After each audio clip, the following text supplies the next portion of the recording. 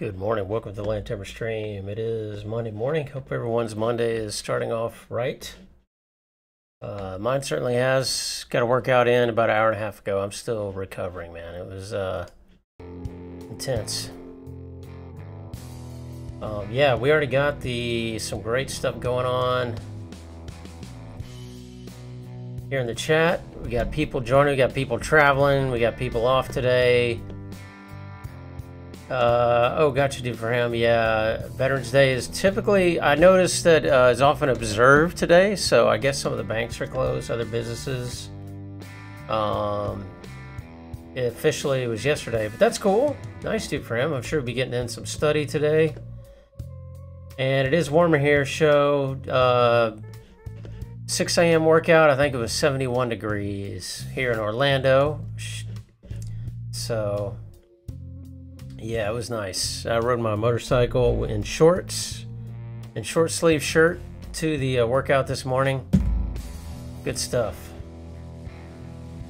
So yes, Monday morning, folks. Uh, last day of studycation for me. It's kind of sad. I wish I could just keep do. I wish I could do this every day, to be honest. I'm really enjoying it. Um, yesterday I did not stream at all though because I just had to kind of chill. I did get some work done yesterday, but I just kind of took it easy. Uh, it's interesting. Uh, Sunday mo- Sunday AM, I had I slept really good Saturday night. Like I got 100% in my sleep app but I was still kind of tired and I recognized, you know, I needed to back off a little bit. And so I took it easy. Um, but I'll show you in a minute where I, what I got done. Today, though, I'm, I'm pumped. I'm ready to go. Um, yeah, upcoming target dates again by November 30th. Trying to finish units 4, 5, and 6. Uh, let's go ahead and pull up the networklessons.com written course and where I'm at. So I'm basically on target. It, it took a good, you know, I wanted to finish IPv6 tunneling yesterday. I don't know what I just clicked. What did I just click there? Anyway, I can never figure that out. IPv6 tunneling. And man, I, I did. I made some good progress there because I've got now on the on the big lab here is now replete with IPv6 tunnels. So I have a 6 to 4 tunnel working, I have 6in4, I have 6RD running here, routing, and I have ISATAP, and I also have 6PE. So I got through all those labs. So the last thing I want to just check is 6PE because for each lab, for each IPv6 tunneling lab, I wanted to one collect my samples, right? We're out here collecting uh, slides, as it were. I don't know if you did that as a kid. I know as a kid in biology, we had to like go out to ponds and collect. So I collected my pack PCAPs, and I now have PCAPs of all these bad boys, uh, IPv6 tunneling, my own PCAPs. And do I have the 6PE? Shoot. I may need to do a git pull to grab that. Let me do that real quick.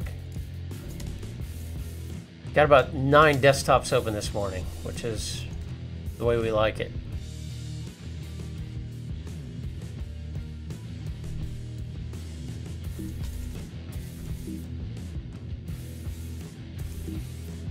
Uh, okay. Oh, that's right.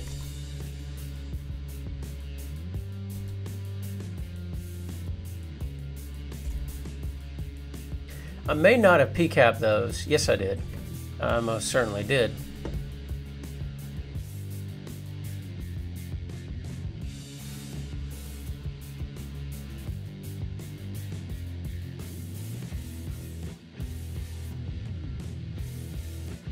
Did it refresh?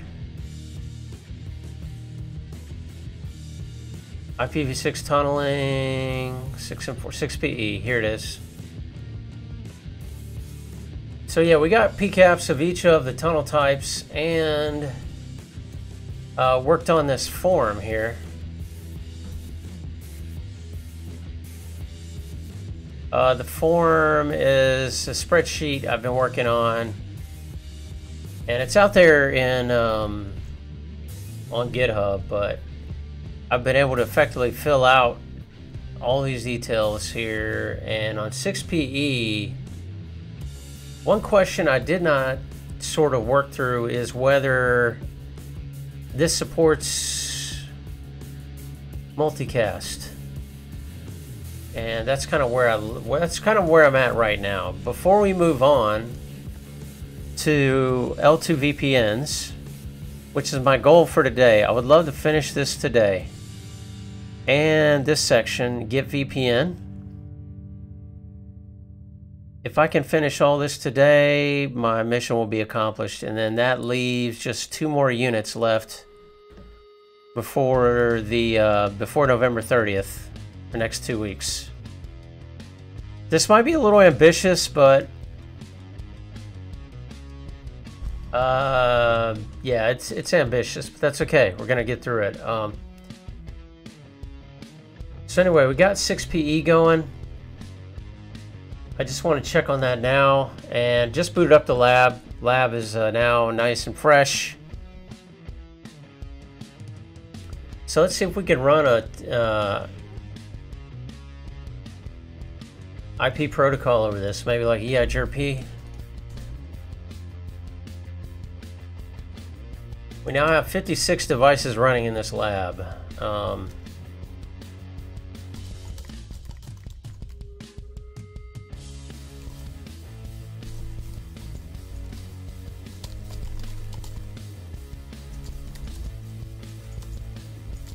so I'm just going to boot up kind of where I was yesterday which is this 6PE tunnel. So I'm gonna make sure these routers are booted. The routers and the switch. Um, I'm not sure about the switch, if the switch config was saved, so I need to check that.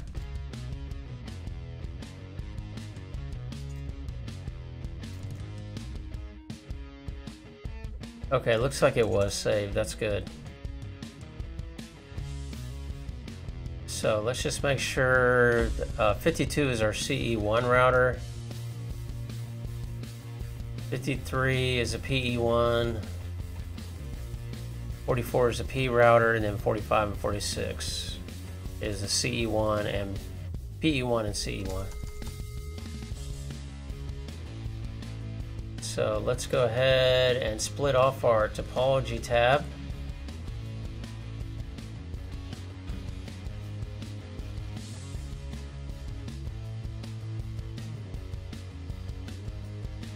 And do a little window organization here.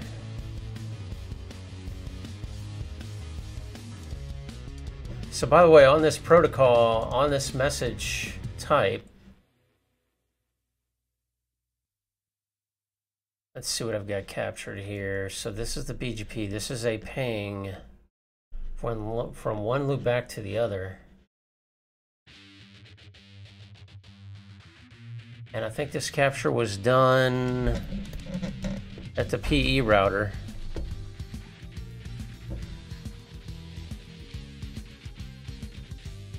Yeah, so essentially this ping comes in to the PE router and it's label switched. So there really is no, um, I mean, it is a tunneling technique, but there is no encapsulation per se unless we want to call MPLS the encapsulation. So the protocol is MPLS here. Uh, on the tunnel interface itself, and this is what I've been doing is just reviewing each each of these fields so that I can distinguish one tunneling type from the other in clear terms.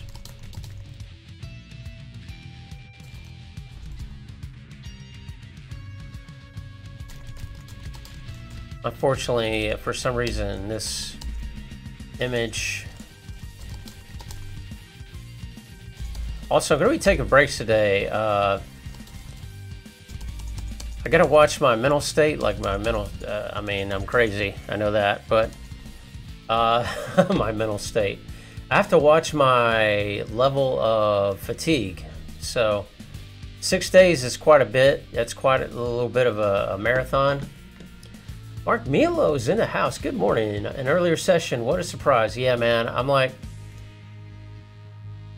I didn't stream at all yesterday.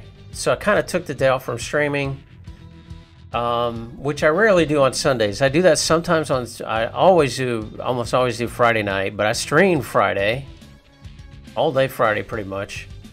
Uh, Saturday, I did some streams. Quite, I did three streams on Saturday, and so Sunday I was like, okay, I need to just chill, watch my mental fatigue levels.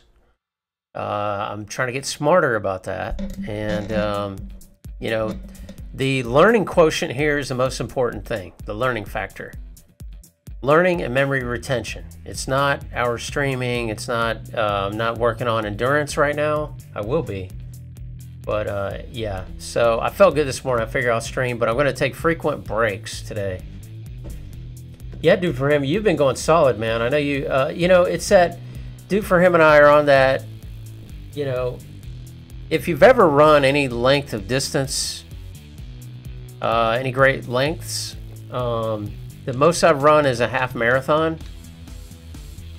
Um, you know, we're sort of in that. We're 50 days out. Uh, Duke for him is about 47, I think, and I'm at 50.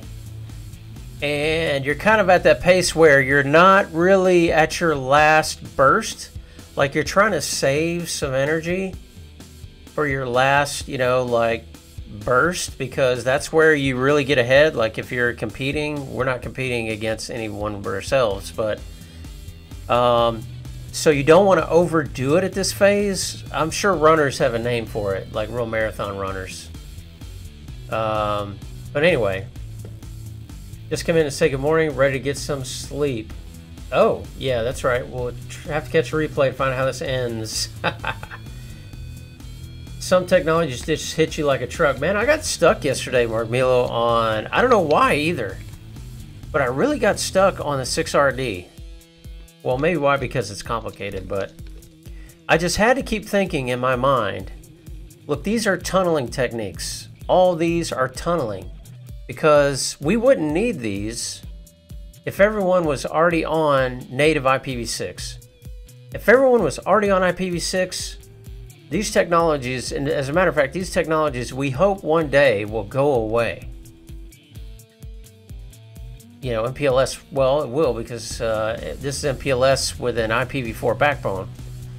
But I had to keep telling myself, yeah, this is, don't worry about, you know, how IPv6 itself is working. Worry about, you know, what is a particular sort of trick being done here to get this traffic over an IPv4 network, right? That's the whole point of IPv6 tunneling. Um, so yeah, I got stuck yesterday on. That's kind of why I didn't stream much either because I thought, okay, I need to work this out in my head. I need to take it slow.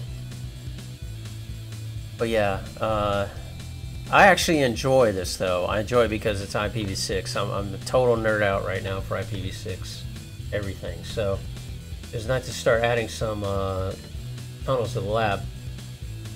So yeah, we are uh, currently looking at, so we're waiting on these adjacencies to come up. Unfortunately, with this image, typically and an EVE-NG for some reason, this stuff tends to come up in with the interfaces being down. Uh, let's try to consolidate our desktops from 7 to 5. There we go. It's chat up here, and we got our topology here, so life is good. So yeah, working on now, just filling out the information sheet on 6PE. And I want to see in particular, so I'm going to, I have some loopbacks here. And are we running any Started my CCL Classic core, but showed how to troubleshoot end-to-end BGP via MPLS with redistribution. He made it look so easy. I was like, wow, this isn't too bad. Then I tried it fell flat on my face. Oh man. Well, if it's any consolation, dude, for him, anytime I spun up one of these MPLS clouds, I always spent way longer than I wanted to on troubleshooting a typo somewhere.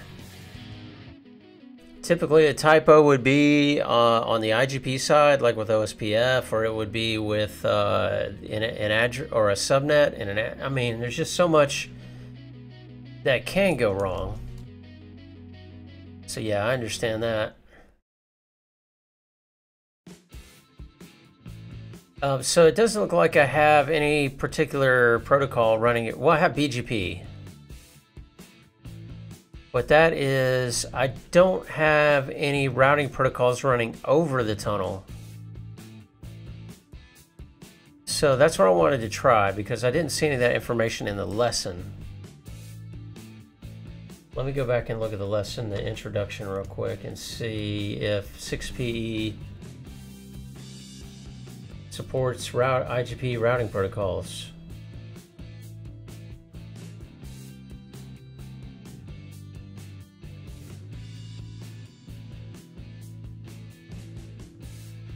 Yeah, it does not say.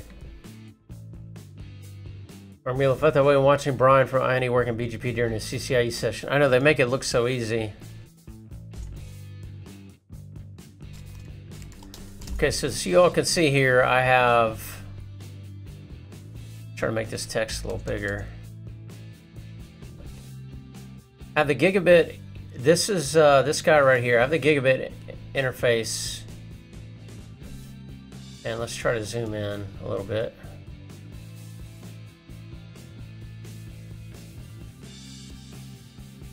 There we go. Perfect. So this is a gigabit interface here that is on VLAN 997.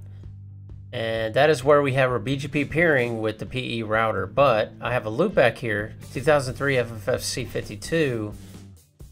And I want to see if I can form an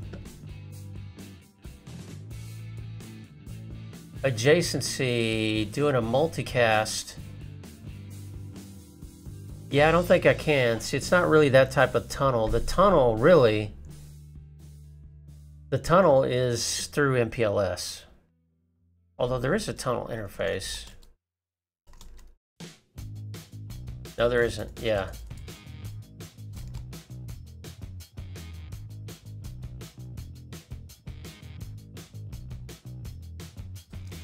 That's the difference with uh, 6PE. So all these other technologies, no tunnel no tunnel interface, yeah. No tunnel interface. That is a big difference here.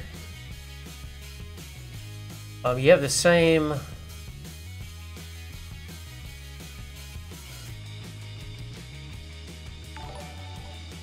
we got a new follower. Loxy487, thank you for that follow. Appreciate it. Welcome to the LAN Tamer stream. Hope you enjoy some networking goodness. Uh, the MTU considerations are the same as MPLS, right? Well, let me take that back. Because IPv6 has a bigger header. So your MTU is going to be a little different than regular IPv4 MPLS. Fact, let's look at this packet. I thought I had it open. No. I hope everyone can hear the music and it's not too loud. Just let me know. Alright, PCAPs. And this is IPv6 tunneling. These are all out on GitHub, by the way, folks you want to follow along or just you want a nice little dump of PCAPs, all mine are or publicly available here.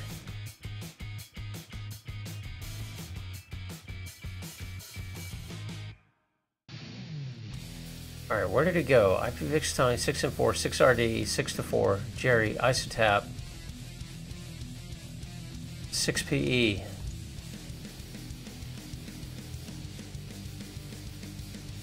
You gotta be kidding me. I just did a git pull.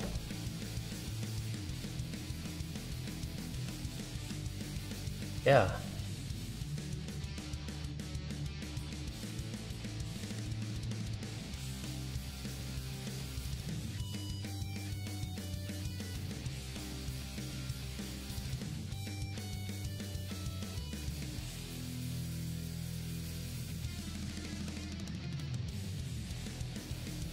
Alright, date modified. Let's go by that.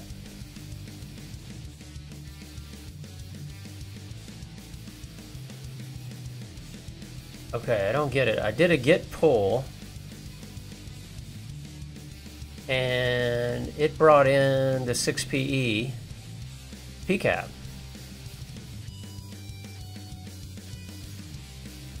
But I don't see it here. Oh, is that a copy? Shoot, that's the problem. Okay. I thought I created a um, a link. Yeah, for some reason in OS 10, you used to be able to create an alias with Command L, but they took away that uh, that key, I don't know why. Because I used to use it all the time to create an alias There we go. Alright. Okay.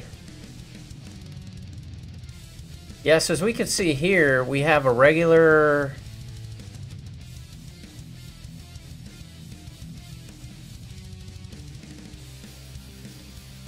IPv6 ping. And this is the um, loopback, I believe. Yeah. Loopback to loopback.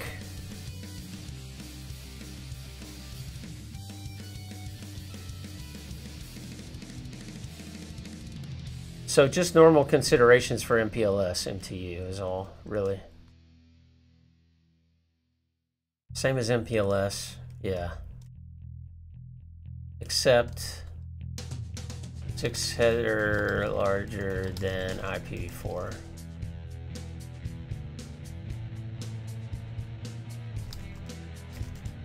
So besides your normal uh, MPLS MTU considerations, um, you have 20 bytes more because it's IPv6 than IPv4.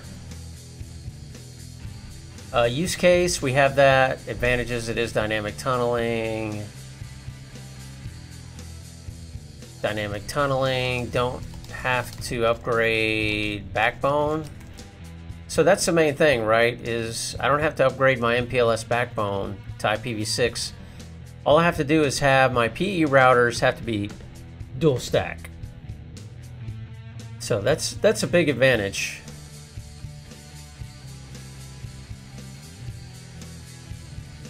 Yeah.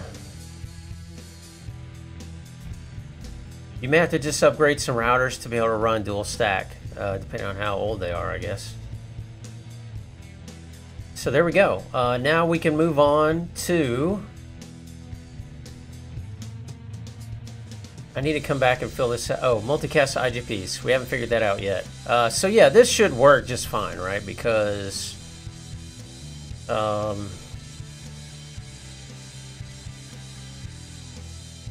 what will happen, for example, is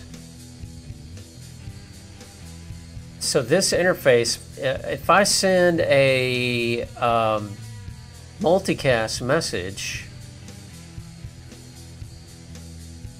over this interface,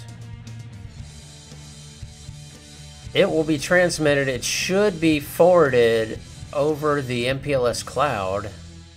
Well, no, it won't. BGP won't do that.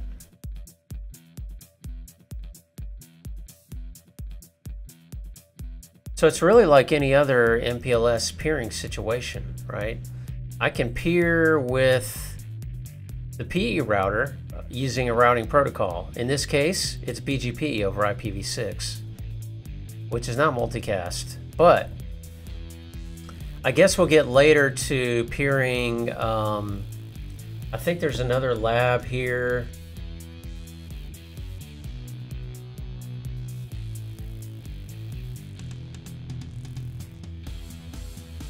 IPv6, um, OSPF v3, you had your PV6 peering with the neighbor that way. So yeah, this is kind of, this is a different animal.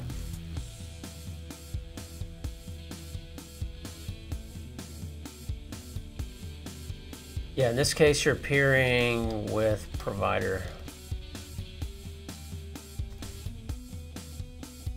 PE, IGP peerings. That's the difference there. All right, let's let's move on. I think we can close out. And our IPv6 tunneling is complete, folks. That's a big milestone, and hopefully, uh, you know what we should do? Okay, that was my reminder to get up and move around so I don't hurt my back. Um, so anyway, I will be back in like five minutes and we will carry on here. Let's see if I can do my transitions.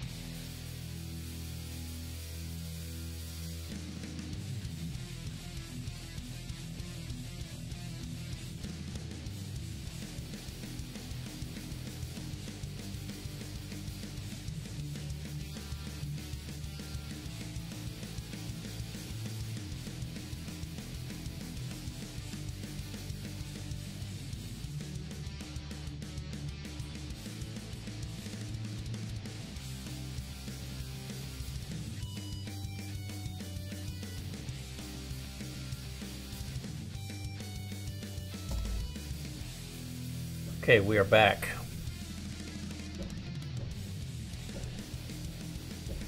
And I'm going to update this uh, filter on the video capture device here.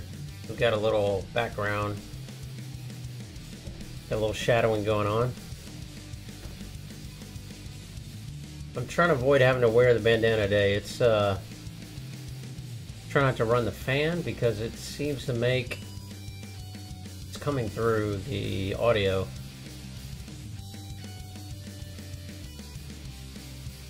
See. Let's see what happens here. I want to get Ghostface going.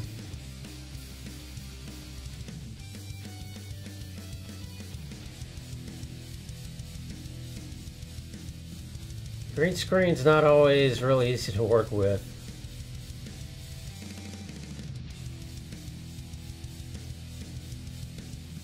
Great workout this morning though. We did some uh, deadlifts and power cleans. Rough. That's how you know you get your getting your money's worth though, is if you're hurting the rest of the week you're not hurting, you're not getting your money's worth. Alright, that looks, that's more or less. Anyway, folks, so what we're doing is wrapping up this, so this lab looks good. What I want to do is a little bit of um, review so we're going to look at some flashcards now that we've, so, you know, pretty much wrapping up IPv6 tunneling. And we're about to move to layer 2 tunnels. Um, let's look at a few cards here. What are two main differences between 6RD and 6 to 4? I think I looked at this yesterday. One is basically the um, the ability to control of global routing, right?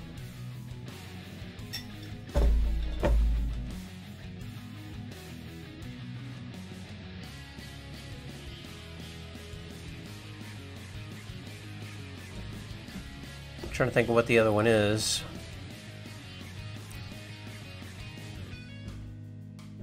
Six RD and six to four. 6RD allows you to use multiple prefixes as well.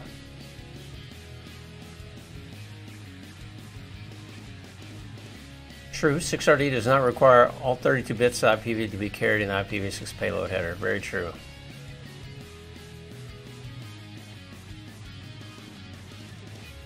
Okay, not many questions on that one.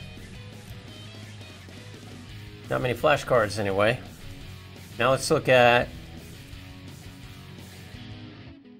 6PE.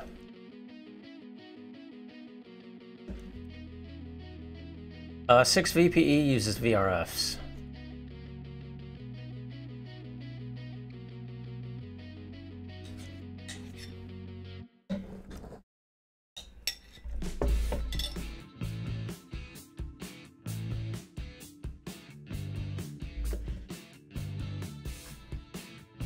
What is the general premise of both 6PE and 6VPE?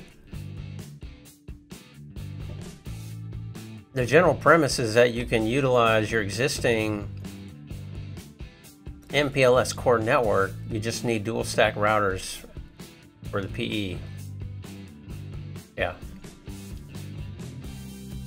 Hmm, not much there. There's these flashcards are great. They're not necessarily a reflection, of course, of the level of detail you'll see on the exam, um, for sure. Especially on these IPv6 tunneling techniques. Okay, good little review there. Um, now let's get prepared for the next section, which is L2 VPN wireline. AToM, any transport over MPLS.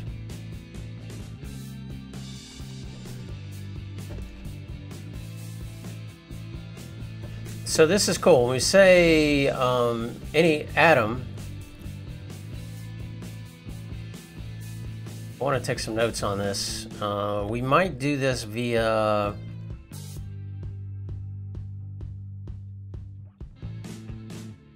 Yeah, I don't want to get too detailed.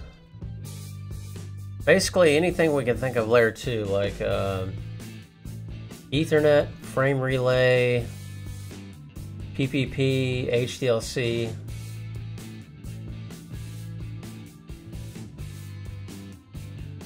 And I think I do want to lab this.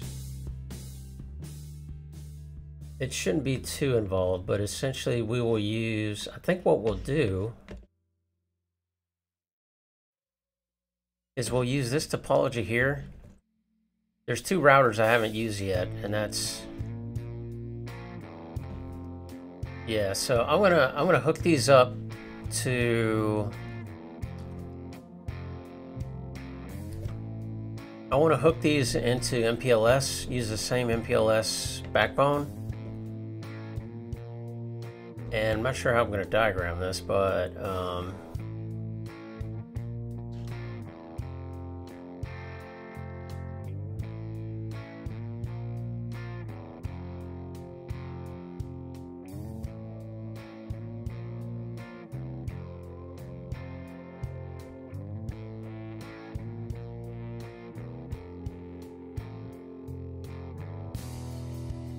I don't know.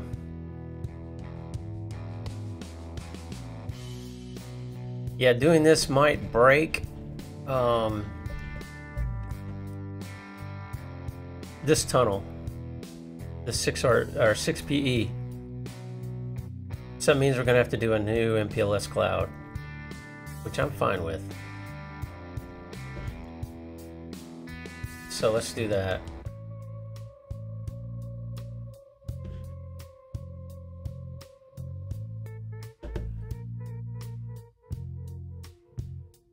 Yeah, let's just make an all a brand new one. And we need to connect to...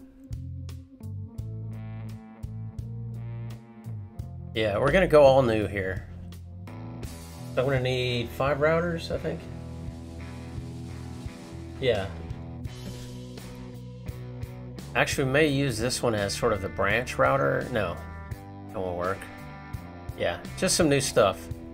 New nodes.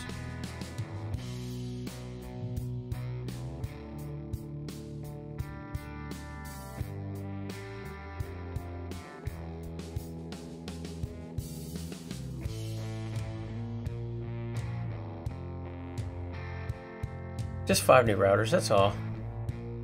This is going to take us close to 60.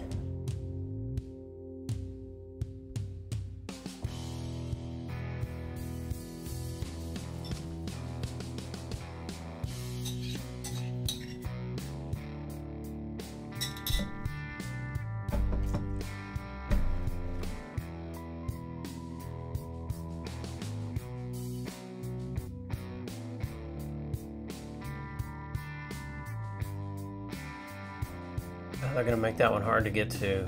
Darn it. There we go.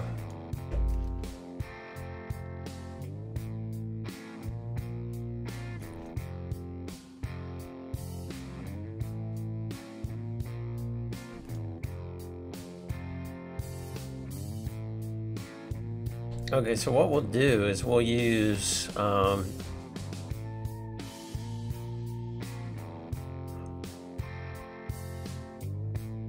kind of this shape right here.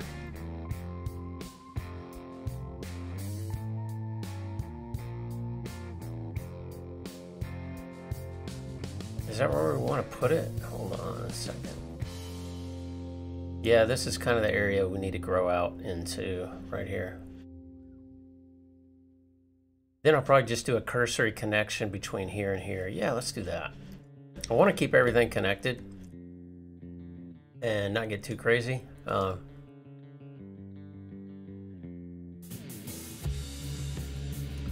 should circular, circular align these? All right, so one thing about this layout, it gets very weird whenever you zoom in. Or zoom out, I should say.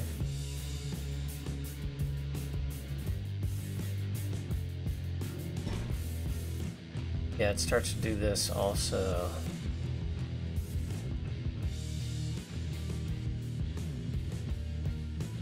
Uh, this actually works. Well, no, not really.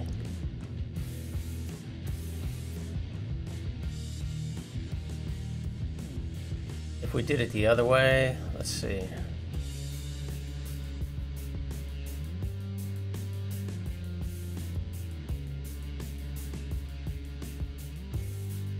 See how it does that.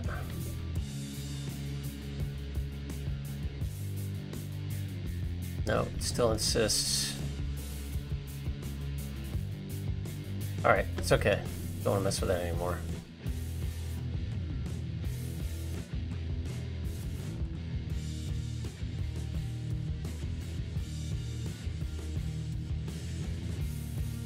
So yeah, well this will be the MPLS.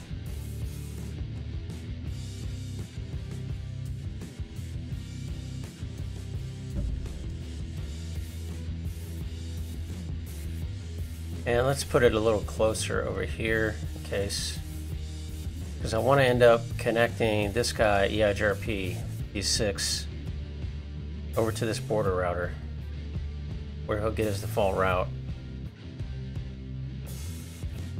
Okay.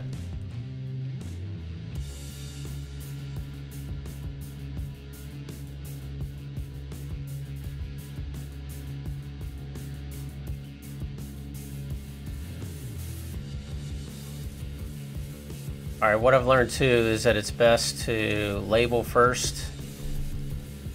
Uh, label your addresses before you boot everything up. So we're gonna add some little circles here, custom shape.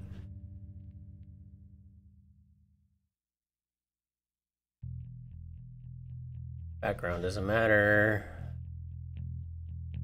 Something that's easy on the eyes.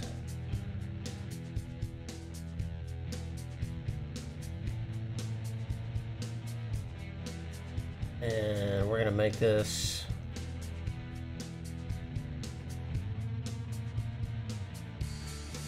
branch.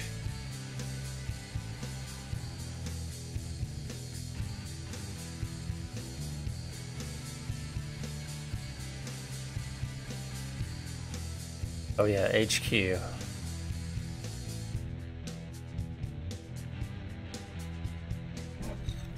These renders are starting, starting to take a while though on this big lap.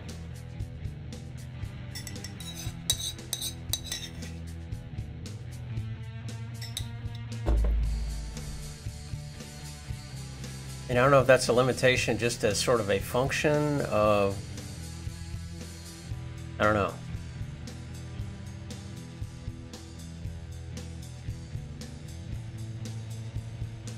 Uh, do not do that, please. That was pretty disastrous. All right.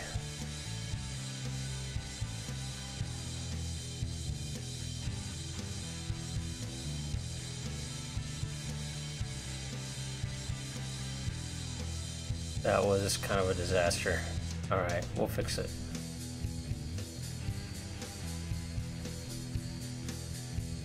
Yeah, it's now wanting to align things like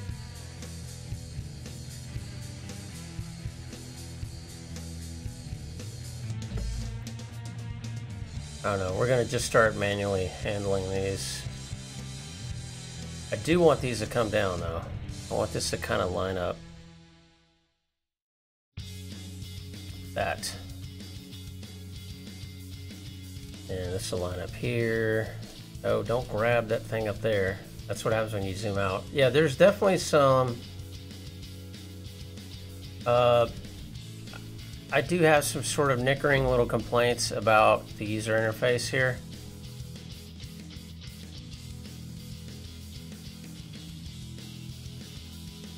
Uh, with large labs, this does get to be very cumbersome. Not very, but it does. It is somewhat cumbersome to manage. There's a lot of improvements that could be made. Okay.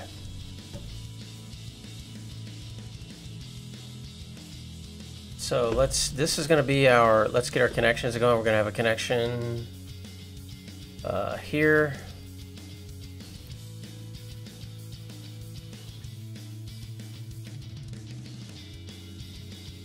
Uh, what did it just do?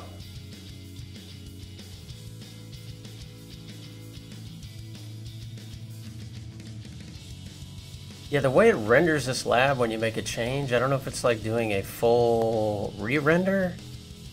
Seems like you could do a partial render. I'm not sure. Not sure how why this is so inefficient, but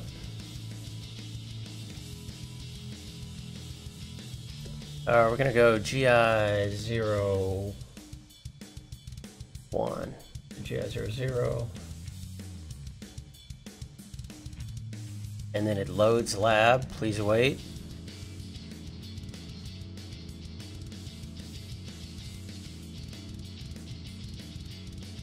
Yeah, so however this is coded, I think this is just a programming issue, like a coding. It's definitely not a lack of resources.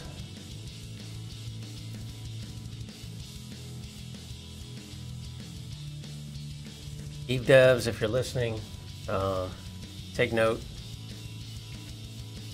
I'm going to also post this in the uh,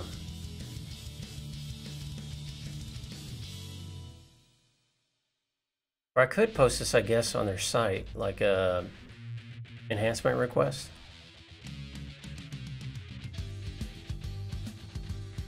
Uh, zero one to zero zero.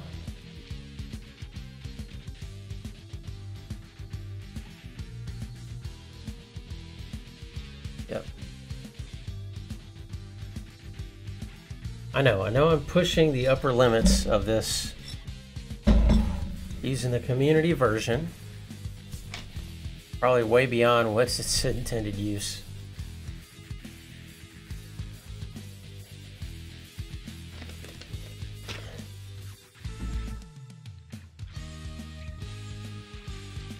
These uh, links actually help us line things up too a little bit.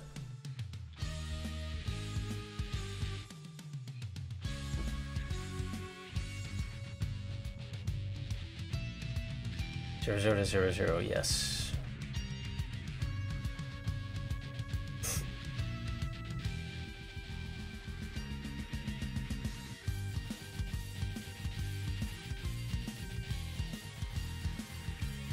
And then we will connect this to this. Oh, can't do that, it's running. Shut it down.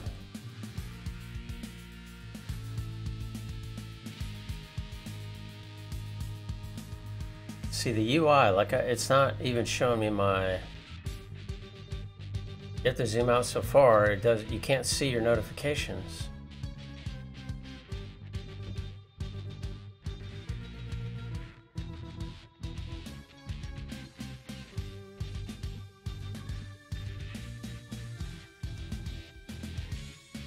Probably to think that Ezra probably think of me as a real pain in the butt.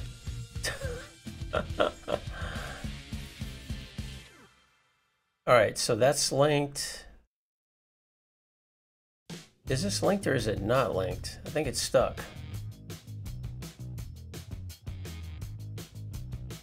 Let's do that.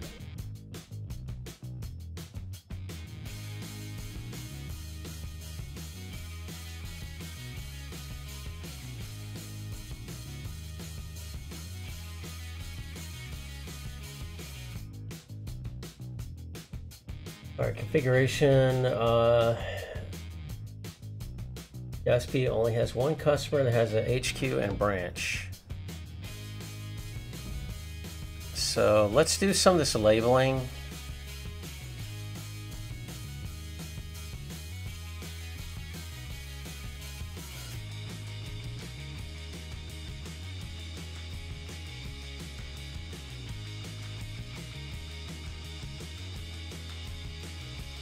So they they want the HQ and the branch on the same layer 2 segment.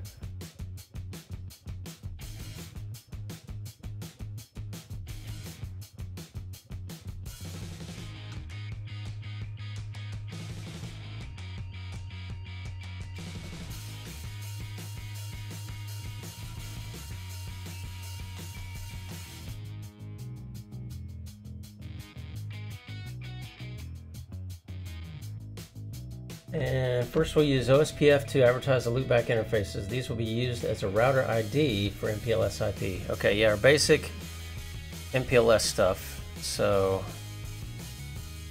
HQ.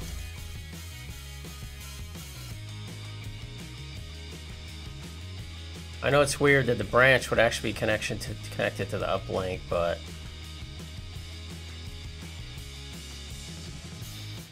This is the layout used in the networklessons.com. So, all right, so let's carve out, we need to carve out some address space.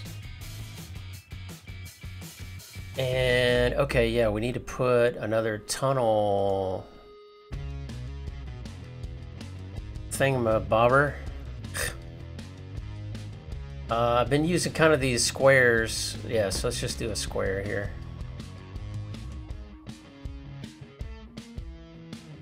Uh, it's dash three. And we're gonna have a different color for L2 VPNs, or L2 tunnels. I use purple for IP, IPv6. Let's find, let's do orange. How's that? Always like this jam here. This is pretty decent jam. Alright, nice little orange sherbet here.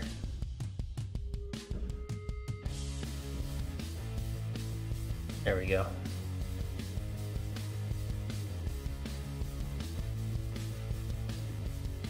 And this is going to be, we need to come up with a slash 24, I think.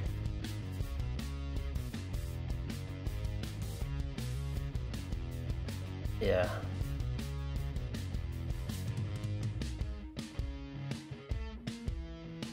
Uh, bring to send to front.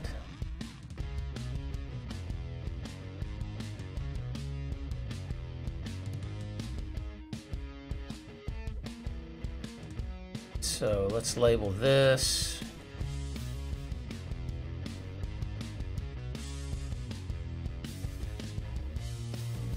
Um, L2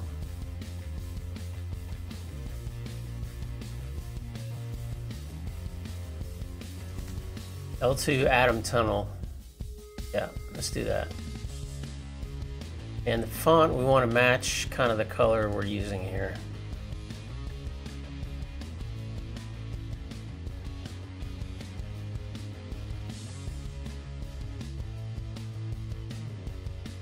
A little bit darker though, yeah.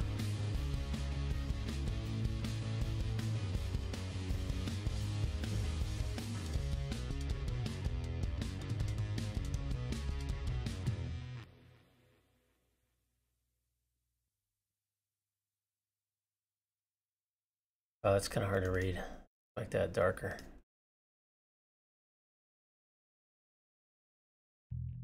I don't want it to look like OSPF though, or ISIS. All right, see I've lost, now I don't have my,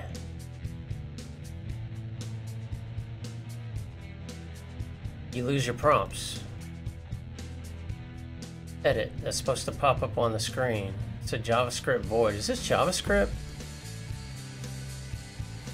Really? Edit. JavaScript void zero. Alright, don't break on me now, lab. Oh, there it is. Gosh. Alright. See, that's... There's some UI uh, work needed here for sure. We need to make this darker, so let's go like that. Maybe? Yeah. Alright, so now we need to come up with our IP schemes. And the last IPv4 I did was 10... 191. I've been trying to play with some very like weird, or not weird, but not often used subnets. So we'll go like a 10190.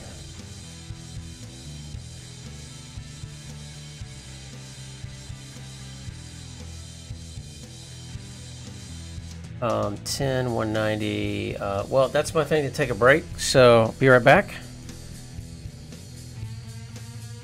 Back break here.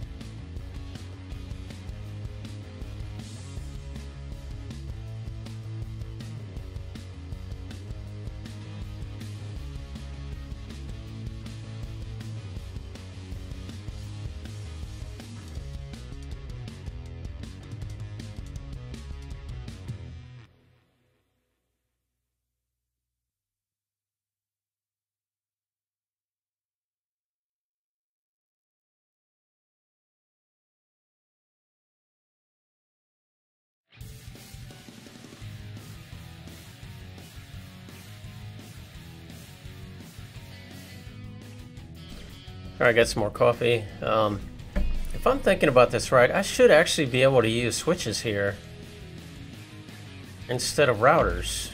But, I don't know, we may just go with what we've got here. Alright, so 10.190... Uh, what's a mask I haven't played with yet? 10.190 dot...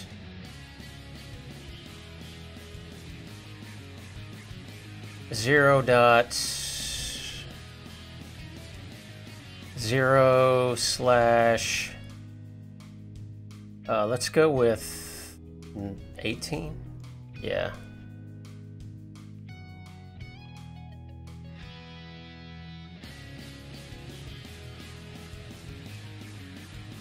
Yeah, I should be able to put switches here, but we'll see. We, we may do that once the lab is done.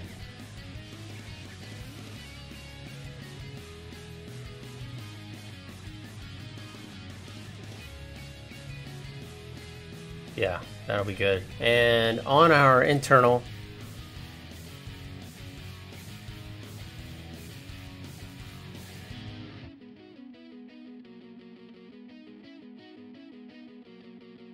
Yeah, what's interesting is the MPLS cloud should not care. If it's truly layer 2, we should be able to use the same subnet for MPLS cloud. Let's do it just because we're sick and twisted individuals. So let's use a range that here that is inside.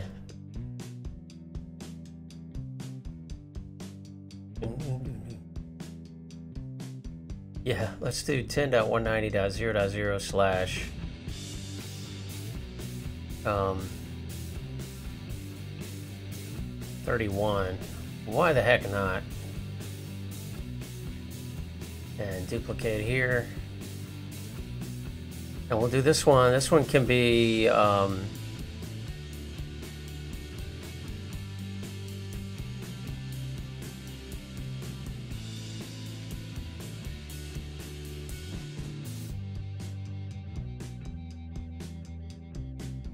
You know, if we're really disturbed, which we are, but I would put a switch here in the middle and connect, kind of like I did over here, connect all the routers through the switch to do a layer 2 VPN. That would be sick and, yeah, anyway. I don't want to get too crazy. Um, all right, new circle. We need to indicate this that this is actually a an MPLS here. So this is going to be dashed and three. And you know what I should do is just copy this. Just things, this topology has gotten so big, sometimes I'll do a right click copy or duplicate and not find it.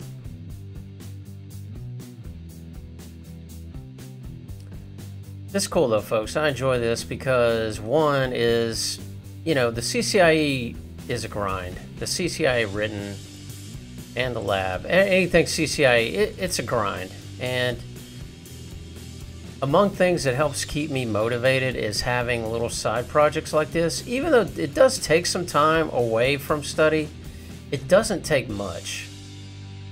It's not robbing me of like a lot of time. Um, and it keeps me engaged, right? It keeps me, it's just fun. It's just fun to do. That's another reason I stream along with. Yes, yeah, streaming, it takes me a few minutes to get set up for streaming. But, and you know, I do engage with chat. I have those conversations. But all in all, it's, it's a side project that keeps me motivated on the main project, which is CCIE Journey, right? So, it's all for the good. That's the way I see it anyway. And you know what? Just because we're um, um, low anal retentive, I am going to go put ahead and put uh, PE, P, and PE router labels here, even though it's going to take an extra 15, 20 seconds. Uh, these need loopbacks, I believe. Yes, so the P router all three need loopbacks, so we're gonna have to come up with loopback addresses also, which is fine.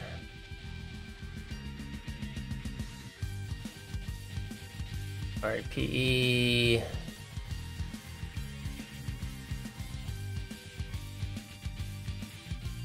You know, I should drag this out here. You think I'd have learned that by now? I think I'm ready for a new playlist, folks. I think this one's played out. Let's do our Stream Grooves playlist.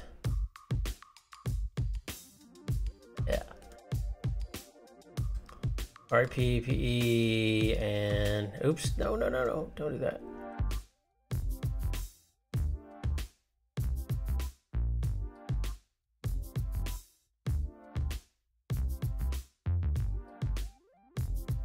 Uh, so our loopbacks, you know what? I, have been, I've started to standardize the loopback labeling. I used to do really crazy things, but now I'm just doing L, the router number, and whether it's four or six. So I think we'll just stick with that. So this is PE router, PE router, and this is P router.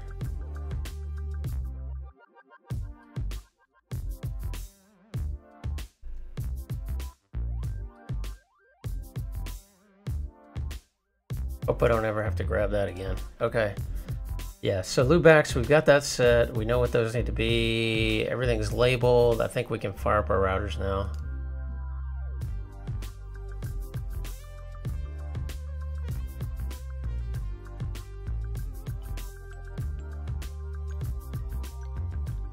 Start selected.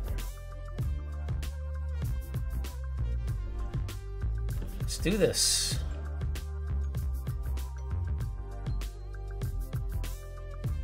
Yeah, I'll figure out some. These routers should just. Well, this router is doing something. This router is not. He's part of my star. I just made him there just to make him pretty. But we will uh, use this router for something at some point here. Did those start?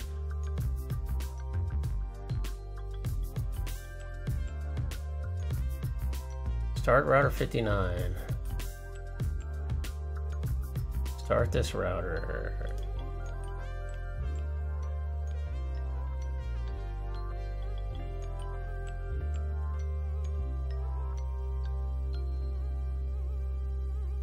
Yeah, they're starting up. Stop me up.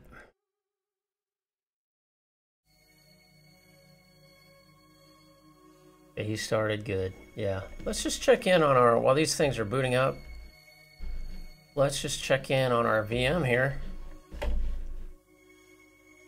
Uh, I've successfully used almost, well, yeah, 100 and about $110 worth this month. So even not really trying to conserve, I'm sort of trying to get use it all up. Uh, I'm kind of, I'm still having trouble, and I have five days left, I think, in my quota.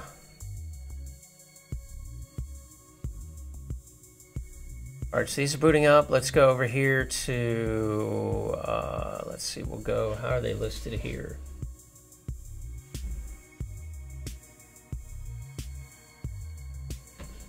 Branch HQ. So we'll go branch HQ, P, PE1, PE2.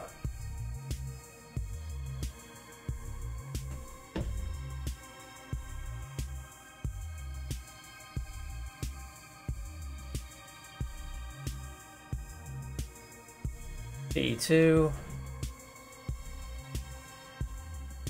PE1,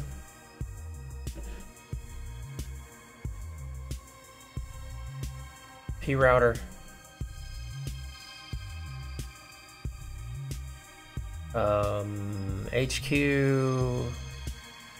and branch.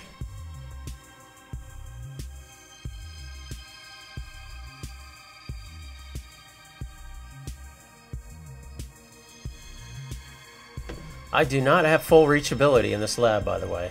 That will be one of my projects whenever I'm ready for, you know, labbing, like generally at each of these connection points, like this is a lab, this is a lab, this is a lab. I do connect interfaces and I do sometimes do redistribution, but not necessarily always, so. One day, though, I will be uh, coming back and getting full reachability with a default route to the Azure VNet. So that's not working right now, but uh, that's where this is going at some point. Move that up. That's bothering me. It bothers me.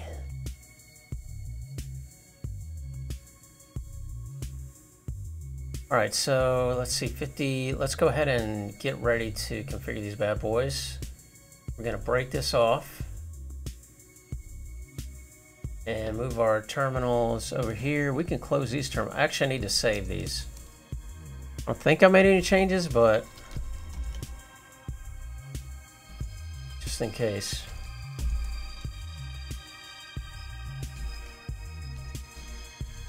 I'm kind of sad this uh, stay. You know, you're always sad when vacation ends, right? At least I am. I get a little uh, post or um, fourth quarter sadness when I approach the end of a, of a vacation, study or not. And man, I wish I could just keep doing this every day. Uh, maybe one day I will. Wouldn't it be cool to have a job where all you do is create labs and learn protocols? Wouldn't that be awesome?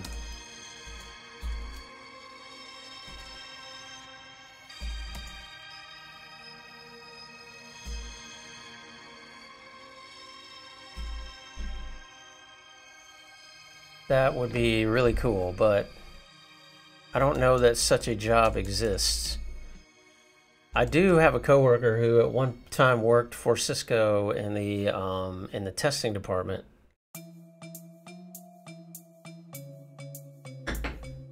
Um, but it was like very restrictive on the test environment, and there were deadlines, and it wasn't all that uh, he thought it was going to be cracked. It, it, wasn't all he thought it was going to be, put it that way. And I don't think he was there very long, just because it, the it wasn't kind of what the expectation was that was set for for the position. May have been Cisco. May have been a Cisco um, services client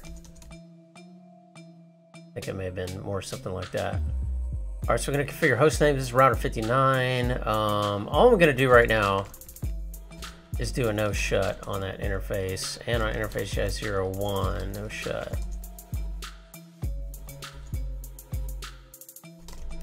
Uh, this is router 55. He is the HQ. Interface JI00, no shut. And now we're going to go to 57, which is a P router. Uh, R50 host name R57.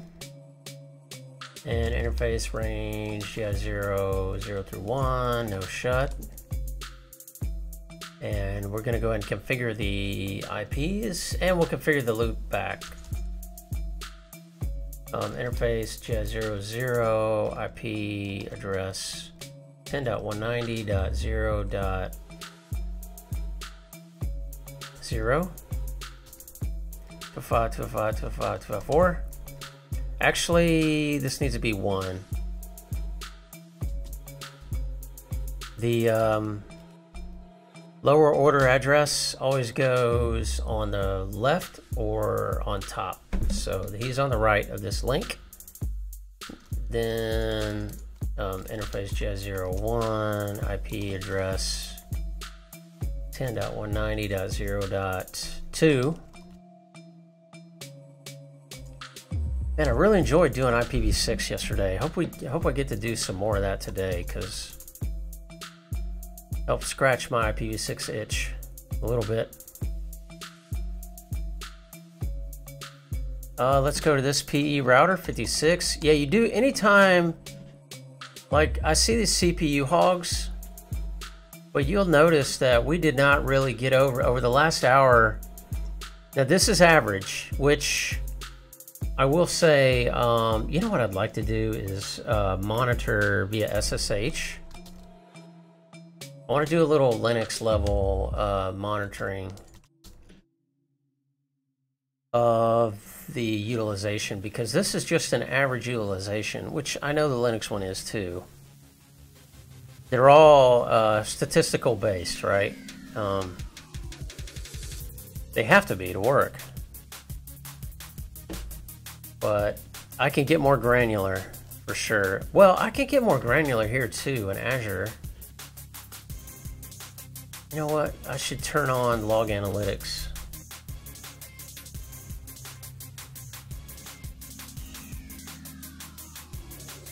Oh, I can add a chart too. I don't want to get too distracted here, but I do want, this is something that would be a benefit for my project here. Oh, you can do by CPU credits. That's cool.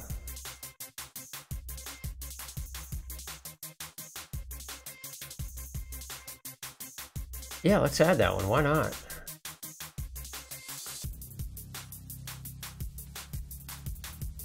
A lot of these are data, network, OS disk. Percentage CPU. Yeah, quite a few metrics here, but again, this is going to be somewhat limited.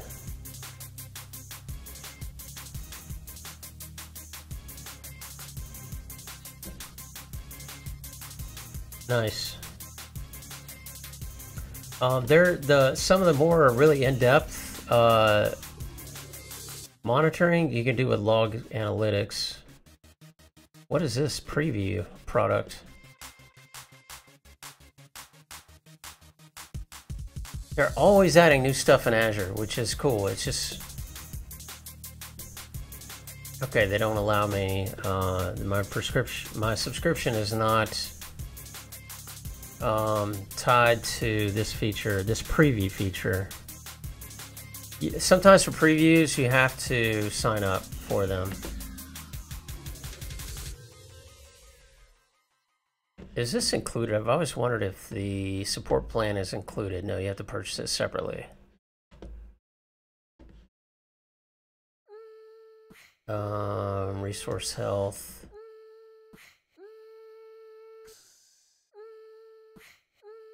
Oh, what is this?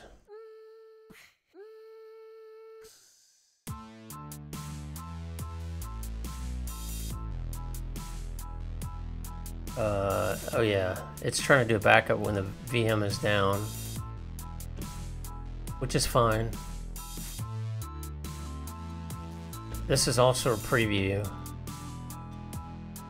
Uh, virtual machine insights, interesting. Performance.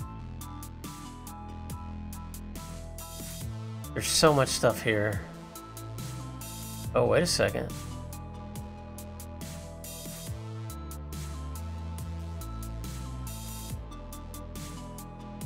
Uh, now this is...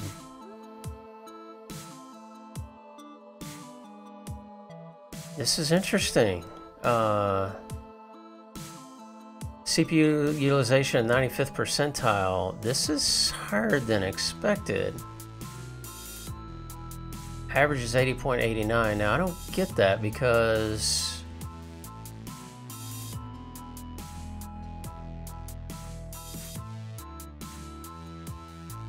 Maybe that's why it's got the slow... Oh, check this out. This is cool.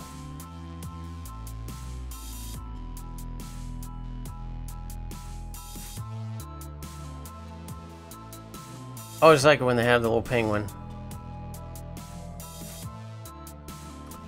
Oh, that's slick. Okay, so it's actually showing you process level. Yeah, there's going to be a bunch of QEMU wrappers here. That's for each VM, basically. Okay, I like that. I do like that.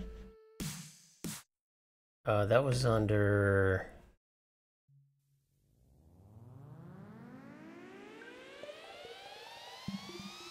Insights. This is pretty slick.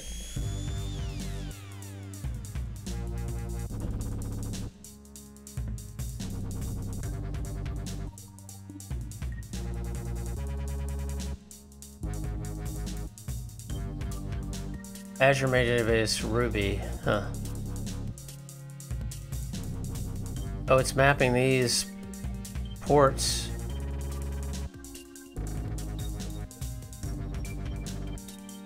Yeah, these are the different IPs that's been assigned.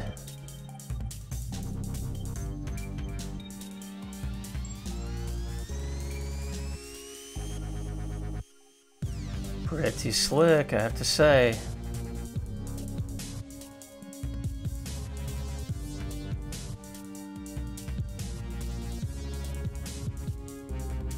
I want to take a screenshot of that full screen. Oh, recenter. Okay. Cool. Uh, now I need to follow up on this performance because this is not um, 15 minute granularity.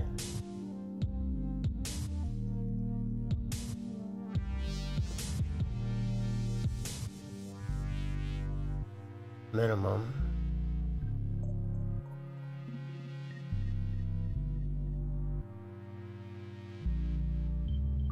Oh, this is like your top, right? Top command? Let's let's take a look and see if this is what the VM is showing. The CPU average here is low. But, you know, I, I just remember working with VMware. You would sometimes look at the uh, VMware tools, what it reported it would sometimes say that a machine is running, you know, using very little memory, running low CPU utilization. But when you check the operating system level itself, like Windows statistics, it was a much different story. So that's what I want to check.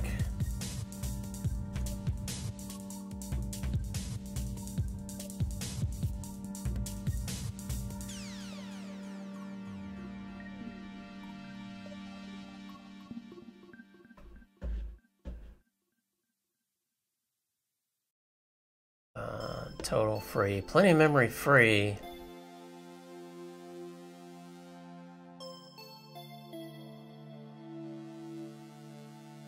QEMU. So these route these all these individual routers.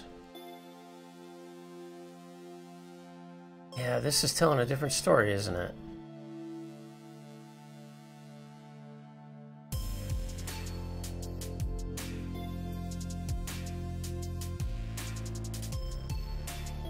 Okay, load average 31.9, 34. 30. Okay, so that's about the same. What this is saying 34, 34, that's already 100. Am I not interpreting uh, the top correctly?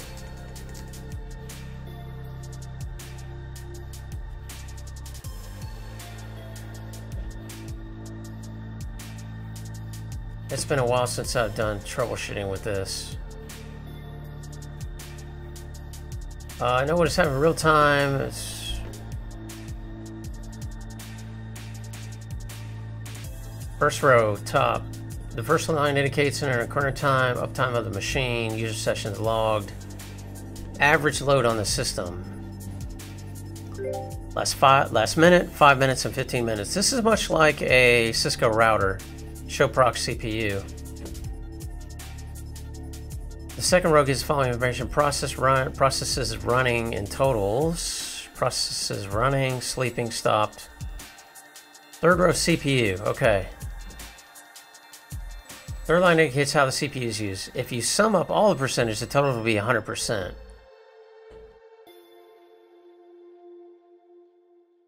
Percentage of CPU for user processes, percentage of CPU for system. Not used.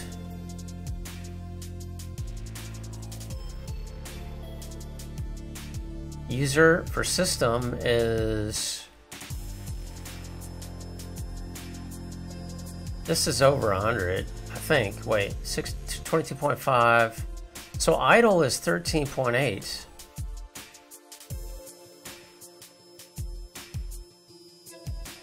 Yeah, so we're using 22 plus 63 is 85, 86%. Yeah, that is a much different story.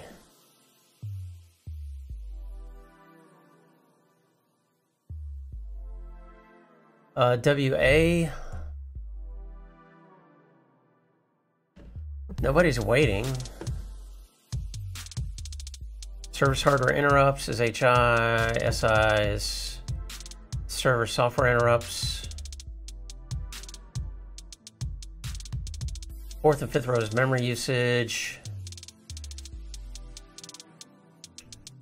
No, I think our memory is pretty good. Following row is processes list.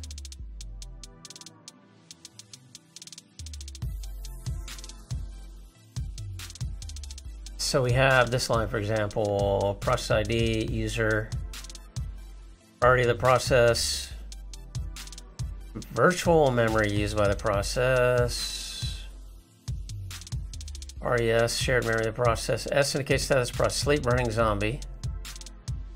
That's asleep. This is the percentage of the CPU used by this process. So we have a sleeping... Yeah, I don't know about all this, folks. A good alternative to top is H-top.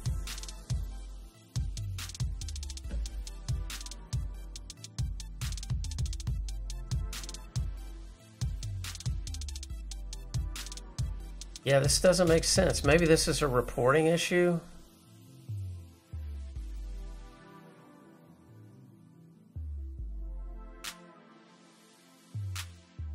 H-top? Yeah, not installed. Alright, I'm not going to worry about it too much, but these do, these do not add up.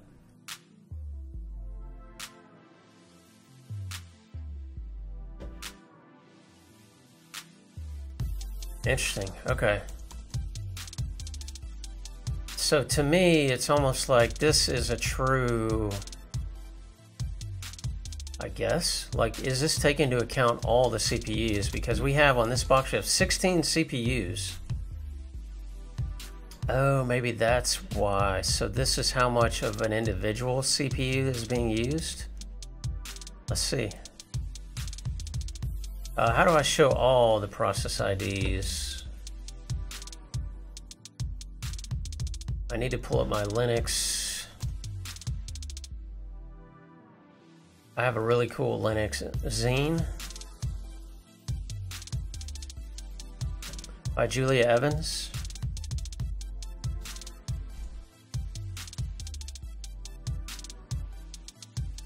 Yeah, it's called Bite Size Linux. It's 10 bucks, folks. Definitely worth it.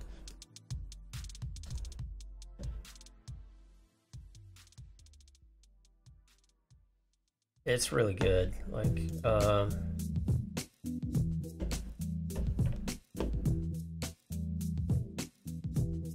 Uh, let's see. Proc, every process on Linux.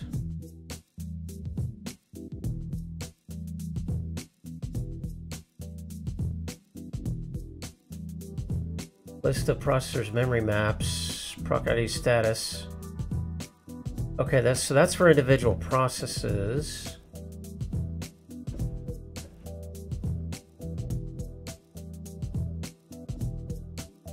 Unix permission, system call, signals, pipes, sockets, Unix domain, processes, processes. Let's look at that, page 12. It's cartoony, folks. Like uh, th these books, these zines, they're cartoony, but they're so simple, like uh, to follow.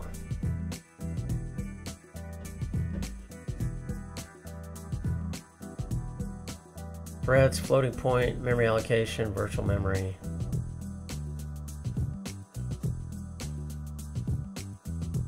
Okay, yeah, it doesn't really... Um, let's look at it in Excel real quick.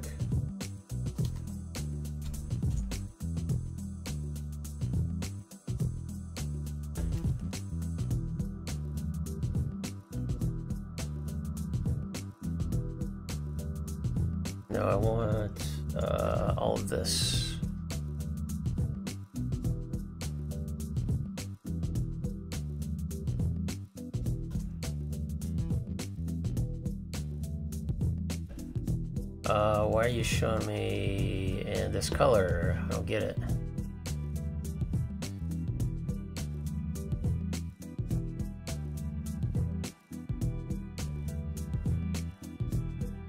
Ah. VS code.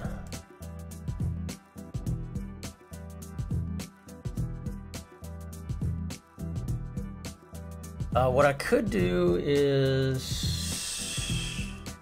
top. What's the way to do columns? Like I can uh, create columns and then remove. Let's do this. Uh, top rep root. Yeah, that's what I want.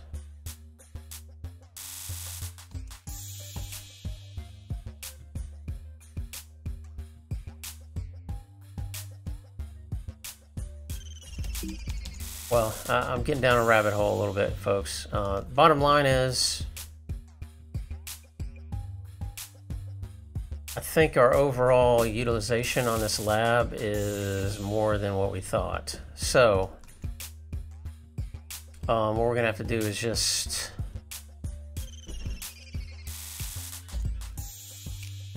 uh, monitor it via sort of user experience, right?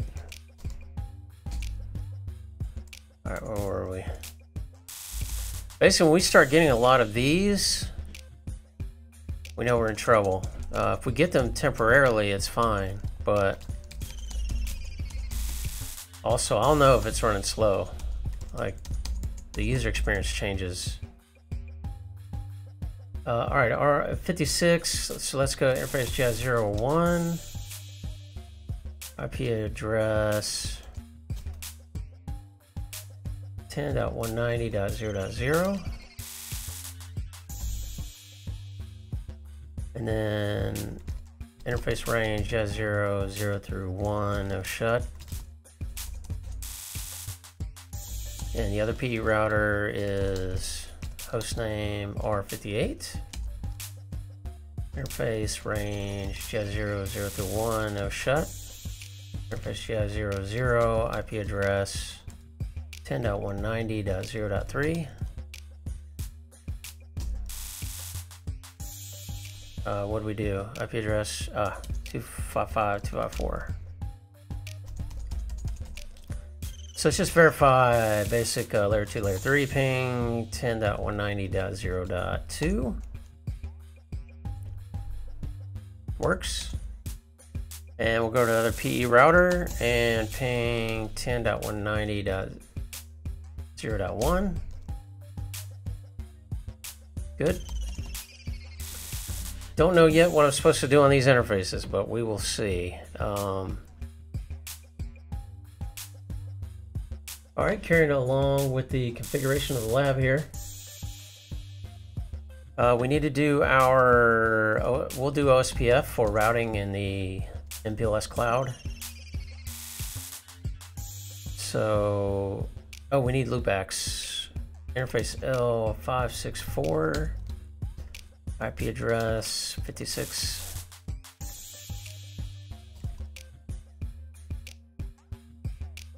and interface L574.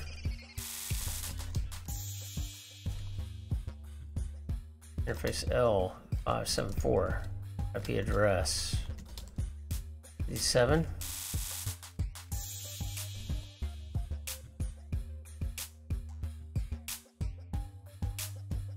Interface L584, IP address uh, 58.58.58.58.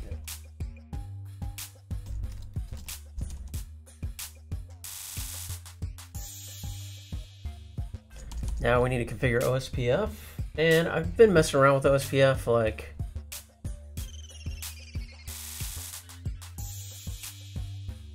Instead of area zero, I've been trying to find other weird areas I can use. Uh, also the routing process, so router OSPF.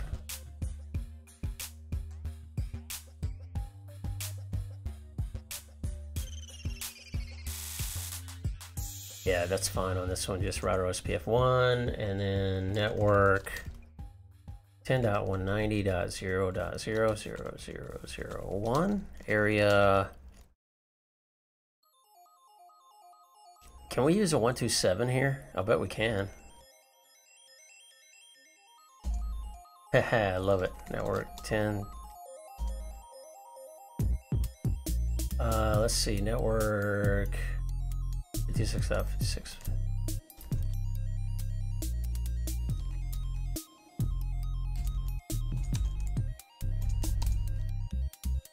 Okay, and then router OSPF1 network 10.190.0.0.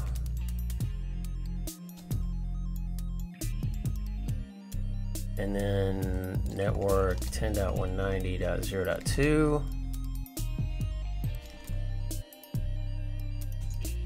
And finally network uh, the loopback 777.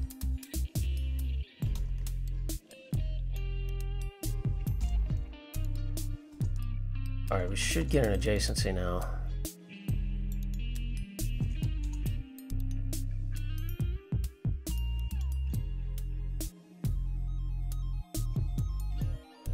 Uh, we should get an, an adjacency. Show CDP neighbor. Yeah.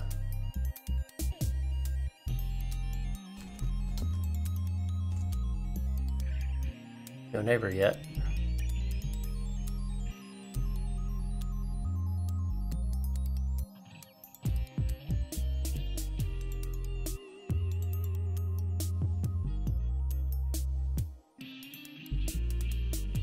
Interesting. Well, we'll keep rolling here. Um, router OSPF1, network 10.190.0.2.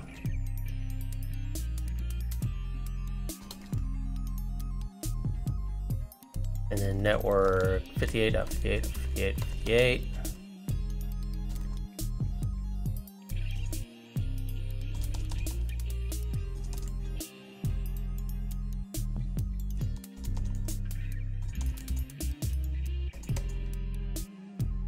Show IP OSPF neighbor. Huh. Is it mad about something?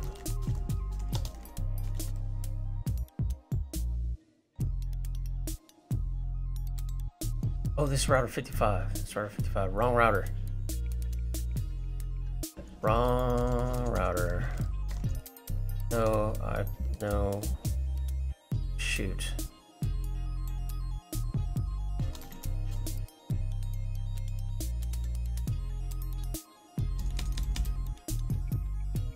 Uh, yeah, I don't have a command for that, Ch Chester. Sorry. Uh, what this is is um,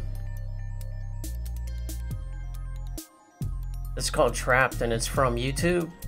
So if you go to the YouTube creator page, it has a bunch of music. I'll show you what I'm talking about. I should create a command for that.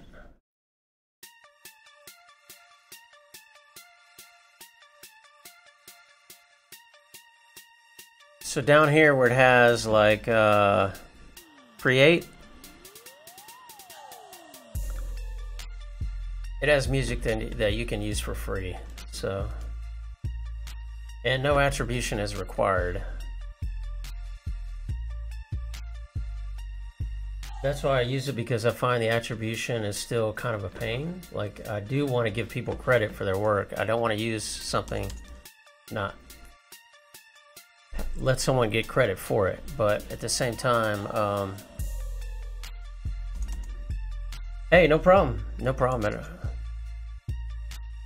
no problemo. Uh, 56. Okay, that's why this thing is. 56 is here. Yeah, this is all messed up. Uh, no router, OSPF 1 network 10.190.0.0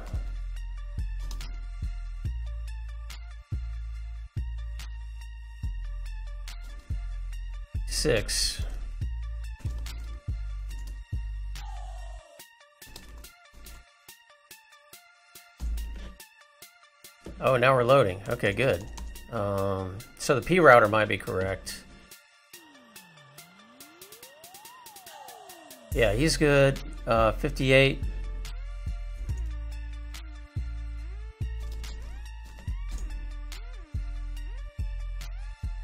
So this, is a little different direction than, yeah, alright, that's fine. That's the thing, like, uh, this is how it's shown in the networklessons.com lab. Like, this is the layout, pretty much. Um, but that's one of the challenges when you use all your own, like, router numbers and network numbers. It forces you to become uh, to not get so accustomed to one particular topology, right? That's another reason I'm doing this. I'm taking the extra time to do this stuff because it forces me to pay extra attention, which is really critical on the real lab, right? Um, you don't want to be making a lot of mistakes or losing a lot of time because of lack of attention to detail. Let me check 59. I still feel like I have a rogue OSPF configuration out here somewhere. Nope. Okay, that looks good. See, he has a loopback he shouldn't have. No interface L564.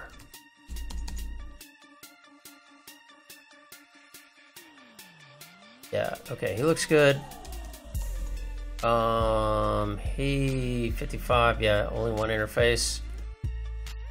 57 is P router. That's okay. Well, he should be learning loopbacks from OSPF right now.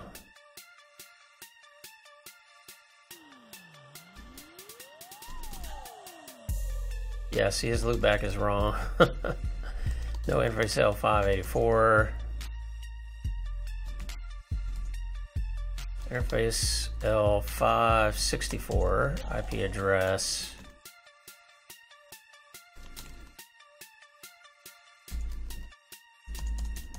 Okay.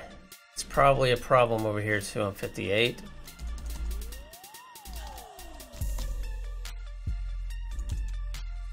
And he has no loopback, so 584 IP address.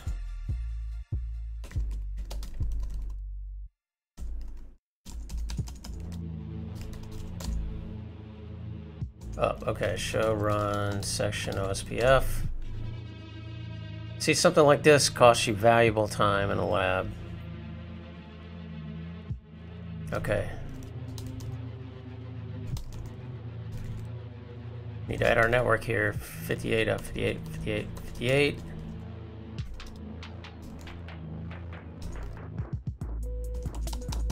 So you should now be advertising that. And let's check over here.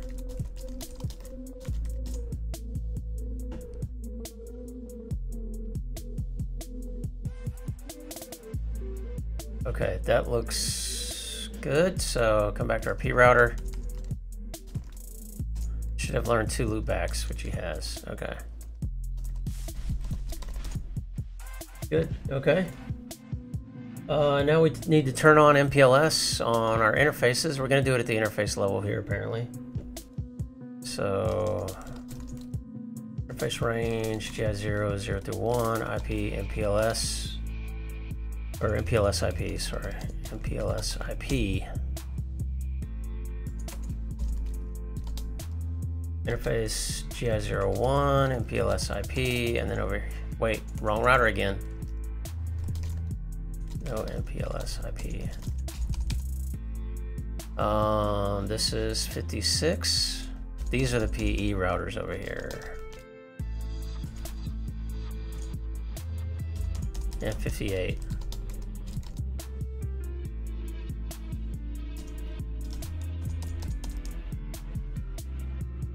Um, I'm going to do a new command here. I'm gonna make a note.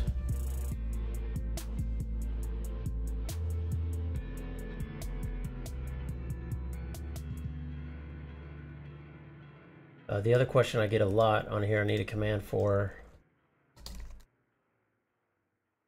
New Nightbot command. Cost and yeah, how much does it cost run this in Azure? And this VM is $1.67 a minute. Um, or an hour. a minute, that would be a lot. Um, but this is way bigger than what you normally will need for labbing. Way bigger. So this is kind of an indulgence as an experiment. You can run in Azure a lot cheaper than that. All right, let's check our neighbors. Won't you be my neighbor? Looks like, yep, both are up. Now we can configure uh, any transport over MPLS, AToM. So it looks like it's pretty simple, folks. It looks like it is pretty darn simple. And if that's the case, man, that's pretty cool. So it looks like there's a command you type here facing your CE router, right? So on PE1, so we don't even need BGP, right? Because it's just layer 2. I wonder how this scales, though. That's where you get into wireline versus um, like VPLS versus a virtual private line service versus um, shoot, what is it called? I've got a chart on this too.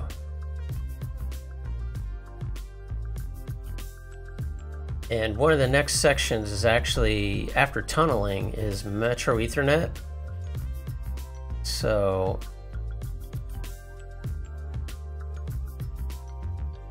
I thought I had a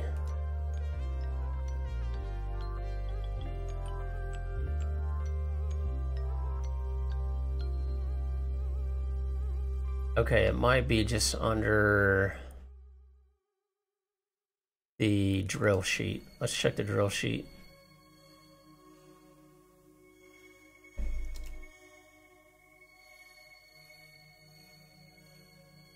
Oh, VPWS and VPLS, right. VPWS is E-Line, Virtual Private Wire Service, and VPLS is Virtual Private Line Service, which is E-LAN, right. Yeah, we've got no pseudo wires here as of yet, so. All right, so let's configure the, on the PE router, we're gonna do interface jazz 00, and the command is uh, xconnect. And the way this ties in, I guess, is um, who we're going to peer with on the other PE router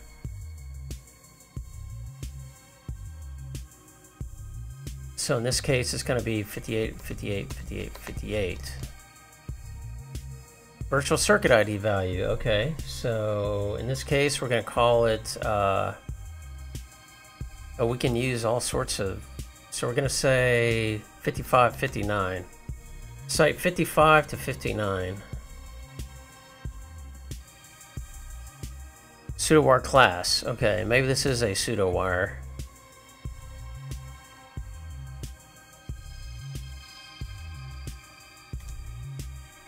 In this case, we're going to do encapsulation uh, MPLS. Okay. L2 TPV3 or MPLS. Boom. Nice. Okay. It does create a pseudo wire. Pseudo wire 0. And over here, I have never done a pseudo wire in the lab. First time for me. Interface says 0, 1 uh, xconnect, in this case, our peer is going to be 56, 56, 56, 56. Um, I want to cap, I want to do a pcap here before we finish this config. And I want to capture mainly GI00, yeah.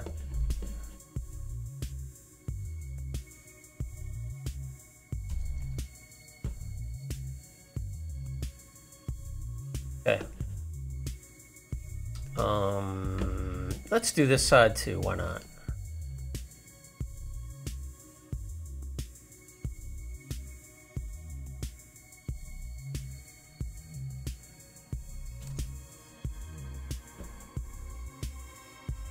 And let's create two new windows here. One, two. This will be MPLS side traffic. This will be... And let's create a, one for all these little children windows. Just to get them out of the way, because these... Uh, this Wireshark wrapper creates, yeah, a lot of windows. All right. Uh, X-Connect 5656. Uh, virtual circuit is, I guess this has to be the same number. We're gonna make it the same number. Cap MPLS.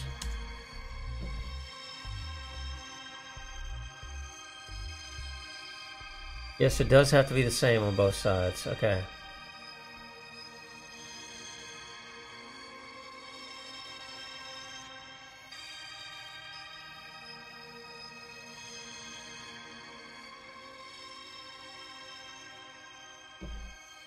Line protocol pseudo wire changed up. Now let's look at our line protocol.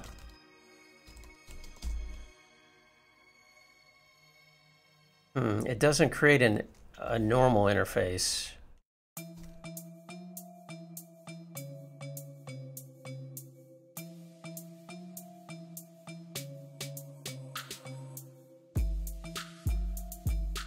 Zero three loopback.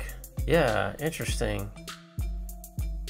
We can do though on the P routers show MPLS L2 transport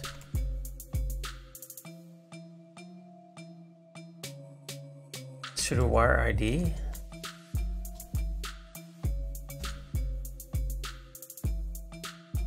Nice, okay. Peer address label. We even have our label here. Here's the binding, destination address. Oh, wow. Basically, anything coming in, we're going to forward it out to this destination over this virtual circuit ID. This is our local label. Our MTU is normal Ethernet MTU, looks like. Minus. Well, that would be uh, IP MTU, right? Minus Ethernet header, I assume. Um, okay. Oh, that's my little alarm, folks. I need to take a uh, back break. Be right back.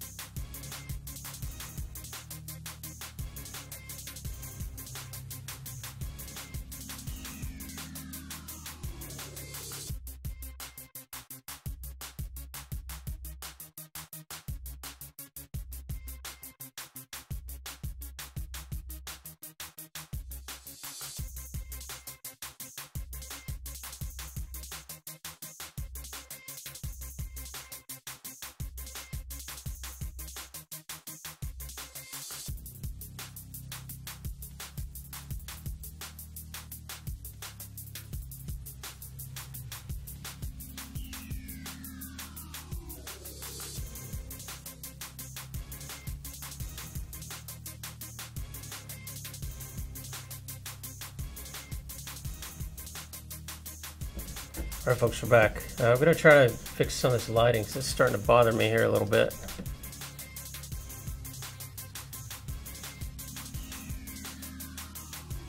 I've got a light over on this side. Got a shadow somewhere.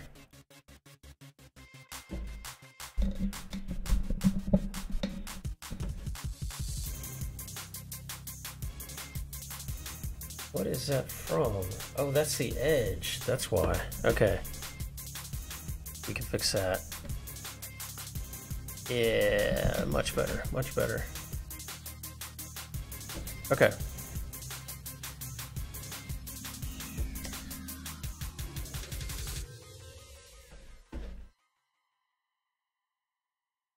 All right, so um, so far so good in the config.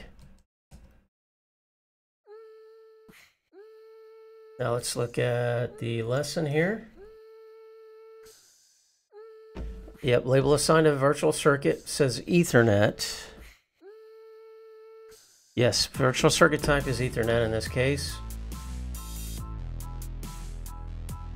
And the other useful command show MPLS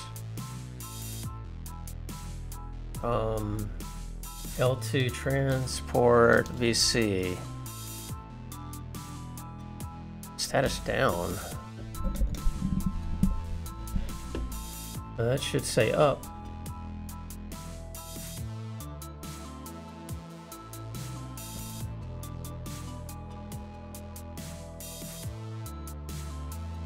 Alright, we have some issues here.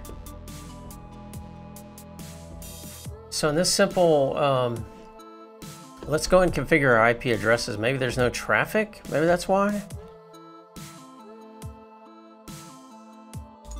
So router 55, we're gonna put an IP address on here, interface GI00. And I think we've cycled through all our songs, so let's go to another playlist here.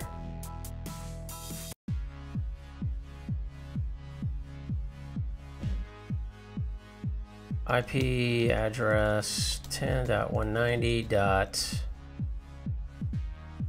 0 0.1, 205, 205, 192.0. And the other is router 59.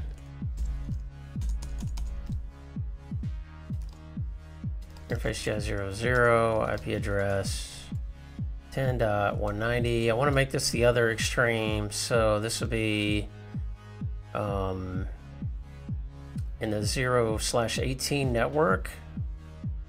Uh, that means we can go up to...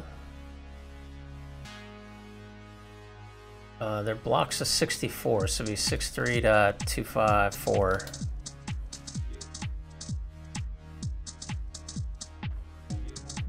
I believe that's right.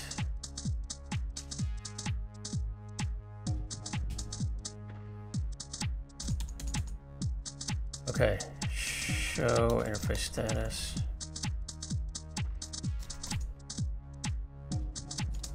Ping 10.190.0.1.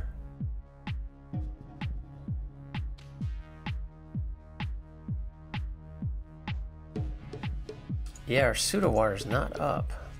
Oh, now it went up. Okay. Not on this side, though.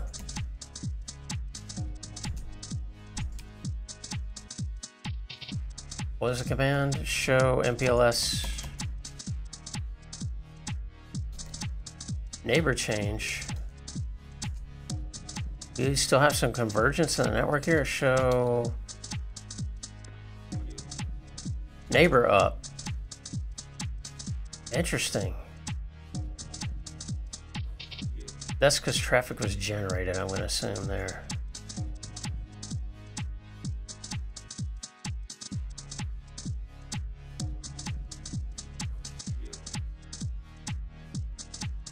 Show LDP neighbor.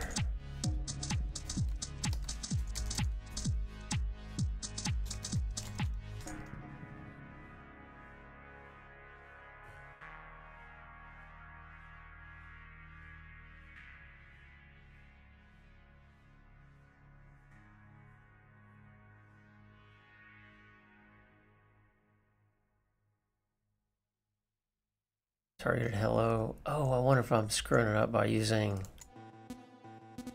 Um... I mean, theoretically it should encapsulate. Oh, it says up now. Okay.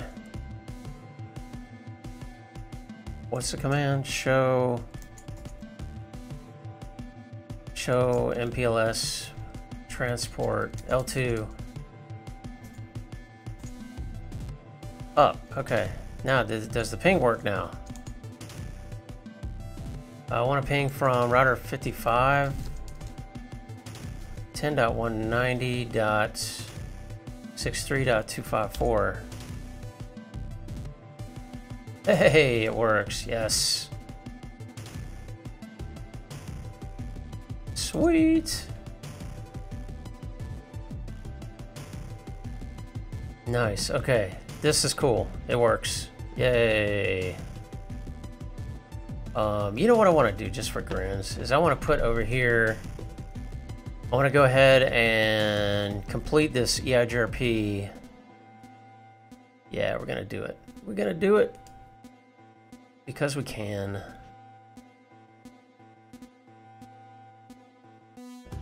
So we should see, let's look at our PCAPs. We got to get it, you know, we got to do our PCAPs, got to get our captures. And what I want to see on this side, so this is the LDP side of things. And this is how I'm forwarding the, I think.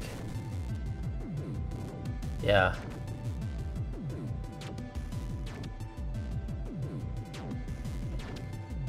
Alright, so we've got normal LDP, we've got OSPF, ICMP. We want to hone in on these. Yeah, so this is the ping outbound, or no, reply. So ping request. Wow, look at all these, uh-huh, we get... Wow, so we've got, all right. Let's unpack this. We've got ICMP inside of IPv4, inside of Ethernet, inside of pseudowire, inside of MPLS, um, inside of MPLS.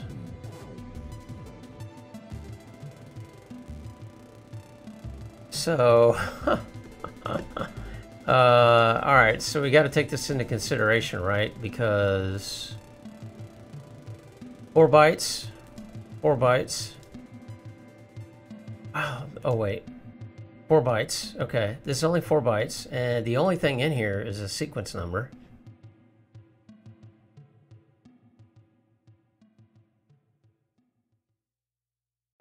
Does that sequence number change? No.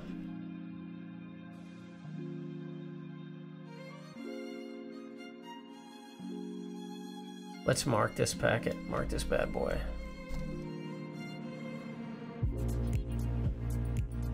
And then this is a normal Ethernet, 14 bytes, 20, and yeah. So all in all, our headers are uh,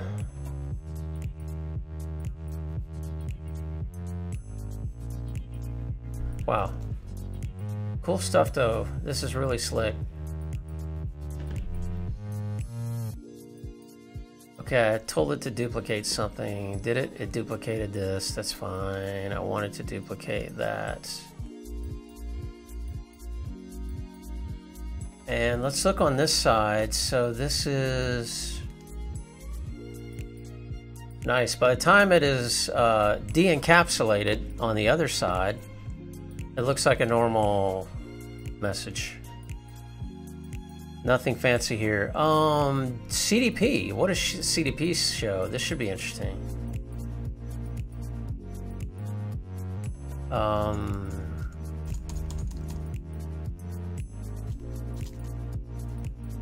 yeah, check that out. Oh wait, this is the 57. Not wrong one. 59. What I want.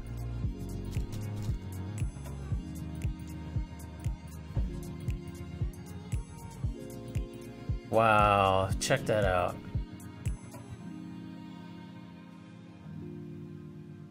Screenshot this.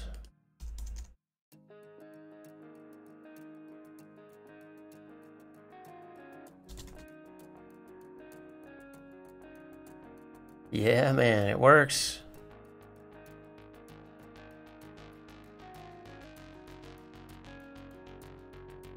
I love it. Show CDP neighbor detail.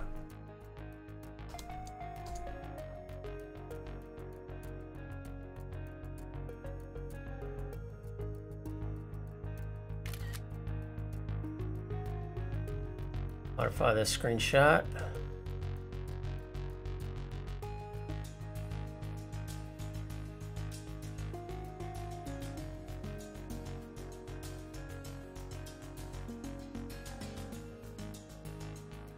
Oh shoot, I want that to be...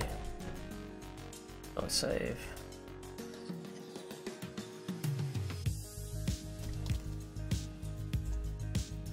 Right there.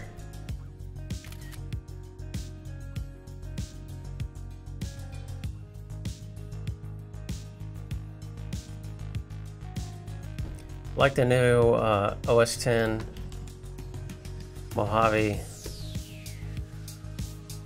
um, screenshot feature.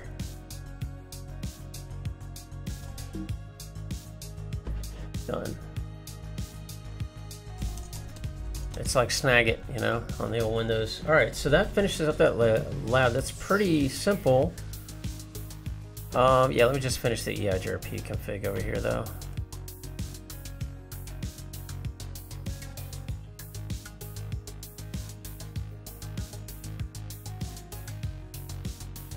Yeah, I want to put it right here. I need to clean it up.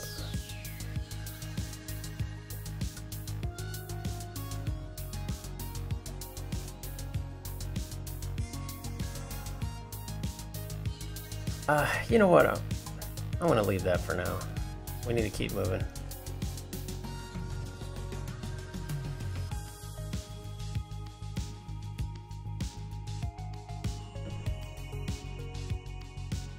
Okay, any transport over MPLS. That lab is done.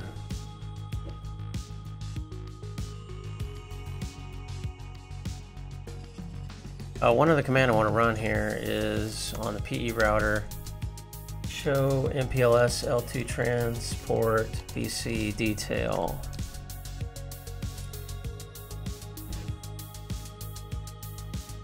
And here are VC statistics. Receive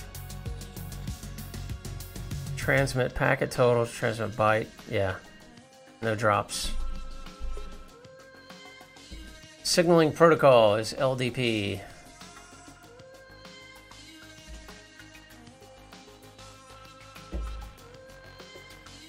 All right, now we're going to look at another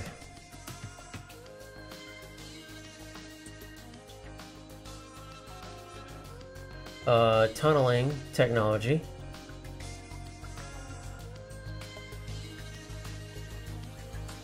L2TPV3. Say that 10 times fast without choking. Uh, yeah, this is going to be... Okay, cool. This is going to be different.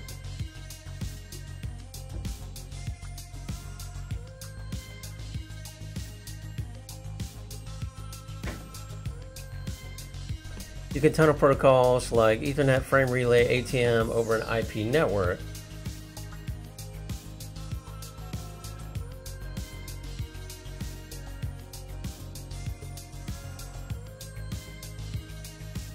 Okay, I know exactly where to put this. Alright, L2TPV3 is a separate protocol, right? But we're gonna do, let's, let's zoom in here. I think we should do this just right here. Well, actually in this, for this one we need two hosts and two routers. Oh, that would be perfect to do right here, I think.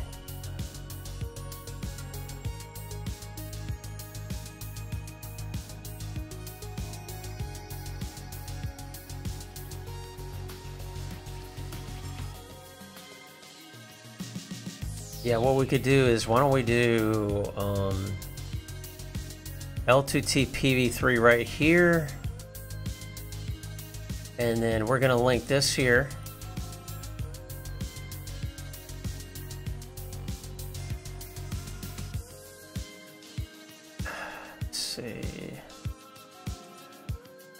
Or even simpler,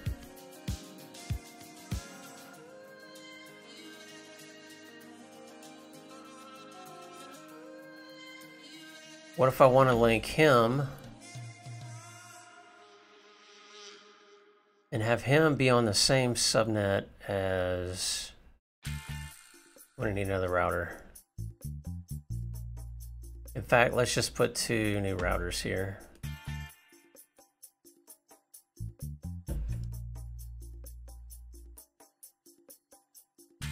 You know what? We're to make them look like PCs.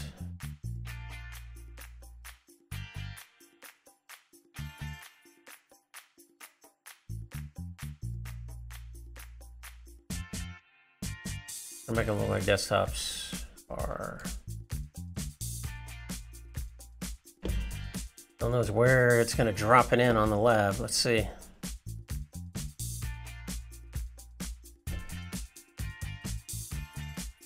L2 TPV3 is an IETF standard. It has a separate protocol number. Okay, combine some technology from. Yeah, look at that. Way over here.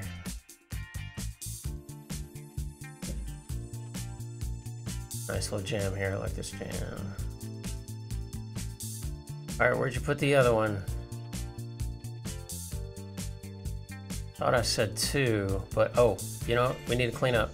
Uh, we need to write changes. I'm gonna leave this in place since we're not gonna be working over here.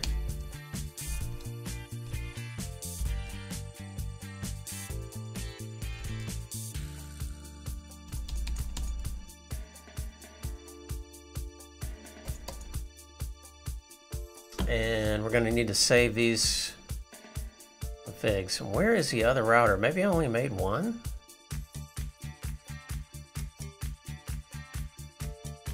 Find out in a second. That is an inside address here. That is a loopback.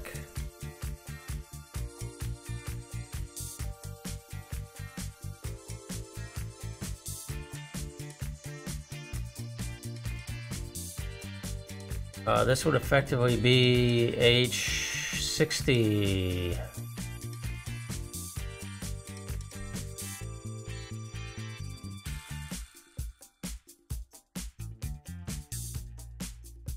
You know who you are. Alright, these have saved.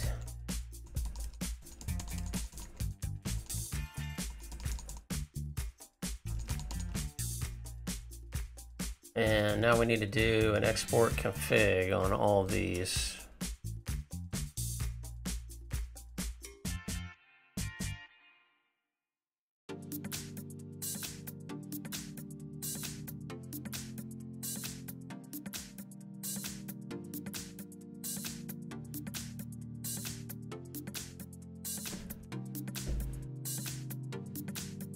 This also is going to be very straightforward, apparently.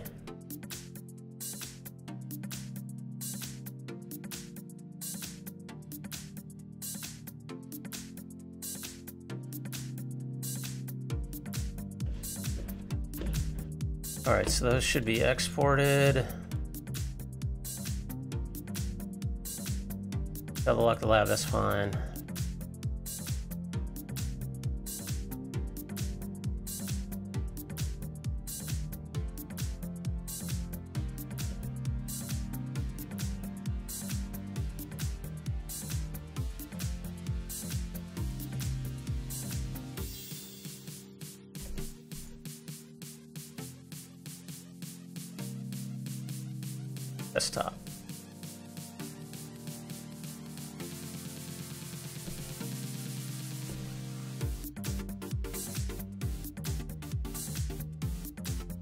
Good. We're making good progress. This is these are called the wireline.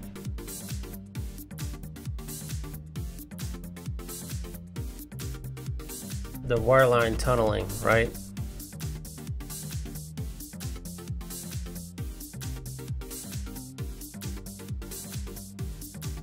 AToM and L2 TPV3. Right, come on, lab. What are you doing to me?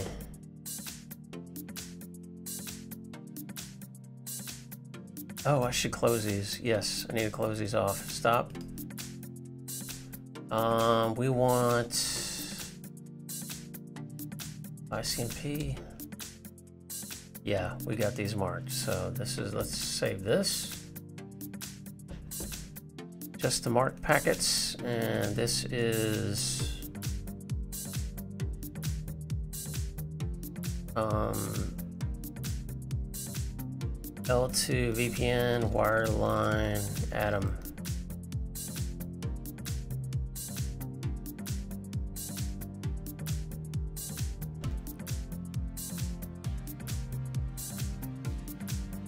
Uh, where's the other one? This not very interesting, right? CP.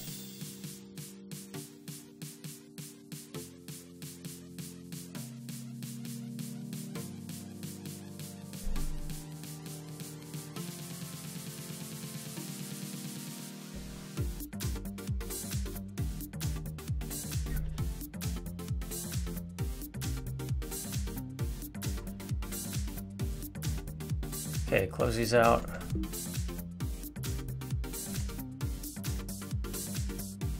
And free up a window, and we're back. Uh, wanted to have a hose up the lab now. Gonna reach my limit. 60 routers.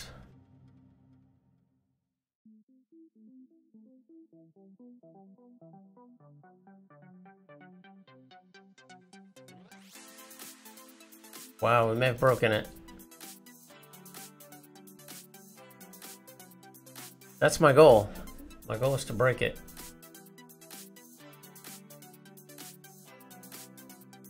Nah, haven't broken it yet. Oh, there's the other one.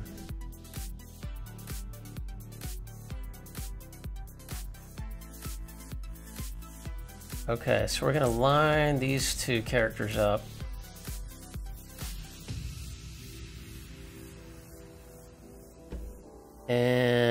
We're gonna put a, another one of these.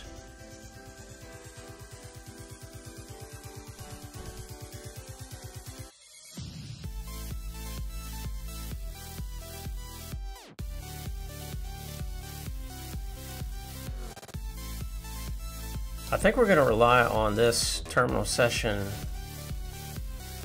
to tell us a real story about the uh, lab.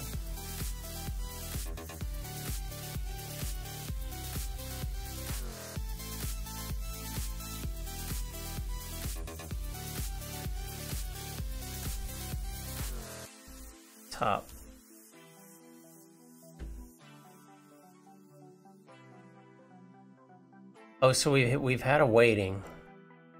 Um, that's a WA point one zero. Okay, we're having some waiting here. Sixty-three twenty-seven. So we got sixty-four plus eleven. 76, 77. Wow, yeah, we're high, pretty high CPU utilization here. All right, we're gonna we're gonna watch this versus the Azure stats because Azure's saying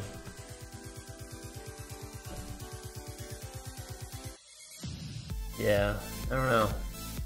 I think this is more accurate.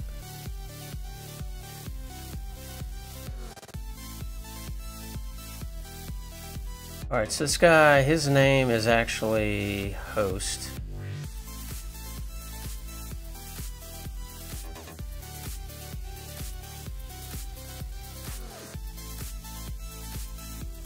Lab is definitely struggling right now. Man, I was hoping we could go more routers than this. Well, actually, the um, the automated VM project I'm working on has four more CPUs than this one. It's a 20 CPU. So we may be upgrading to that soon. Okay, yeah, let's put him here and him here. Or let's move him over just a little bit so we can...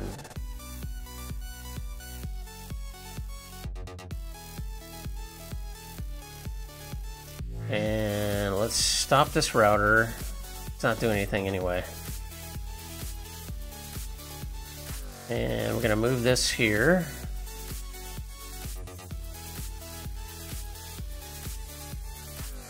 And we're to call this We're to use our orange. These are layer 2. This is L2 TP V3.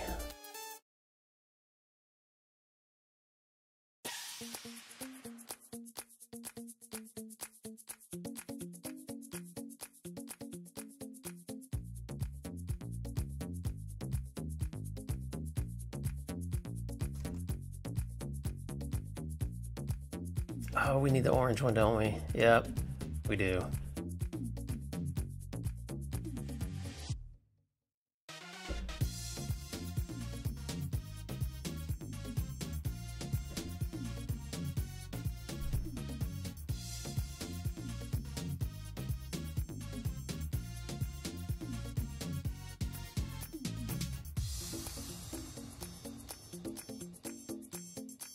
Yeah, we're gonna do like that. Alright, that's my brake signal, folks.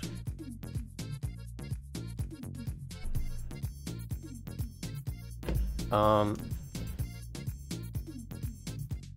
yeah, I'll be right back and take a quick uh, neck break, stretch break, and then we'll be back on this and we'll hopefully finish this out before the lunch break begins. Right back.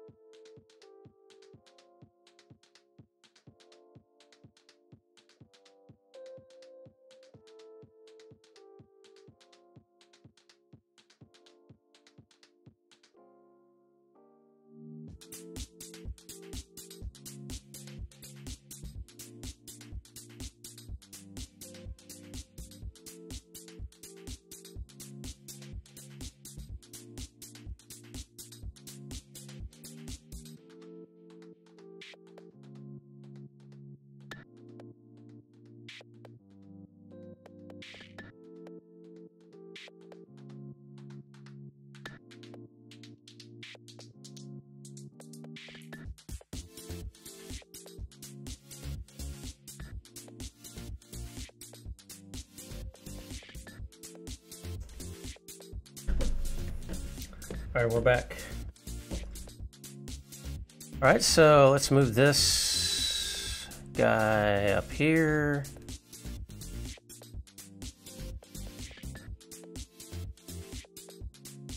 And make him longer. And put the little label on here.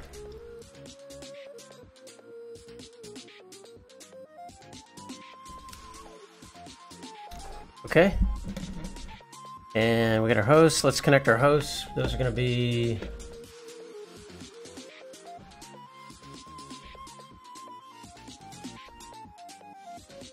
Zero, zero. This means we have to configure something on the switch here, and that's fine. We just need to connect our hosts.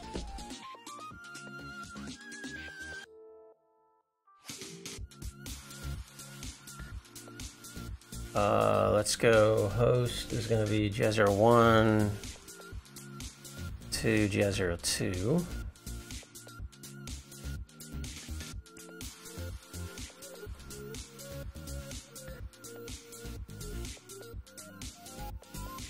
Yeah, what we may have to do, folks, is I'll probably keep working with this today. Um, but our wait times have increased on any of the changes to the lab. A noticeable increase. And we must be hitting the processors. We must be starting to tax, finally, uh, tax the system. So going forward, what we're probably going to need to do is get ready to provision the larger VM. All right, for this one, we're going to be Jazero 2, and it's going to connect to Jazero 1. What you get by achieving your goals is not as important as what you become by achieving your goals. I love it. Zig Ziglar, stay motivated, my man, and good bits. Thank you, mentors. Good to see you, my friend. Hope you're having a good uh, Monday morning. Still Monday morning. We've got about an hour left. Hope the fam is doing okay and you're doing okay and you're having some good health. The weather's looking nice. Show is going to be here. He was asking about the weather.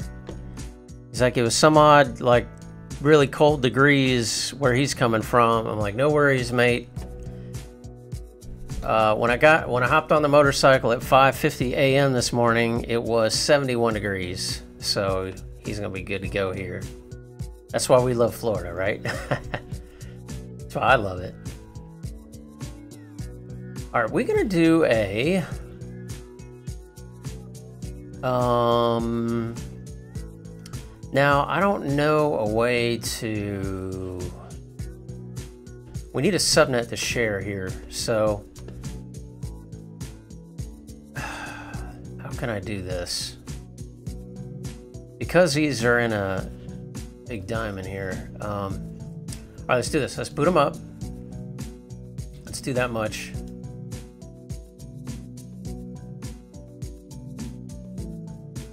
And let's get this switch configuration going here. I need to create a new VLAN for these guys.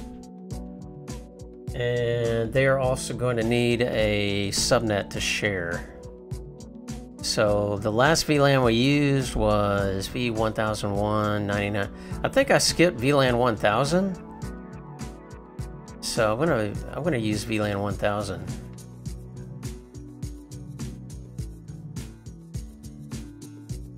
That's a great quote. I like those inspirational quotes, uh, mentors. I used to, when I started uh, this job I have now, and I was in the office every day, I had a big whiteboard, and every day I would uh, try to come up with a new. At the top, I would put a new um, inspirational quotation up there. It's funny though. This weekend I read an op-ed. I think it was from on the Packet Pushers.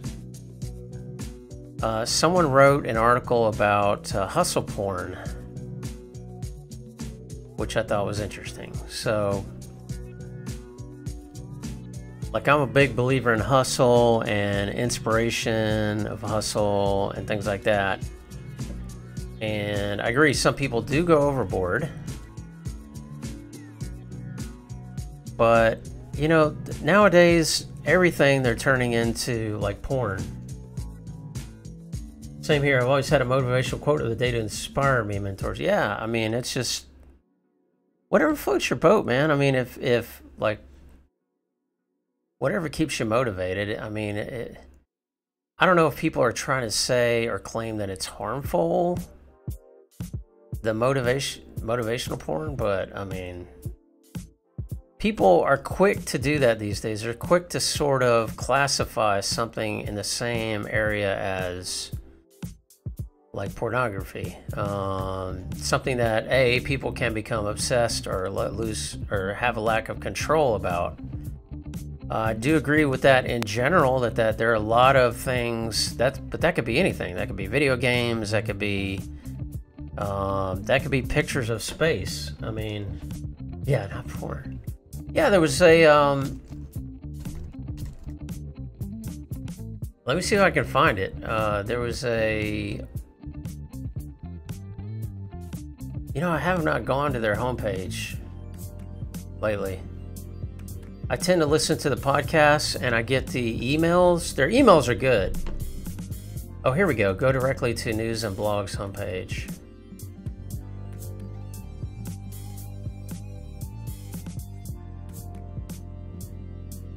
Yeah, it may not be on the blog page yet because it was in the uh, links. like in the email, the link propagation email. If I can find it. I learned something new every day. Nothing surprises me. I tell me about it, man. Tell me about it. Anyway, I, I like hustle. I like people that hustle. They inspire me. They keep me going.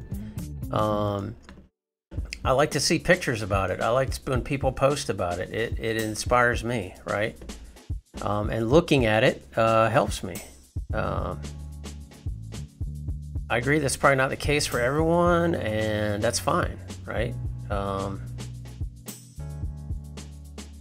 but you know, don't be so quick to classify something in the same category as pornography.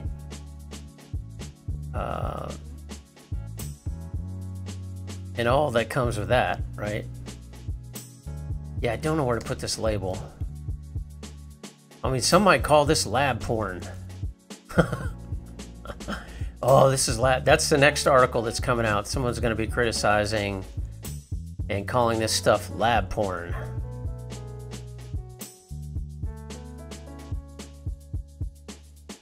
10, 191. I think we need to drop to like the 189 to be honest.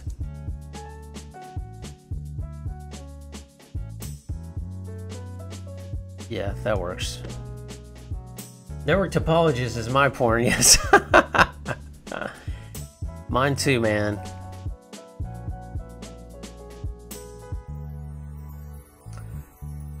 Man, this is going to be hard to squeeze in. I think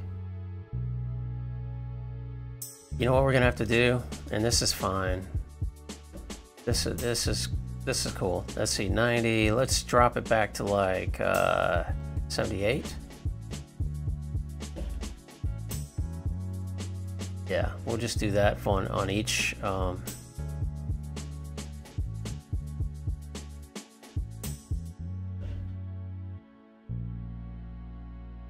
I'm not good at estimating my angles here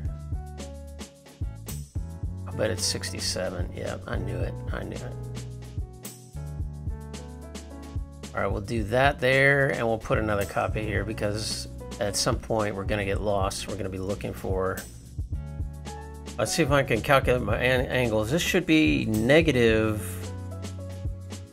Um...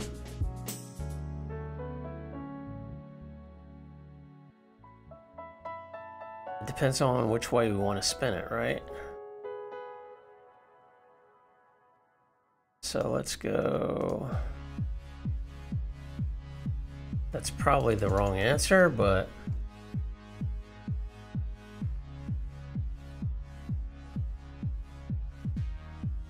You know, everyone these days, they're, you know, and I understand it's it's not easy to get to get hits, to get attention in your vlogs slash blog slash website. Um,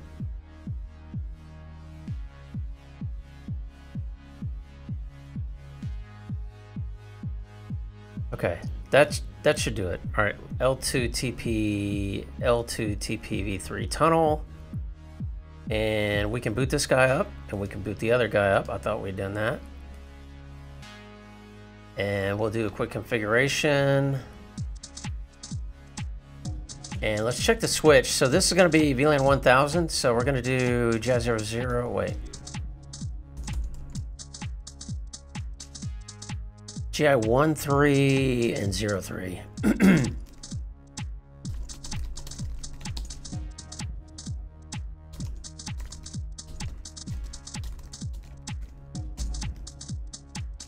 cool. And then interface GI 1, 3. We'll do show run interface GI 1, 3.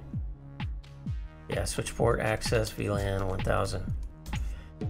Curious, how much would you say you spend on your cloud hosting a month? Been thinking of hosting a lab in the cloud as well. Um, this one, so this one has cost me so far about a $100 this month, but A, this is way too big of a machine than you need. So you could definitely run a lab for a lot less than that. And B, I have not been super conservative about running it. Like I'll take an hour break and leave it up But that's because I have $150 credits to use. And I've just been curious. I've been experimenting this month for that very reason to see how much, you know, does it cost. And uh, so far, I've got five days left and I've got like $40 left. So not even, of course, some of that is not related to this lab necessarily, but um, other labs I've been doing for work as well. Interesting. So uh, if I go back here, for example, yeah, five days left and cost by resource. So this machine has cost me like 86 bucks. The disk is $4. That's a different VM, other stuff.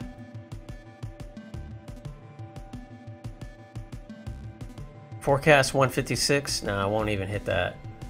It's just because I've been labbing all day. I've been I've been letting this thing run for like hours on end when I didn't really need to. So, all right, so let's do our configuration. Switch three, that should be good to go. We're gonna write that change. I tell you, uh, it is competitive though, mentors, when you factor in like generally to run a very large lab like this, you're either going to need a big VM at home, a big machine at home. You need a rack rental. Like you need, uh, I actually have rack rental tokens with INE, or we're going to change this playlist too. It's getting, I think we've gone through it once.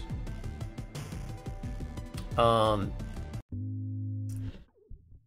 and compared to those, it's actually very competitive in my opinion. Uh, even the Cisco Cloud, um, the Cisco Expert Training.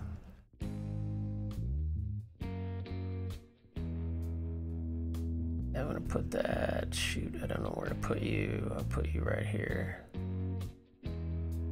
Uh, compared to that, this is a good option.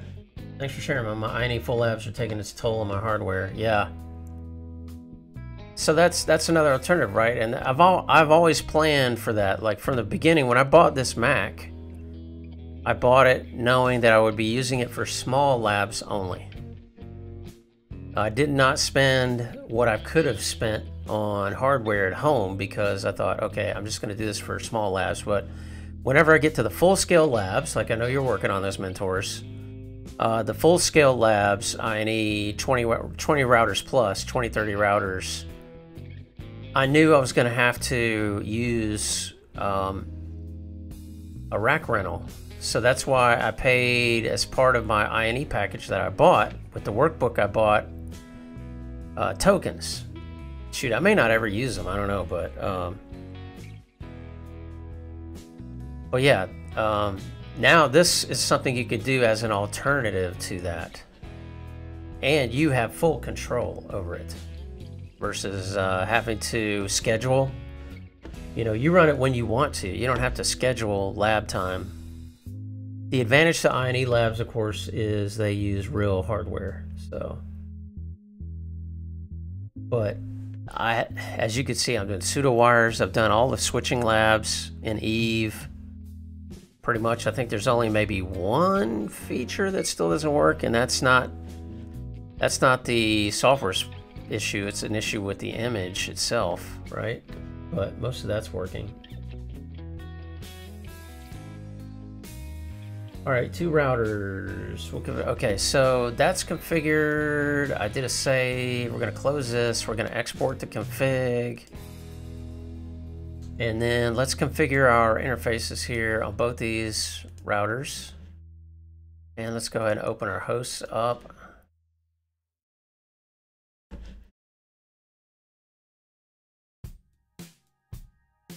These have not...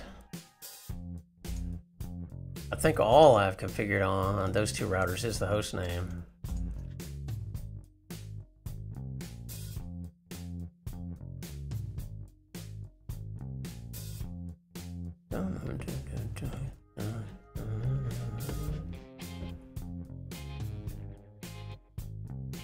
Okay, so this shared segment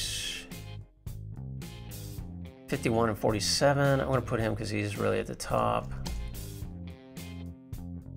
And we can separate these guys now. Move this over here.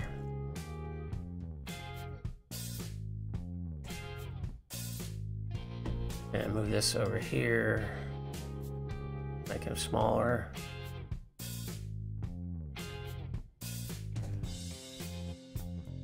CPU hog, that happens when you boot them up.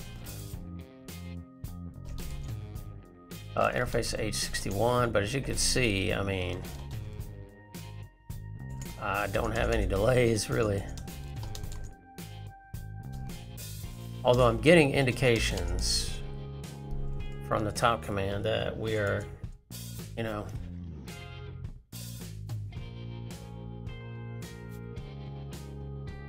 like we got 65 and 25, so that's 91. Yeah, not much waiting though. This is a key indicator, right? So, so far so good. Um, and H61, I need to see a little more of that, yeah. Interface Jet 0 or configure terminal. Interface Jet 01, no shut.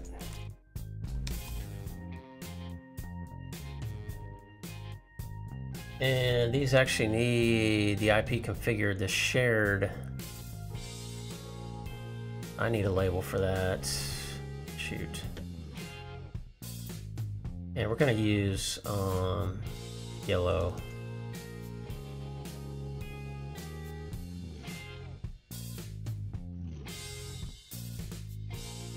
I think I can add that here.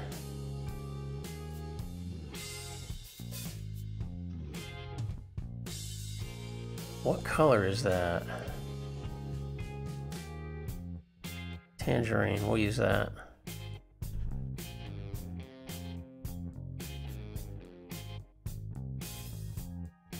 Tangerine. Tangerine Dreams.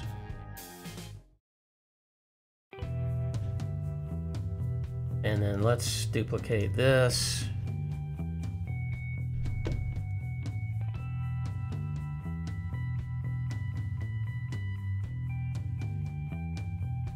See, this is what I'm encountering now after 60, how many devices? Uh, the redraws are probably the biggest slowdown right now, but they're very tolerable to me. I mean, when you think about it, look how many routers I'm running. All right, so this guy is going to be... Uh, we're going to make up... You know what I like to do, just for fun, is to use the same subnet that we're using in the underlay.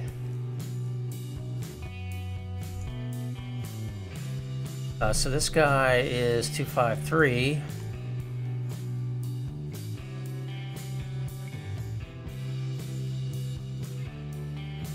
And we're going to make him 254 down below.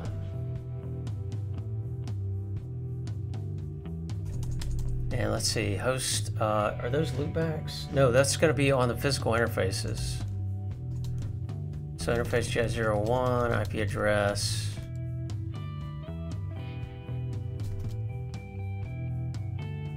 Ten dot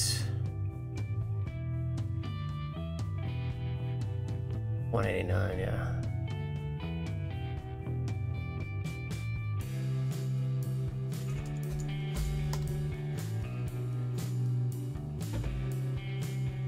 1019, 255, 253. Yeah, put the um, CIDR there just to show kind of that they're on the same subnet, right? Going through the tunnel.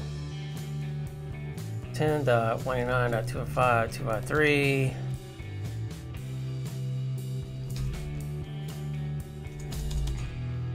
And on 61, interface J0, 1, IP address 10.189.205.254. Mentors, heads up, gonna share some free resources for Kevin Wallace and Hank Preston Land Lantera community. Yeah, man.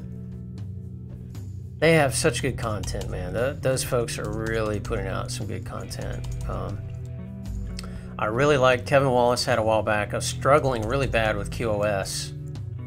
and he had some free videos out there on QoS that were a big help. I shared them. But he had like a three-part series on QoS that he had made available for free, which was cool. And I've watched a lot of Hank Preston videos on Python and Python environments. Need to watch more. Alright, so those interfaces are configured. Uh, we need to configure the interfaces between uh, router 1 and router 2. So H47, no, 51 is at the top. So we're going to have a shared segment, uh, interface jazz 00, no shut, IP address 10.189.255.253.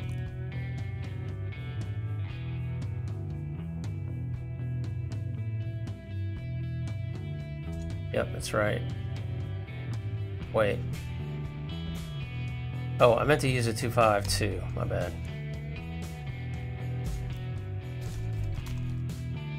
Um, IP address 10.189.5.254.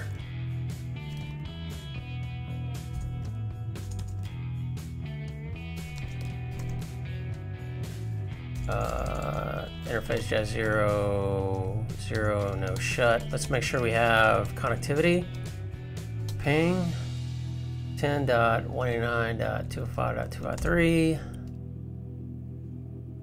Good. Okay, so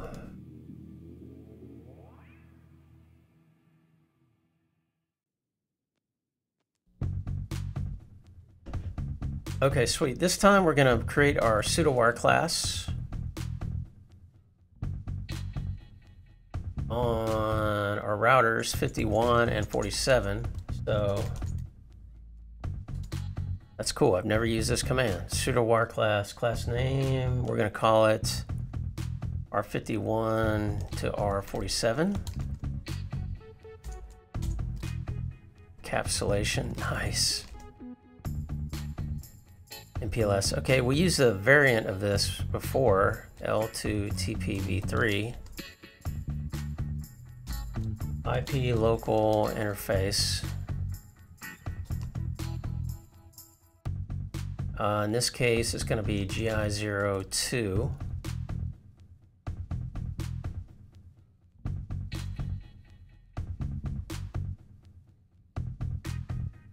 Yeah, I think on both routers. IP local interface GI02. Oh, do I need an interface uh, IP address on there?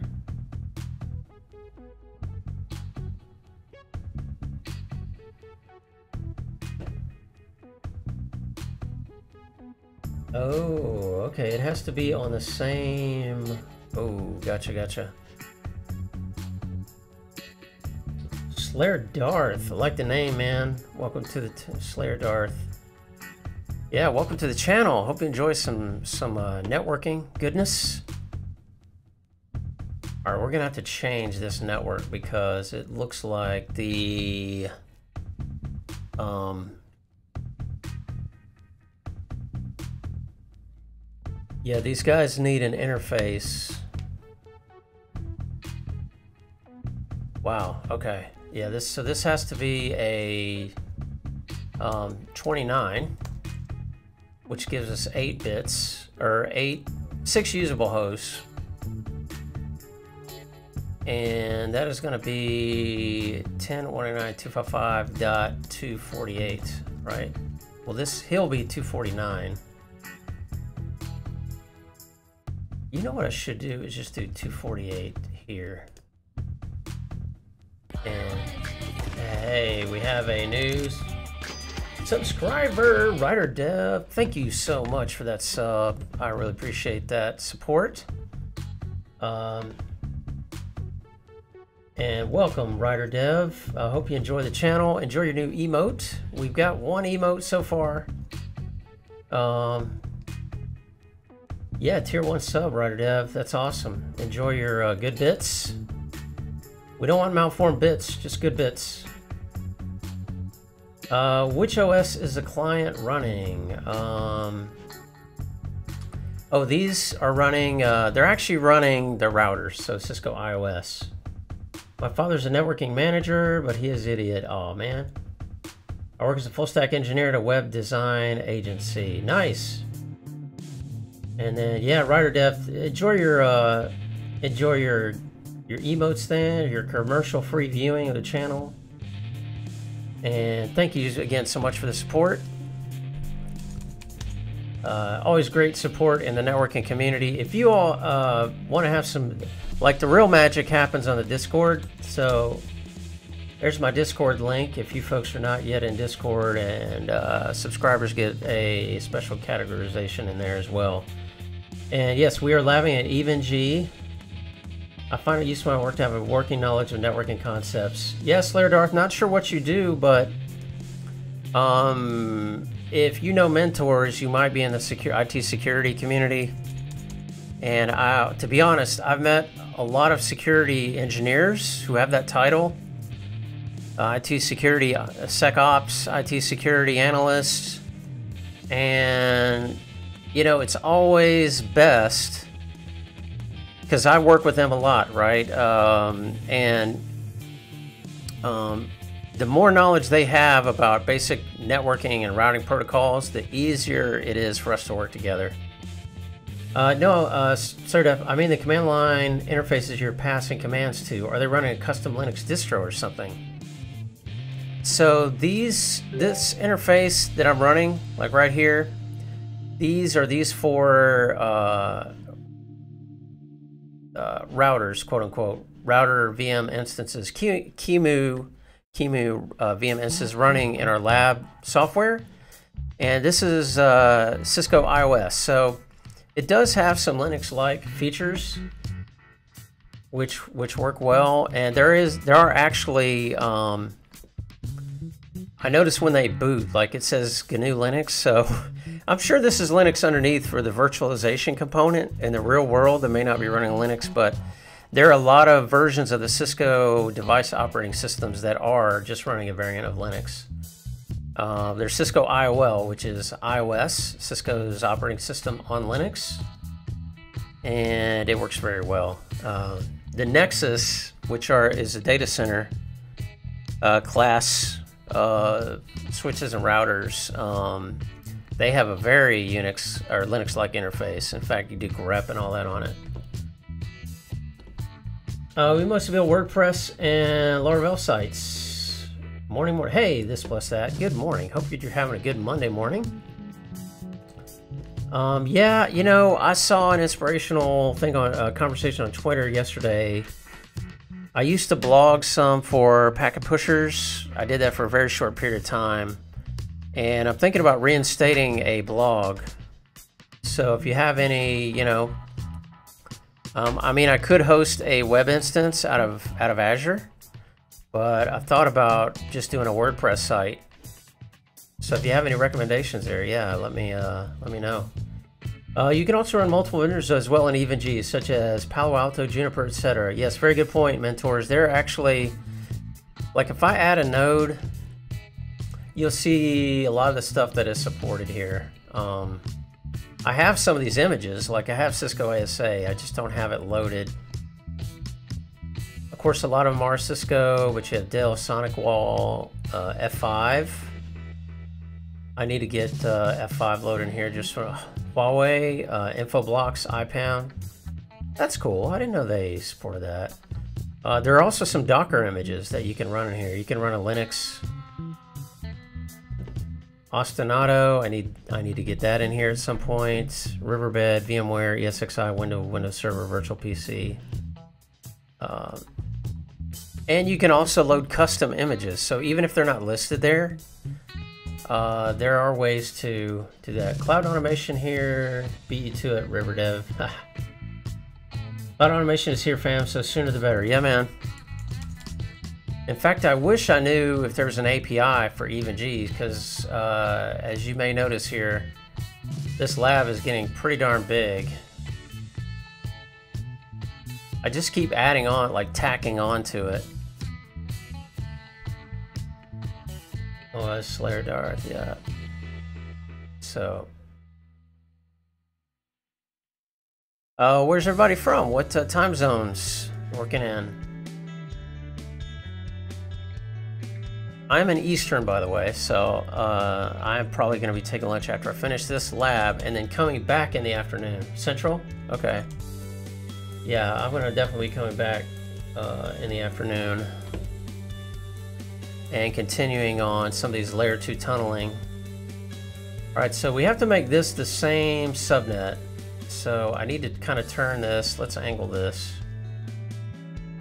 at, what was it, 67? Yeah, so this turns out this has to be a shared segment. And this has to be a shared segment. So we had to make a bigger block.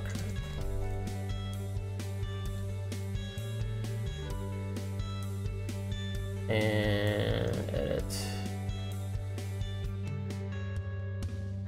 So we're doing layer 2 tunneling over IP.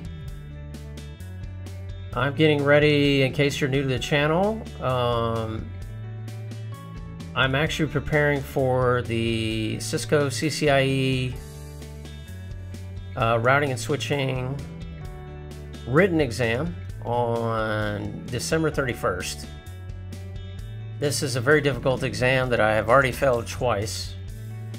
Um, definitely come and hang out with us in the LAN Tamer Discord. We have a great community, always helpful to learn and share. Canada Eastern Time. Okay, same time zone. This plus that is definitely in there, man. Uh, it's been a LAN Tamer fan for a while and participant in the community. Also, this plus that has been putting out content.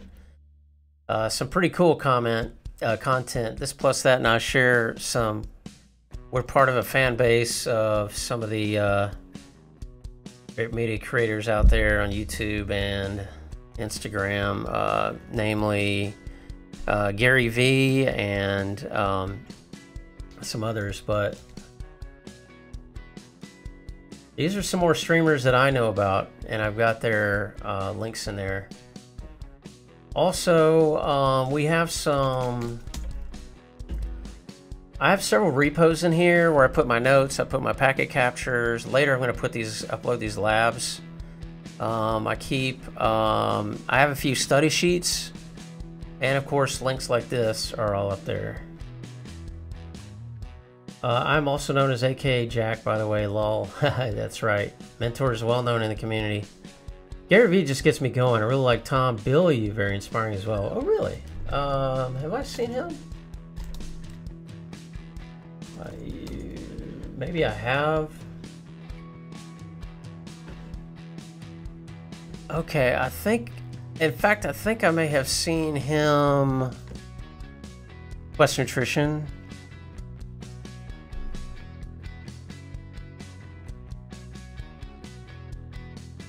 Yeah, I don't want his channel to start playing and get a community strike.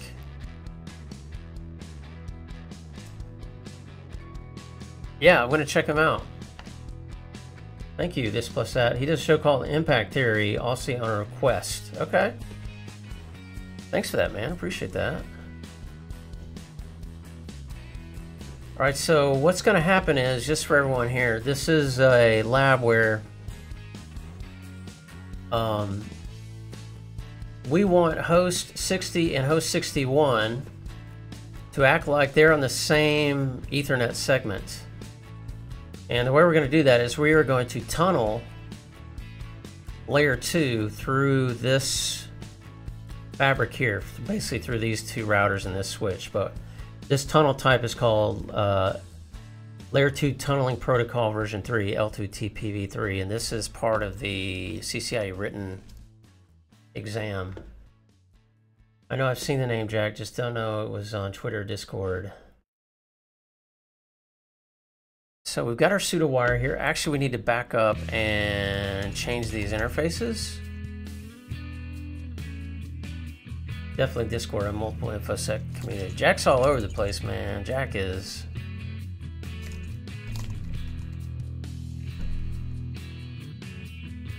Uh, how many exams is CCIE? Yep, two written. Two, yeah, one, one written and one lab exam. The written is two hour uh, exam, 100 questions, very difficult. Uh, both exams have high failure rates. Nothing published officially, but all right. So what we're going to do on this segment, we're going to make this.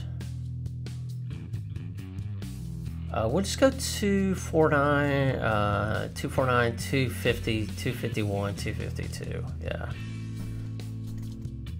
10.109.205.249. 248, uh, 255.248, yeah. And we're going to change the upstream address, interface jet 02, IP address 10.189.205.250. What? Uh oh. Oh, shoot. It's not going to let me cheat. Uh, do you think Network Plus worthwhile cert uh, support tech waiting to expand? Yes, I failed written three times at Lab 1. Second attempt this gen. Yeah, he, Mentors has an attempt coming up. Gonna get those numbers. Who? Yeah, Network Plus is a great exam to give you foundations. What that's gonna. Uh, I've seen several people um, do this where they're at like a level one help desk and they wanted to get ahead, so they took the Network Plus among others. And the Network Plus is really good because it forces you to learn some basic subnetting, which is a key skill. And you'd be you'd be surprised how many folks how far they get before they actually learn subnetting, and then they realize, oh man, I need to go back and learn that. Um, I think any basic technical support job, you need to know IPv4, you know, basic subnetting rules. Um, yeah, good point. This plus that says Network Plus a good agnostic cert. Yes, it's not vendor. It's not any particular manufacturer. It's manufacturer independent, right? I mean, the people who give it, they they are a vendor, but uh, yeah. Not necessarily Slayer Darth. Yeah. Guys, I've never taken it, so I can't really speak 100% on it. Some of you may have taken it and have a much better idea of it than I do, for sure. And I need to clean this up. All right, so this network is not going to work. I've tried to get cute so we'll just go with, um, these are in eights. So we're gonna go to the next subnet down, which is gonna be 240. Yeah, this is gonna have to be 240 as well.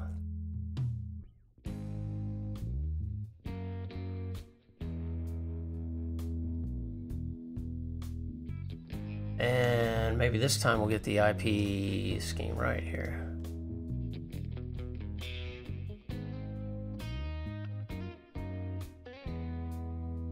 Yeah, that's basically where I'm at. Doing basic remote support, realize I want more network knowledge. Man, networking is where it's at, I think. Like, uh, I could tell you, uh, writer dev, I've, my career has spanned a number of, it's always, I've been in IT since I was 18, or younger than that, since I was 16, and did a part-time job. And I've pretty much done almost the full spectrum in terms of infrastructure. So I've done desktop support, I've done help desk, I've done uh, server, uh, mostly enterprise. All right, I say that, but it's really mainly in the enterprise. Um, and I've done consulting, right? But it's always been for enterprises. And desktop, I've done server administration, I've done Active Directory, I've done Linux, I've done some security, I've done security auditing uh, pen testing. I've done um, uh, vulnerability scanning and reporting. Um, I've done forensics. Um, I've done VMware. I've, I got a VC, uh, VCP a while back. Uh, but eventually I kept coming back to networking. Like I really want, like that's, it seems like the biggest challenges, like the people who are more, most expert are the networking folks, and so eventually I got into networking. Um, but times are changing, right? And Slayer Darth has a good point about that. Professor Messer offers free Network Plus, Security Plus, and A Plus cert resources community study groups. That's cool. Didn't know that. You can't be a good front end developer without knowing much in the way of networking. That's true. Um, I know developing for the cloud that is starting to change. I'm not a developer, but I work with developers. I'm on a cloud team now. Yeah, now I'm doing cloud. um, and knowing like service fabric and API managers and things like that and load balancing becomes more important, right? And I would agree, Slayer Darth, about it being a modern, uh, very technical role. All free on YouTube. Okay, I do a little bit of everything in my job: front end development, back end development, DevOps, sysadmin. So that's cool. I'm the, I'm starting to do some DevOps as well, some Azure related DevOps, uh, templating, some you know uh, CI/CD deployments of infrastructures code and things like that. Uh, this plus that, I can't get over the size of the topology. I don't have credits for GCP, but it seems so worth it. Yeah, this plus that, we are saying eventually when you get at least to, I know you're working on CCNP, but when you get to your CCIE studies, I did not mean to do that. Uh, you will not have, you have to do big labs, 20 routers plus, 20 to 30 routers. And granted, you can do that on a big box at home if you get a big enough box. Um, but at, that is a big expense, and it's not easy, of course, to you know keep that remote unless you have like a static IP and things like that. I mean, it's just so convenient. So you can either use a vendor um, who sells, you know, rack rentals. You you can you can they sell rack rental time. You can do that, or you know you can build it yourself, and it doesn't have to be Azure. Mine is in Azure because I happen to have free credits in Azure. But you know it can be um, you can actually like DigitalOcean. Uh, you can rent physical boxes if you want. Uh, so yes, it is very convenient and it's available from anywhere. Uh, never something I always want to improve upon. I think it's a case of knuckling down. Yes, indeed. Uh, you're not going to learn networking by accident, put it that way, or by osmosis. You'll learn networking to a point by osmosis, but they're just concepts that um, you'll have to uh, have to study to learn. Uh, same here, jack of all trades, yet master of none. Lol. Agreed, I've seen a lack of strong network skills in the pen testing community. Why we need more purple teamers? Yes, agreed. And this is a great book, folks, that I read recently. It was recommended by my VP. He actually bought the book for me, uh, The Quantum Age of IT. And it talks about the commoditization of what used to require expertise due to CI/CD, cloud, and um, software-defined networking, um, you know, APIs and things like Service Fabric. So all that is how do you offer service? You know, it's like the old days of voice. When voice, when analog uh, and digital voice systems moved to IP, a lot of people had to make a choice. You know, do I learn voice over IP and communication over, you know, IP networks, or do I stay, you know, it's the same thing that comes up every few years. And this book is very good about uh, kind of talking about the new age of IT and how we we need to be uh, very diversified.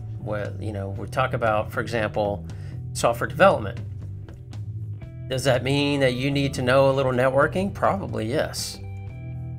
Do you need to know a little cloud? Probably yes. Um, and if you're a networking engineer, do you need to know a little software development? Uh, yes, especially if you're automating your infrastructure as code, right? Instance, I use Fiddler. Yes, I, I use Fiddler as well. It's a proxy server so I can browse to my local sites on mobile devices connected to the same network as my dev machine. Yes, Fiddler is a great tool for that. And you need to know about certs. You need to know about uh, HTTP protocol and SSL, handshaking, and all that. Makes it much easier to develop locally against mobile device without needing to deploy to live. Exactly. Thank you for that follow, Slayer Darth. Welcome to the LAN Tamer, and feel free to. I think nowadays Twitch, that when you click follow, I noticed it turns on notifications by default. I could be wrong, but anyway, that's that could be a good thing if you want to see notifications um, when I go live. That's a that's a bigger deal on the weekends or when I'm on vacation, but generally my schedule is here any new to the channel, uh, I, I pretty much stick to that schedule. But weekends varies. Um, yes, show made a vid on EVE-NG in the Cloud, aka Tony Tony E. Another great streamer, and um, he did EVE-NG in Google Cloud, which I think is a little cheaper if you if you're trying to just do a demo uh, it is definitely cheaper because uh, they give you more of a tr more trial credits than Azure does. Azure gives you $200 trial credits, but it's only good for like a month. Uh, Google, I think, gives you maybe 100 or $200, and it's for like two months. So yeah, you can definitely prove anything out, uh, POC it in, in either or. This plus that I do okay with my ESXi server using .1q on sub interface really gets annoying after a while. It's hard to see the topology. Um, interesting.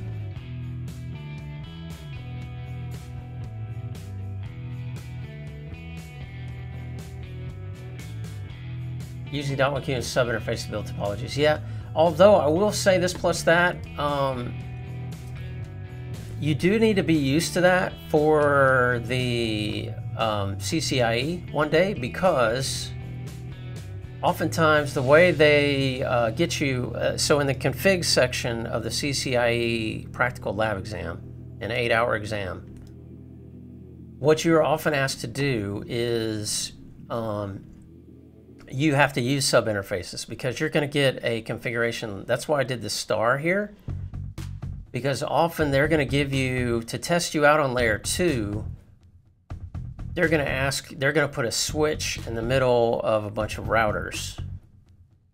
And then they're going to tell you to configure uh, VLANs and configure trunks. And um, that's generally how they tend to test you out on the layer 2 stuff. So, which means you have to do sub interfaces here. Like I have several trunks here for MPLS.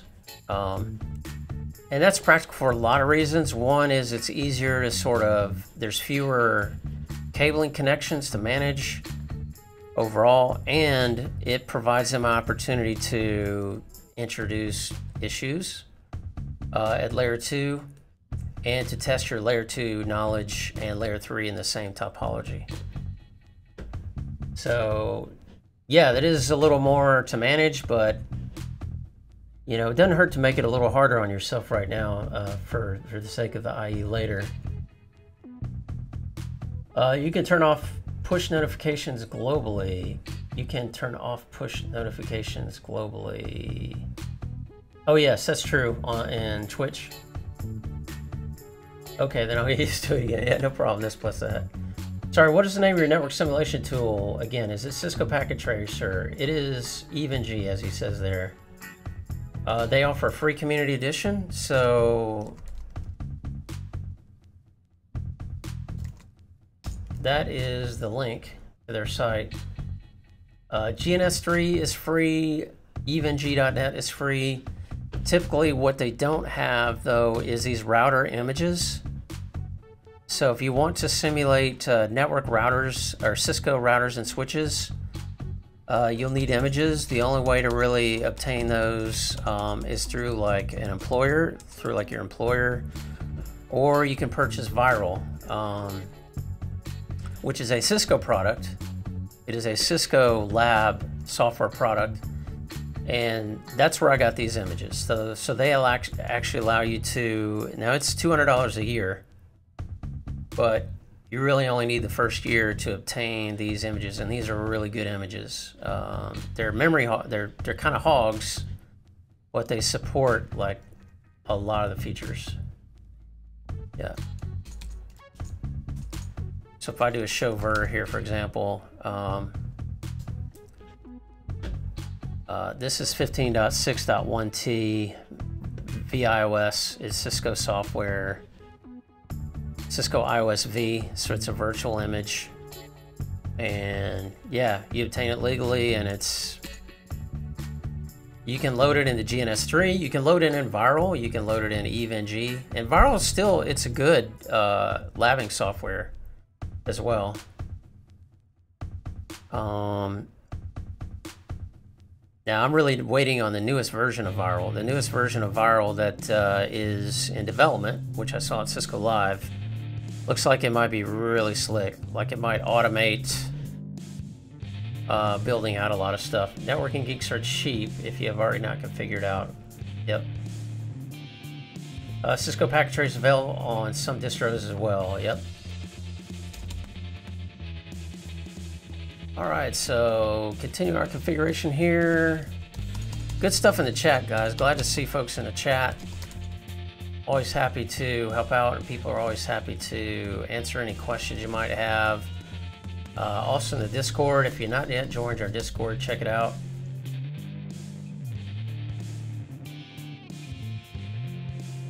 All right so this is going to be h60 we're going to have to re-ip 10.189.255.241 uh, now this will be, uh, yeah, we can't overlap. That's why we had to change it. That's right. And router 51, interface chat 02, IP address 10.189.205.242.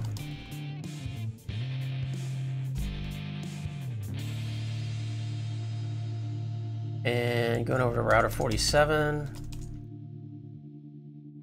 High speed, low drag, fam. Stay motivated, lab every day. There you go. That's right.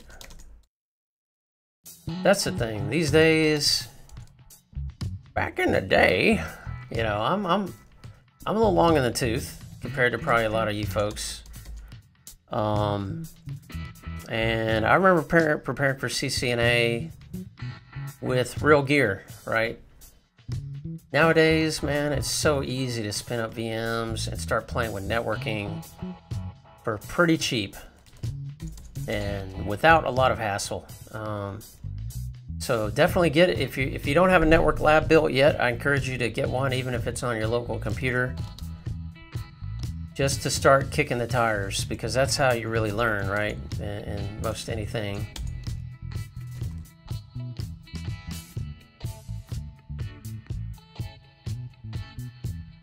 Uh, we're going to do these at the bottom end. So this will be um, 245.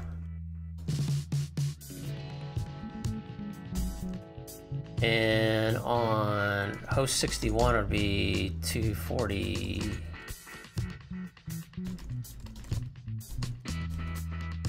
Ten dot one nine dot two five dot two forty six. No shit. Yeah, you're definitely old, my man. Haha, 27 here. Uh-huh, 27. Yeah. 27 years young at heart, right? If you're 27, Jack, I am uh, 18. No, I'm just kidding.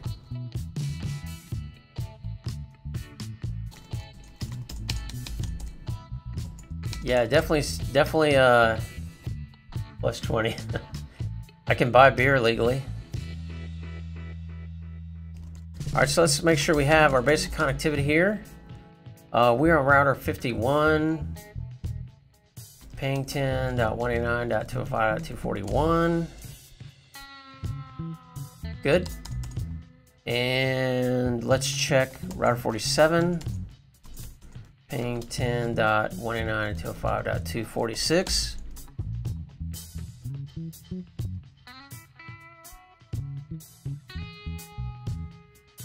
Uh-oh, no ping here. Let's see what's going on. Show IP interface brief.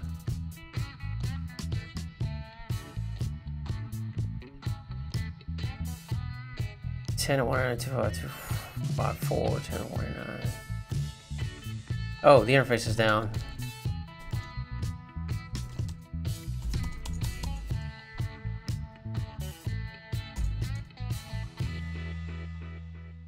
Yep. Okay, we're good there. So now we have our basic uh, IP connectivity. I think it's now time to build our pseudo wires. So on router 51, uh, pseudo wire. I already have a pseudo wire class. R51, R47. Is that what I call it? show run section pseudo wire.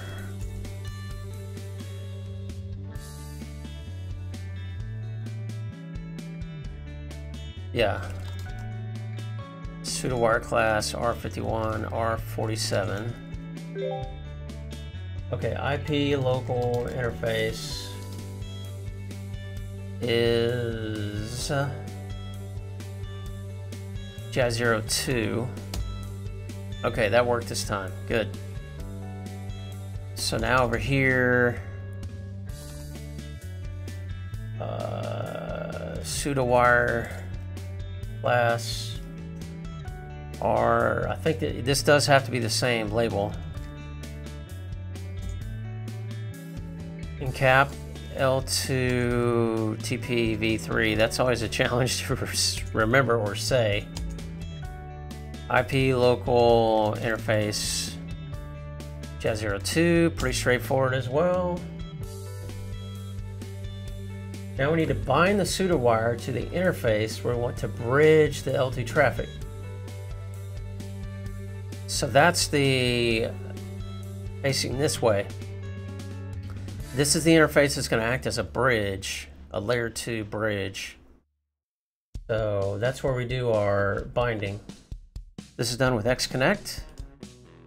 So starting at the top, interface jazz 0, 0. And X-Connect. I guess that's short for Cross Connect. That's got to be. I'm thinking X Connect, and I'm like, ah, Cross Connect makes sense. Uh, Cross Connect, and this has to be the the destination address, the other end of the pseudo-wire bridge. so in that case, it's going to be 10.189.205.254. And the pseudo-wire class is the one we created, R51 underscore R47. Uh-oh.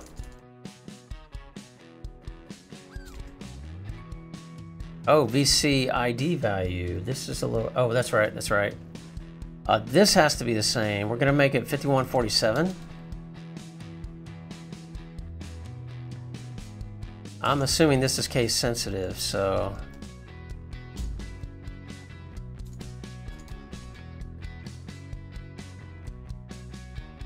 Oh, PW class.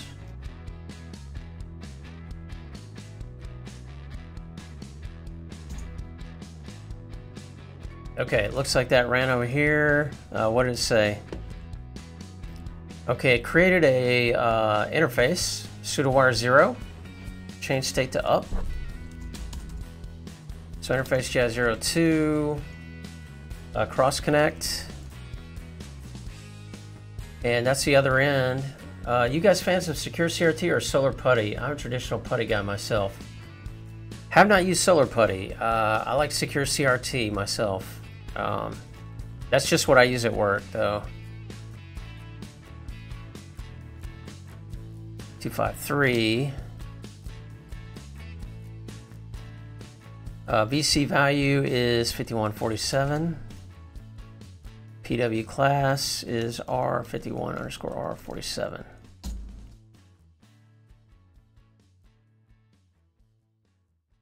Downwind 401, how are you doing? I use Solar Putty Work because work doesn't want to pay for secure CRT. Yeah, we have. I have a paid license. Like we had a, a licenses purchased. They've not. It has not been updated in a while. I will say, like, uh, I'm probably a few versions behind, but it works. I wonder if Solar-PuTTY has the feature where you can create a shared command window. Let's say you open 20 routers and you type in, you know, write mem and it'll send that to all the routers. I wonder if Solar-PuTTY has that because that is a killer feature. Alright, so we're almost done. We should now be able to ping from H61 all the way to H60 using the same, on the same subnet. Uh, it doesn't. That would be nice. Yeah, that's that's that's why SecureCRT is paid, right? Uh, I was watching Duan's last video on SecureCRT, and they have come a long way. Wow, I was curious. Okay. 10.189.205.241.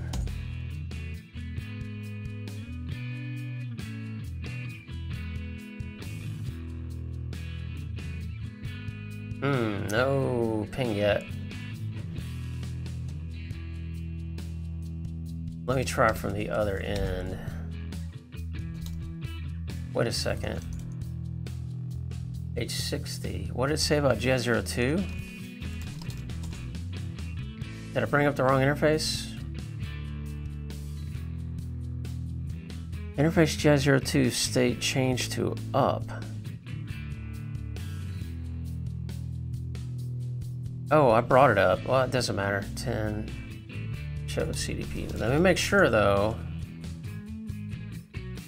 Okay, router 51 is there ping 10.189.25.242. Okay, that's good.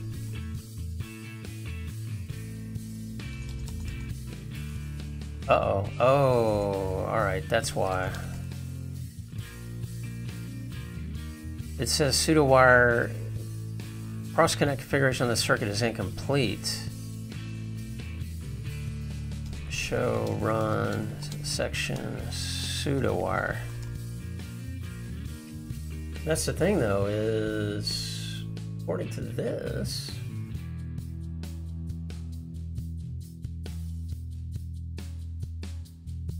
did I not hit enter on that?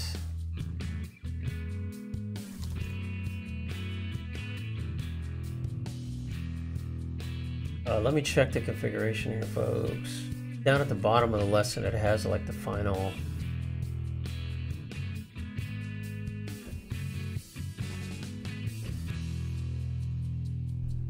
Oh, wait a second. This says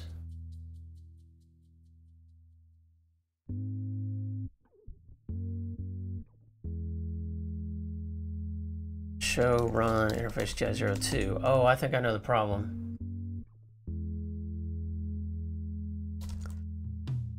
It's not supposed to have this interface configured.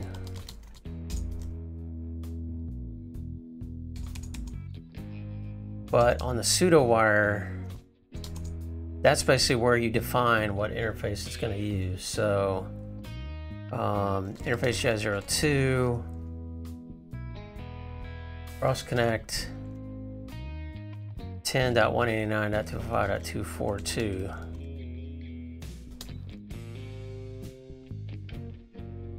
encap.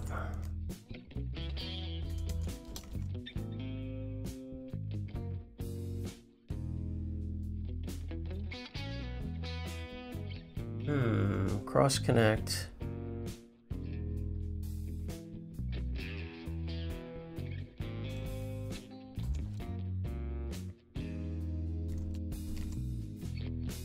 Ten dot one eighty nine dot two five five dot the peer.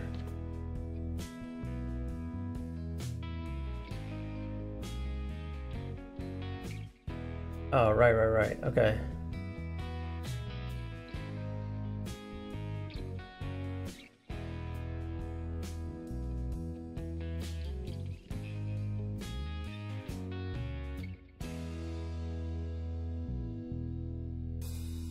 All right, wait a second here.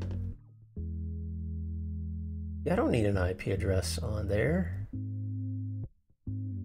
Okay, so GI01 is towards our peer. GI02, which is 10.19255 dot... This is him. 253.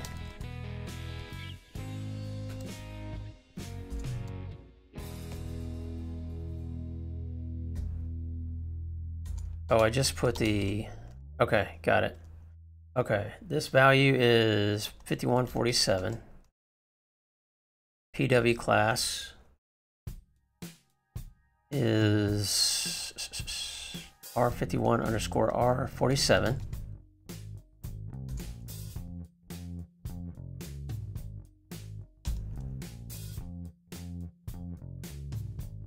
Interesting. Make sure pseudowire class is configured and valid. Unconfigured IP local interface.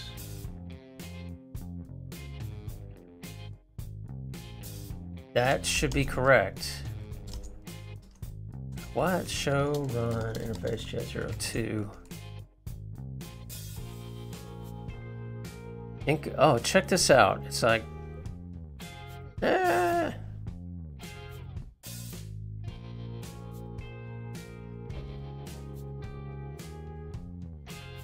Wow, that is not here in this lab.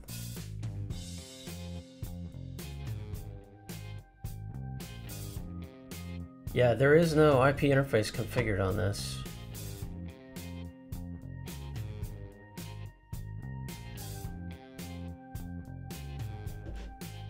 Uh, let's see. Free newcomers, definitely check out David Bombal vids and his Udemy course. is great resource for studies in your search journey. Agreed. Very affordable as well.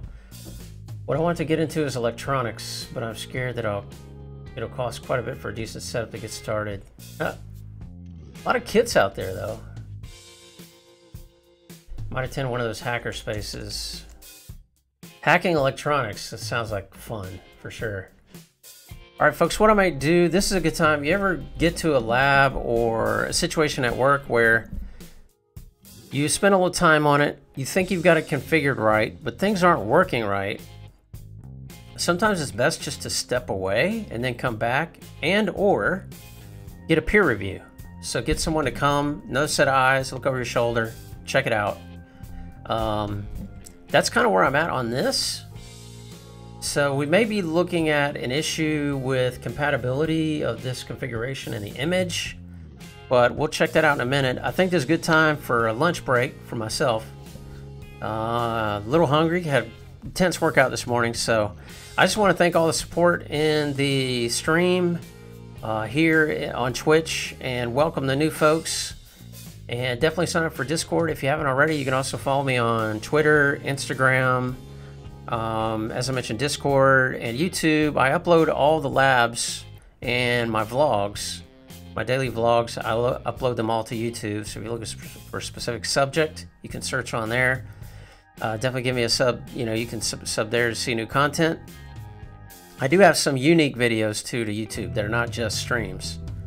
Um, some how-tos, things like that. So feel free to check those out. Thanks for stopping by. I'll probably be back around 1.30 or 2 Eastern to continue knocking out these layer 2 tunneling labs. So, um, oh nice, can I DM you with some questions? Awesome, my friend. I'm an electrical engineer as well. I didn't know that Mentors. Mentors is, y'all, Mentors knows a little about everything. I'm telling you. He is, uh, had his hands in all sorts of cool technical stuff.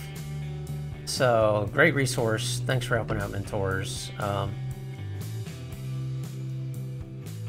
I'll be online about five minutes. Okay, sure. Thanks. All right, folks. Thanks so much. Great chats. Um, we'll see you back here in a little while here on the LAN Tamer's stream. Have a great lunch.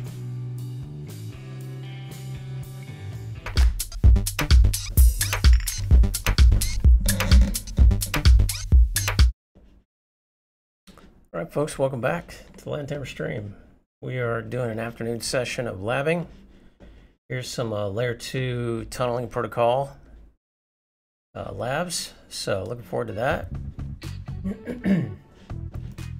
Got a couple new commands set up right before stream, so we can do now cost. I was off actually. The VM I'm using now is 76 cents an hour. The one I want to use, which is uh, 20 vCPUs, 128 gig of RAM, uh, that one is like a dollar seventy-six. So this is actually cheaper than than I was advertised earlier. Um, so that's some good news, I guess. Uh, this VM's uh, working okay. It's it's handling itself. It's doing okay. But let's uh, just reset a little bit. Where I was uh, prior to lunch is working on the layer two tunneling configurations in networklessons.com. Let me make sure I have that up. I may have closed. No, it's over here. So I have the lesson up over here, and I've essentially finished it, but uh, it's not working. And I think it's a difference in configurations based on the image I'm using. So we're going to just play with that a minute and make sure that everything is configured the way it needs to be. And then we're going to move on to Metro Ethernet, which I'm not sure if there's any labs there. We'll, we'll have to see. So that's where we're at. Uh, let's see, do I need any other windows up here? Okay, we've got a few people joining the Discord, which is great. But let's get to it.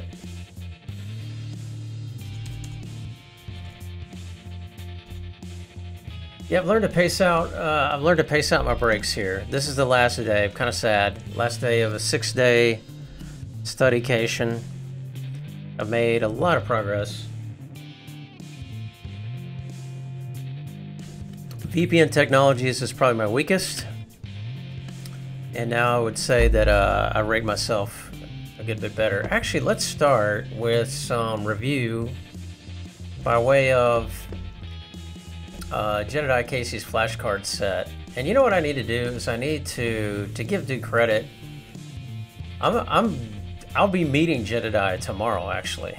Uh, we've got a little meetup here in the Orlando area, and I've always wanted to meet him. And I knew he was here uh, in this area anyway.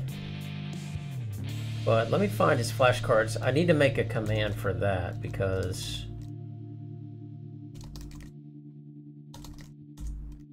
I've just searched for it a number of times, and this is the flashcard deck. Uh, you know, Safari, I don't like when you do that. I do want you to just show me the URL. There we go. So yeah, this is the flashcard deck that we're using, and it's there's multiple formats here, of course. I went ahead and downloaded the original Anki package So let's uh, pull up Nightbot and add this as a command since I'm on that. Chat command, so important. You don't think it's a big deal until you're on Twitch for a little while and then you're like, yeah, this is important.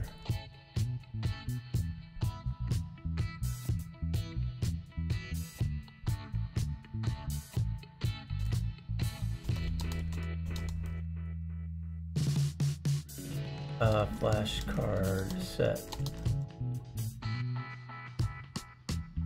You know what? I should make a bit.ly for this because it's kind of long.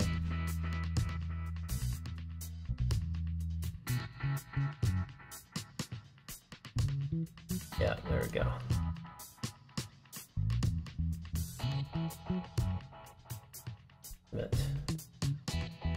Good, so now if you type in flashcards, yeah, flashcard set is right here.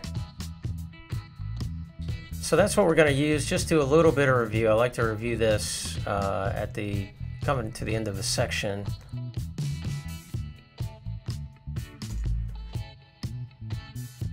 May not have any for this.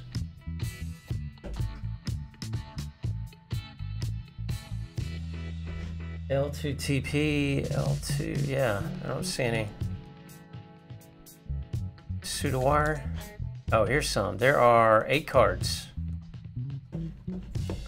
What are the two Ethernet pseudowire modes? Um, that would be MPLS and pseudowire class.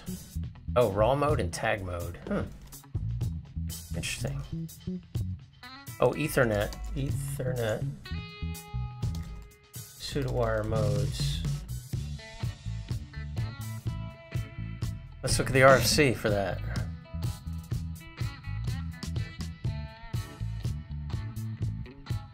Ethernet raw mode versus tag mode. When the PE receives an Ethernet frame and the frame has a VLAN tag, we can distinguish two cases. The tag is service delimiting. This means that the tag was placed on the frame by some piece of SP operated equipment the tag is used by a service provider to distinguish the traffic. For example, LANs from different customers might be attached to the same service provider switch. Okay.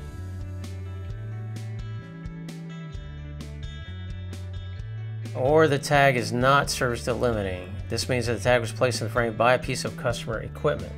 Banner MOTD, how are you? Good afternoon, good Monday afternoon. Hope your Monday's going well.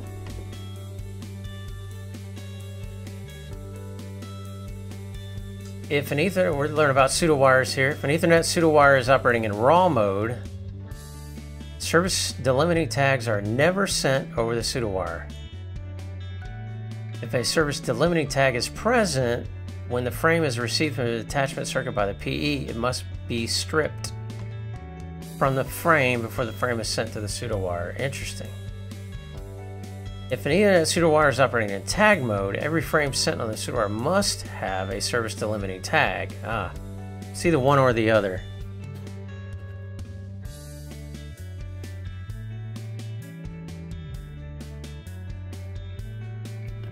If the frame as received by the PE from the attachment circuit does not have a service detailing delimiting VLAN tag, the PE must prepin the frame with a dummy VLAN tag this is the default operating mode. This is the only required mode. Yeah, man, flashcards. These are good flashcards. In both modes, non-service delimiting tags are passed transparently across pseudowire as part of the payload. Ah, okay. It should be noted that a single Ethernet packet may contain more than one tag. That is true. At most, one of these tags may be service delimited. In any case, the NSP function may only inspect the outermost tag for the purpose of adding the frame to the pseudo wire. In both modes, the service delimited tag values have only local significance. When tag mode is used, the PE that receives a frame may rewrite the tag value or may strip the tag entirely or may leave the tag unchanged. When raw mode is used, the PE that receives a frame may or may not need to add Okay, this is a good table here, I think. Uh, tag service delimiting. Raw mode, first VLAN tag removed.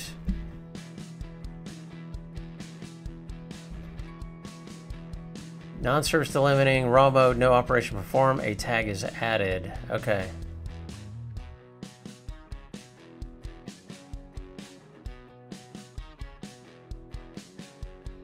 Interesting. So the VLAN tag goes on the Ethernet frame. So how do you know, I guess?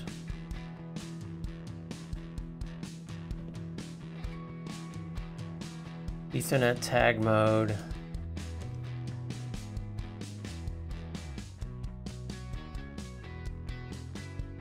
Ethernet frame will be encapsulated according to the procedures defined later this time for tag mode. It should be noted that if the VLAN identifier is modified by the egress PE, Ethernet, uh, yeah.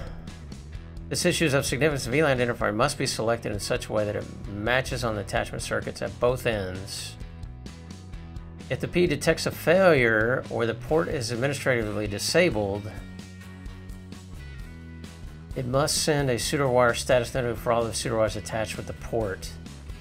This mode uses service delimiting tags to map input Ethernet frames to respective pseudowires. Okay. That is tag mode, yeah. Raw mode, Ethernet frame will be encapsulated according to the procedures defined. If the P detects a failure, the P must send an appropriate pseudowire status notification message. I wonder what that looks like. I'd like to capture that. So let's go to our routers here and shut down a port. And just see what happens. Like, does it send a pseudowire notification?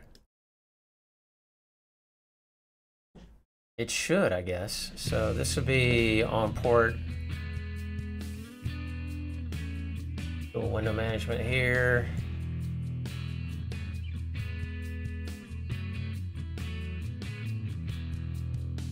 Close that. Get that open. I want to put this link. Uh, I need to open my agendas because agendas serves two purposes. The agendas is to help me think beforehand what I'm going to do on stream, what I'm going to do for the day or the evening, and it also helps later when I don't want to search for links important links that I don't remember. So I'm going to add this as a meat chunk. Uh, pseudowire RFC.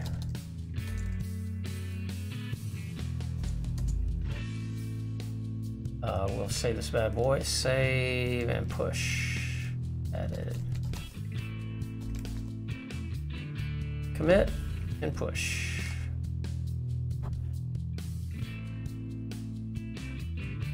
And I probably should leave this open. I try to keep, I keep too many windows open. Okay, so let's, uh, I want to see this notification.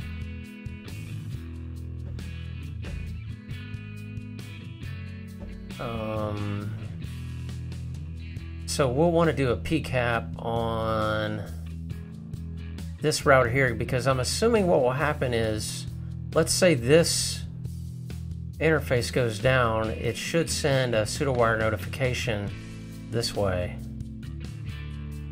That's my theory anyway.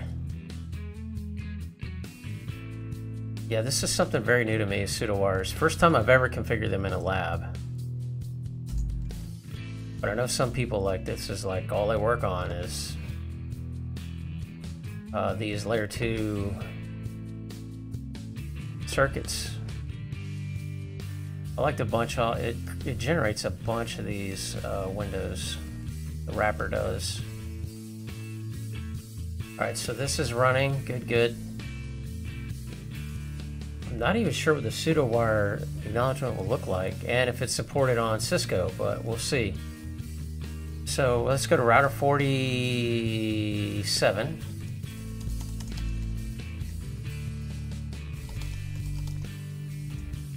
And let's just shut down.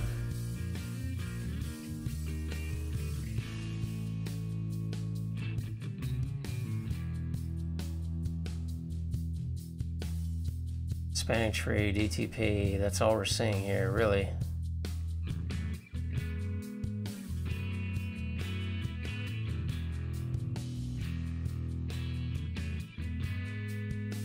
Okay, not much going on here. Kind of acting like nothing really happened.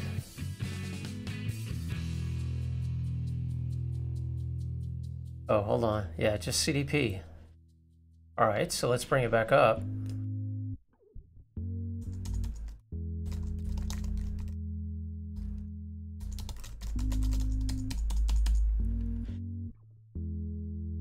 Do we need traffic? Sometimes I wonder about that. Like, oh, this is not, the pseudo wire is not even working yet. Let's get it working first. All right, so I'm going to look at this configuration in the lab here. This is networklessons.com, not my lab, folks. I just modified it. Um, if you want to see these, do these, definitely check out the uh, networklessons.com deal um, or subscription that they had that they offer. It's pretty awesome. All right, this is host 2. The only thing host 2 needs is he needs an interface, be up, and an IP assigned to it, which it is. Uh, same for host 1. That's all we need here. The real magic happens at the on the PE router, right?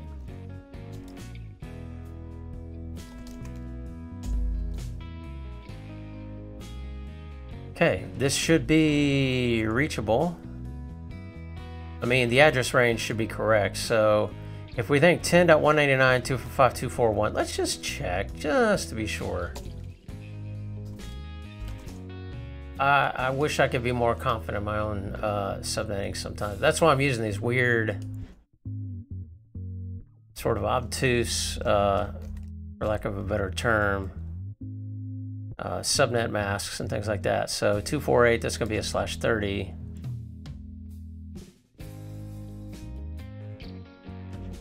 Oh no, not, sorry. That is a... Oh, you know what?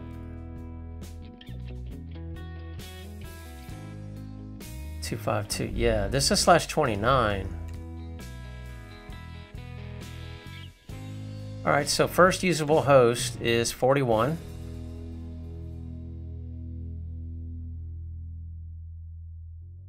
And last usable host is 246. Yeah, that's what we have. So we're on the same segment. Just verified that just for sanity purposes. Now let's look at our PE routers. Um, show run interface GI0 zero. Now all this needs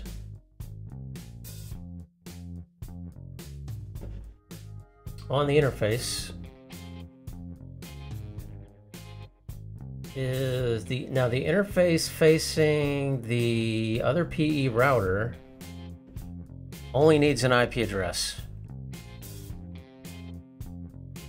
That's probably the issue. Yeah, it doesn't. Okay. Jazz zero zero.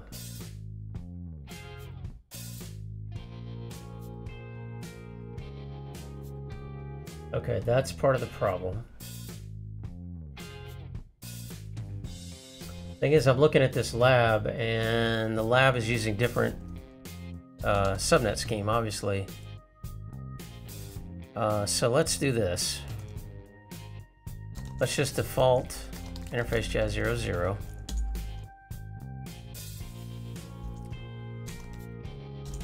And all we need here is uh, the IP address. IP address 10.189.255.253.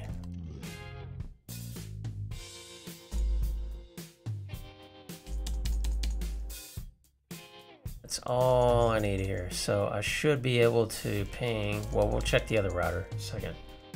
So that's GI00, that is facing the other end, the other PE router. Now the other I the other interface should have our pseudo wire configuration and no IP address. So it should have no IP address and then the and then the cross connect command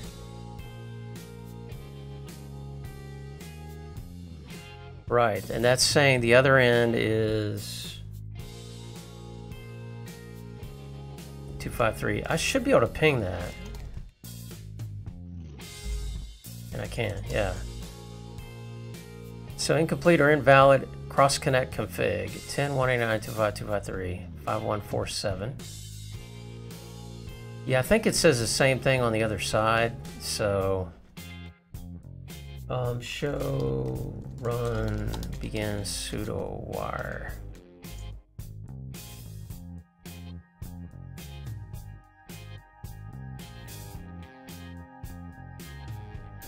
Unconfigured IP local interface. Okay.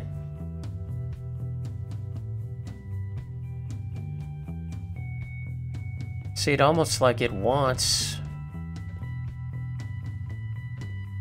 pseudowire class R51 underscore 47. Encapsulation L2TPV3.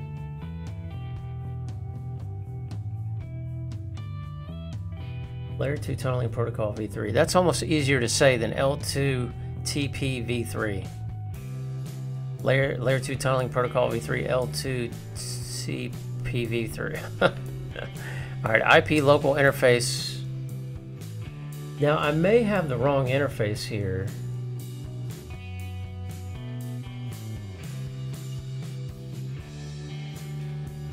Ah, pointing it to the wrong one. That's the problem.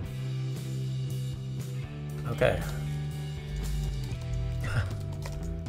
I know some of these acronyms, man, they tri me up. They're a mouthful. Class pseudo. All right, now how can we shorten this? Ooh, PS. That's all we need. So good. That's another word I'm not going to have to learn to spell right. Although I know how to spell pseudo, but uh, pseudo R class R51 underscore R47 encap. And there are only two types here that are, no, three, sorry. So L2, layer 2 TPV3. No other options there. And then IP local interface. Okay, so let me check this topology real quick in the lab. I think this part is public. Yeah, you know how you go to network lessons and you can see the first part of the page and then it says you have to log in to view the rest. So I think I'm okay here. But yeah, these are completely different subnets. 12.1, 12.2, 1.101, 1.102. Yeah, completely Okay, just making sure.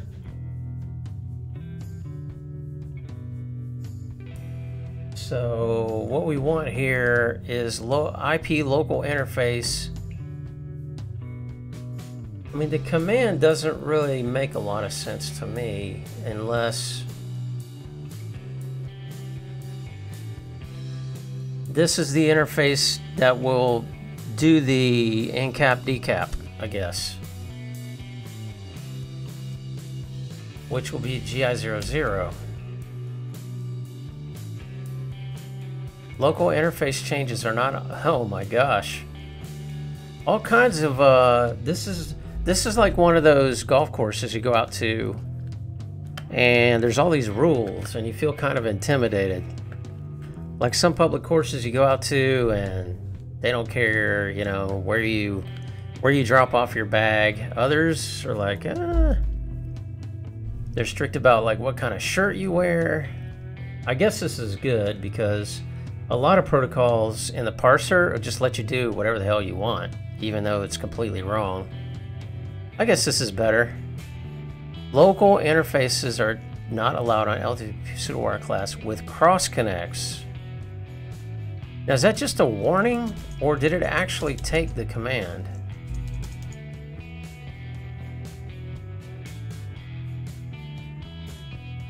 Is there a show run section? So I guess it's better you know how to spell it anyway because you might need it on a show run. Okay, that works. Incomplete config. So it it took the configuration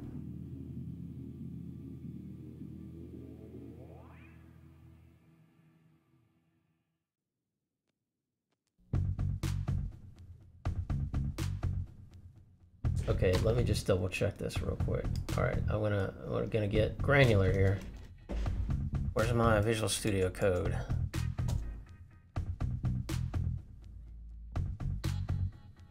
All right, so this is from the the uh, lesson.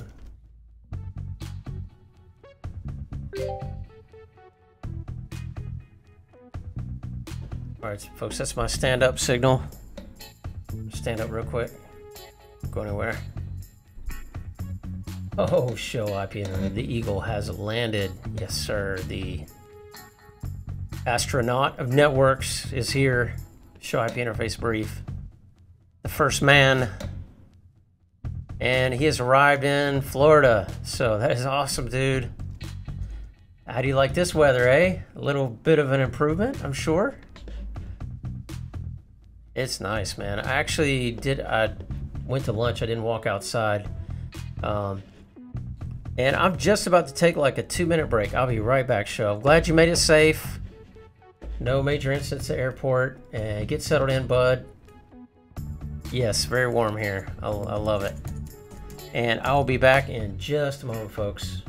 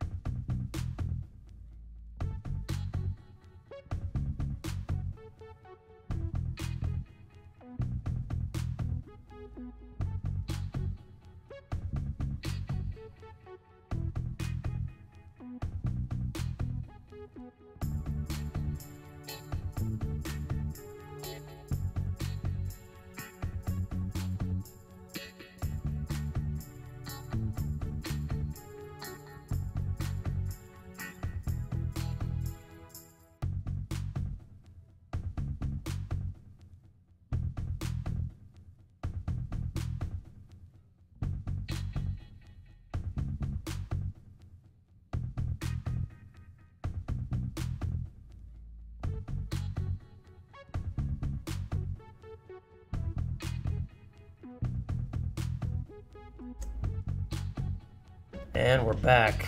Uh, you got that warm here. Hey, I dig the background.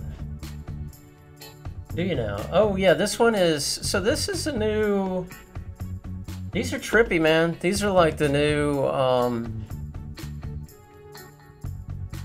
wallpapers that came with OS 10 Mojave. And let me see if it'll, yeah, look at it, man. It's pretty slick. Right now, the new one, and it rotates like every 30 minutes or so. So this one's been on for a while. It's pretty trippy. Woo, when I do that, it's like... Not that I would know what those kind of trips are, I'm just saying. Uh, man, I know, uh... Oh, the background music, yeah. Oh, you like that? I hope it's not too loud, but yeah, I even have a new command. Oy. New Nightbot command, where the music comes from. And also, uh, show I have like four uh, playlists now. So yeah, you know, get, got, get a little bling, a little more bling here. Very much like an 80s porno. I love it, man. I love it that's the vibe we want to uh, emulate here, you know. uh, welcome to our Boogie Nights uh, labbing stream.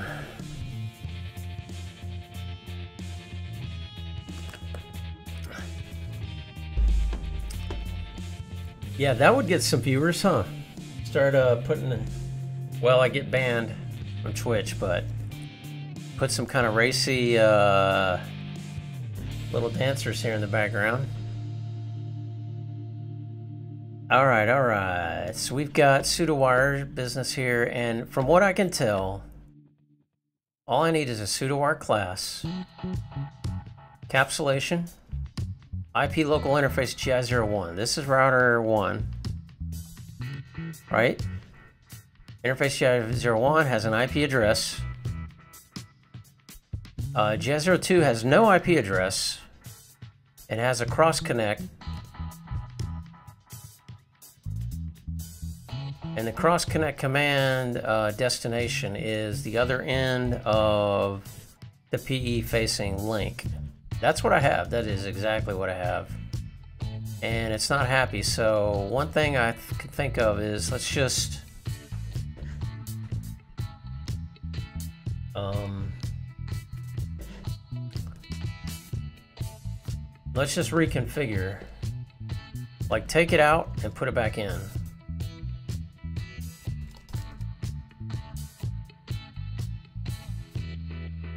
Either that or we're going to need to go to the IOS uh, configuration guide for this operating system. Hey, no problem, man. Enjoy that uh, Orlando Wi-Fi. So I'm just going to take it out. No pseudo wire. Okay, I have to type R51, R47. Okay, we're just taking it off. Uh, your topology is awesome. Thank you, man. Appreciate it. It's uh, it's growing. I think we're gonna have to move to a bigger VM. I don't know because um, I know a lot of these colors are. Is it a boy or is it a girl? I know, but the these colors are easiest on the eyes. I think. Uh, but yeah, it's just. Um, starting to few, see a few little issues here, but it may be...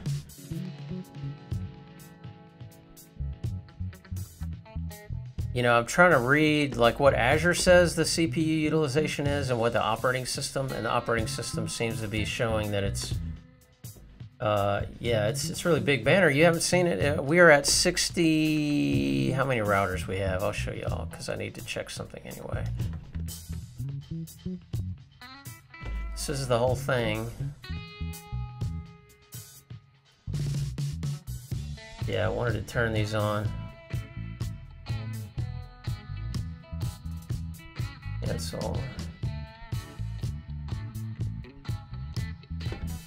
61 uh, routers and three switches. You haven't saved these yet, that's why it does that. And we're cruising. The only thing is, the only uh, drawback right now is that when you uh, add an element to the topology, the EVE-NG server like redraws each time, like recalculates and redraws the entire topology file, I think.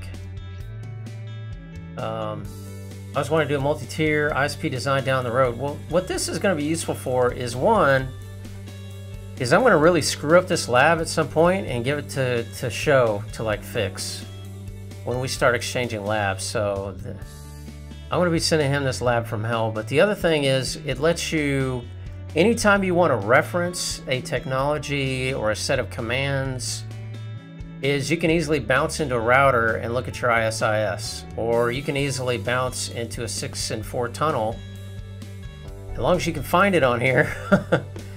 and you'll be able to use it as a reference, you know, or test different interactions of routing protocols, for example. So I think I think there are practical reasons for for having it.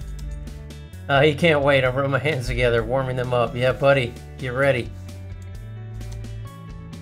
I don't have full reachability in here yet. Um, I haven't really spent the time to do that, um, but at some point I will. I'll do some redistribution and a default route. Hopefully default route will be into the Azure cloud. But yeah, we'll, we'll definitely accommodate you there. Alright, so let's go back in here and try to do this pseudo, pseudo wire from scratch. Uh, for your term, I'm already up. We'll ignore that that happened. Um, on interface jazz 00. All I need here is IP address 10.189.205.253.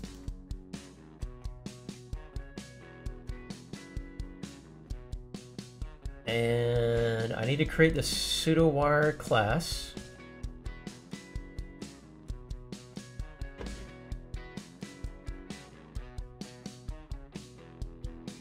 Uh, show run Yeah, I want to take this out.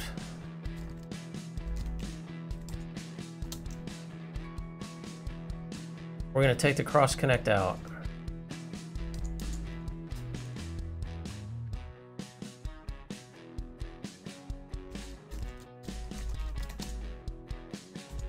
Okay, no IP address. And let me see, in the lesson, what does he configure first? Does he configure the class? Like, is this an order of operations? Yeah, he does the class first. So we're gonna do pseudowire class R51 underscore R47. Encap, L layer 2 tunneling protocol v3.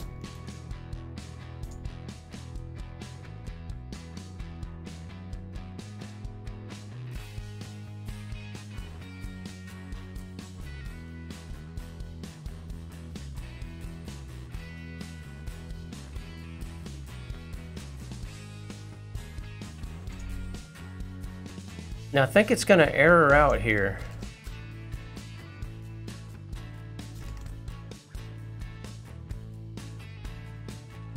I think it's going to error out.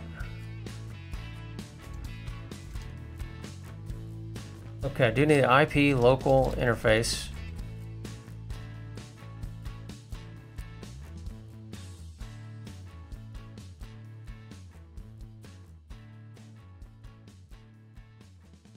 And this is going to be the interface facing the customer site.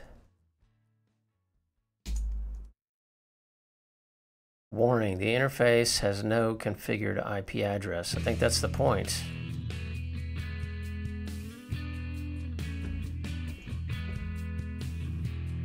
All right, let's go to the config guide.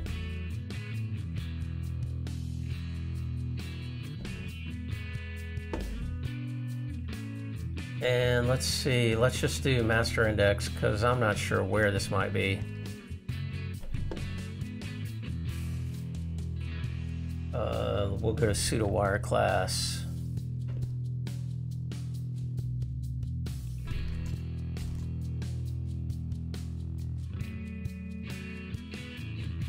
All right, what is this, WAN? What is MP? Oh, multi-protocol MPLS.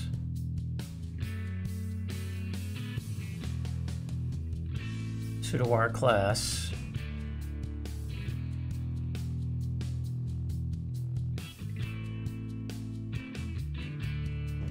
See, I'm just specifying a name here. A pseudowire class name, okay. pseudowire class template that consists of configuration settings used by all attachment circuits bound to the class. Pseudowire class includes the following configuration setting. Okay, so you could bind this class to multiple interfaces, right?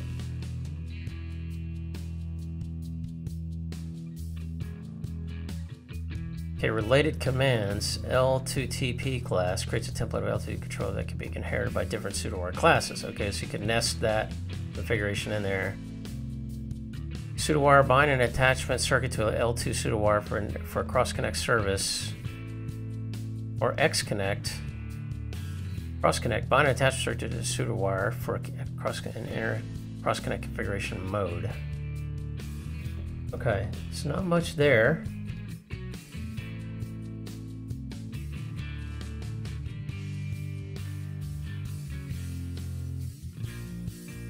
Yeah, this is just a pseudowire class. And inside of this command,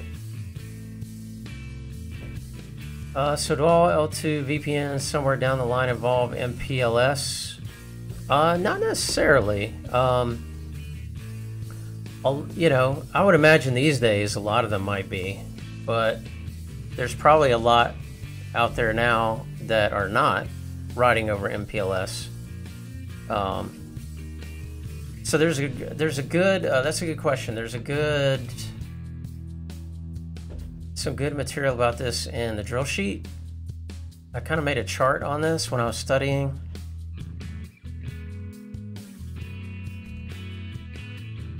And these are a lot of Metro E components, right? You have E-line. Some of them will go over traditional, like T1 circuits.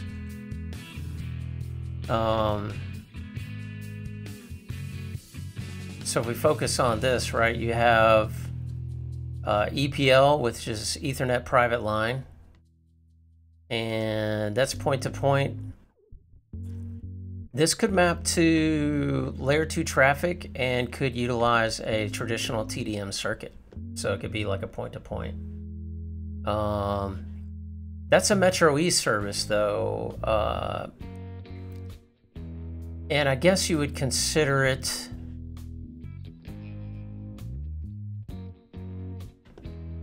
Let me see your question. So do all L2 VPNs somewhere down the line involve an MPLS? Yeah, the question is, is this really a layer 2 VPN? Would you use a layer 2 VPN service on an EPL Metro E circuit? Um, I would think so. Uh, you also have Ethernet wire service, point to point. I would think for like the point to multi-point, So you have, uh, this is probably better.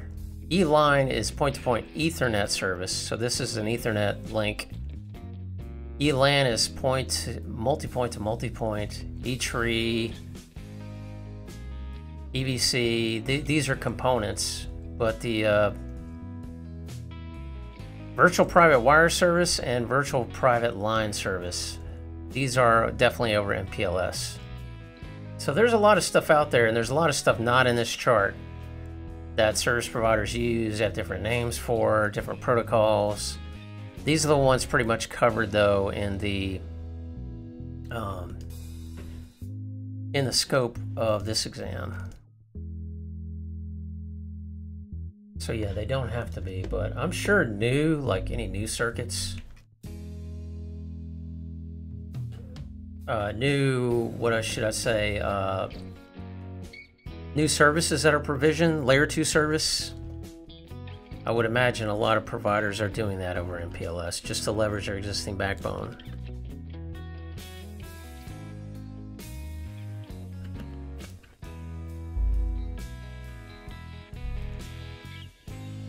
Um, so we do the pseudowire class now let's check on the other command, which is uh, encapsulation.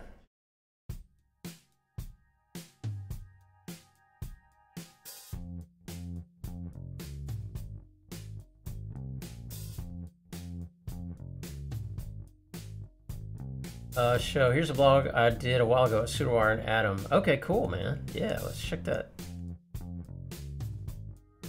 that out.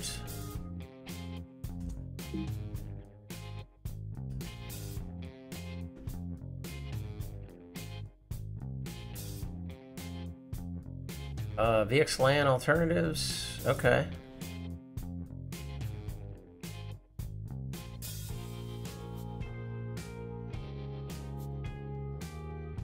AToM and L2 TPV3, yeah.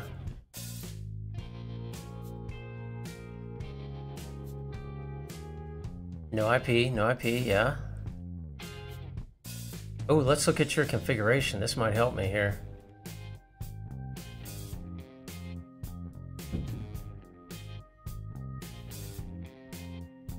Pseudowire class, I want encapsulation.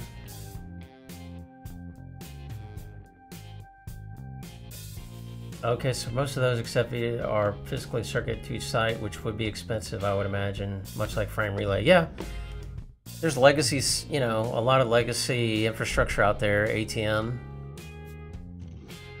Um,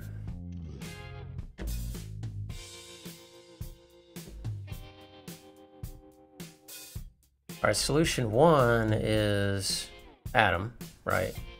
Solution two, well, I'm telling you, this looks just like the configuration that I'm using. But it doesn't really, it doesn't seem to be happy with it. Let me look at this guy to make sure. Specify to be used, encapsulation command. Command modes, usage guidelines. The command must be carried that will be referenced from sconnect or sudo configured forward layer 2 traffic.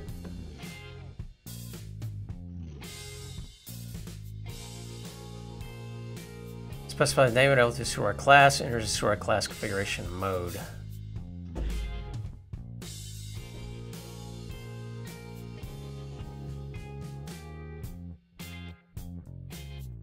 Now, in your topology,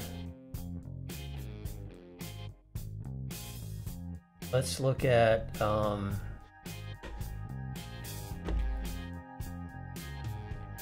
which one switch to? Okay, your topology, router 2, router 3. Router 2, GI01 goes that way.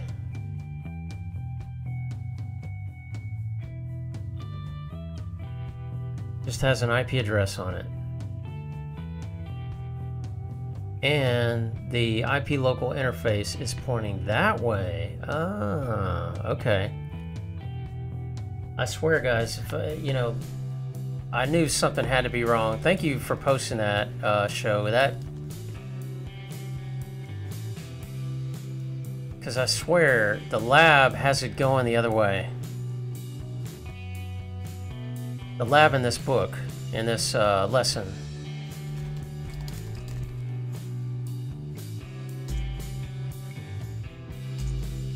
See, it's happy about that.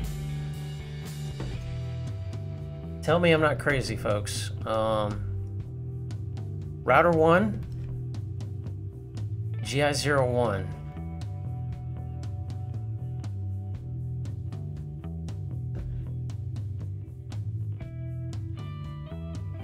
No, that's where it's pointing. Okay. All right. Maybe I just misread the uh, source. All right. Uh, probably my bad. I'm sure it is. All right, let's move this RFC. I want to reference that in a minute. I want to come back to that. I just want to get him out of the way of the screen. And we're gonna move this here. Create a new desktop.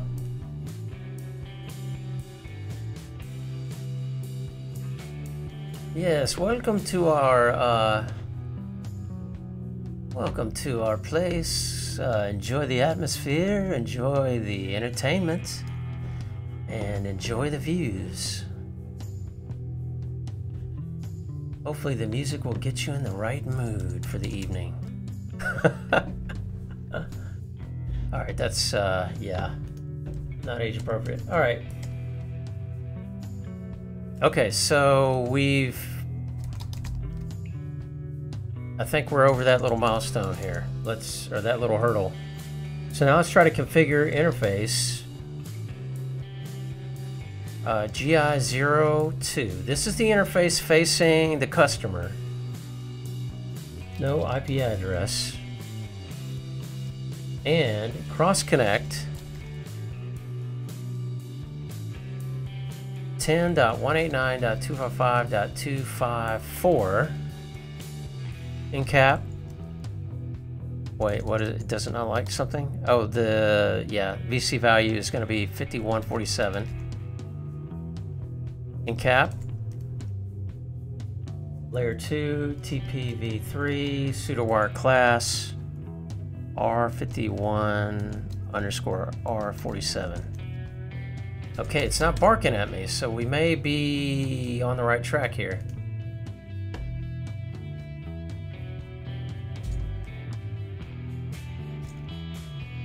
We may be on our way.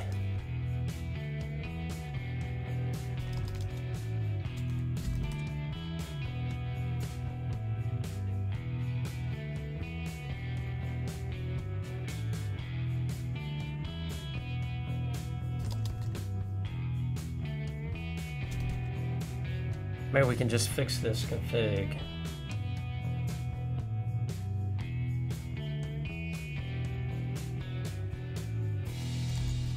Okay, uh, pseudo wire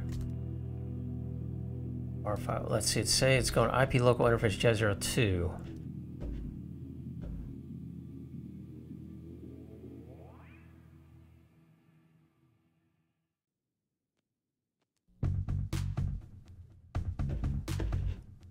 And that is incorrect. So in this case, it should be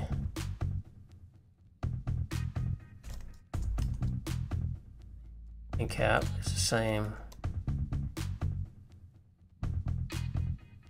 IP local interface Jazz 00. Okay, I realize that local interface change allow pseudo with cross connects. I realize I have a cross connect configured, but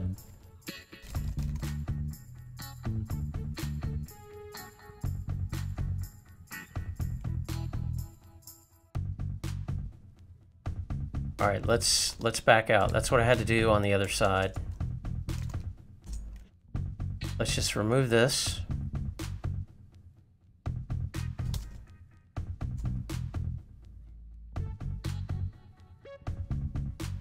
Show run section pseudo wire.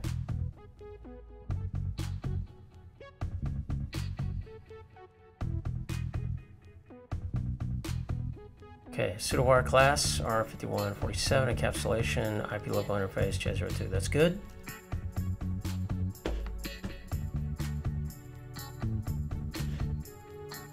Uh, show run interface J00. That is good. Show run interface J02. Okay. Uh, this should not have an IP address.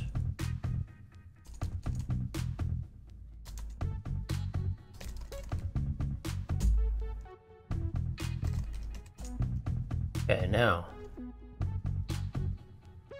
cross connect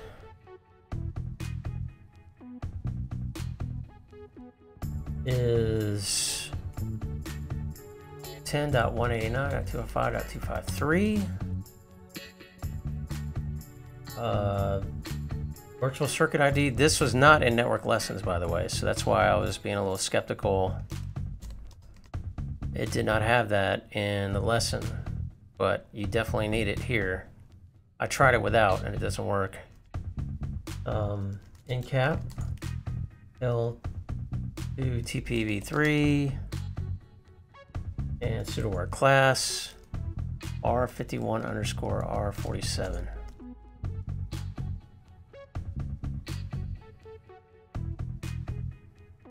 Please make sure pseudo wire class R51 is configured and valid. What? Incomplete.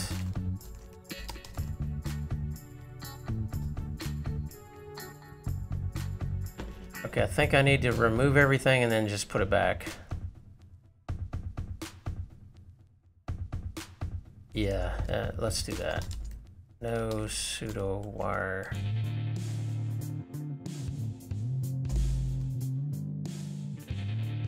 And then show run interface jet 02. No cross connect.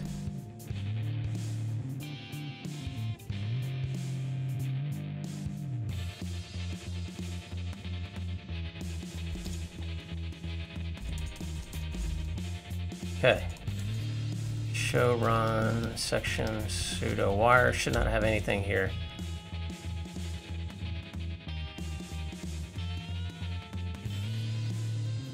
Okay. All right, pseudo wire class. This is good. I'm getting practice here. R51, R47. And cap.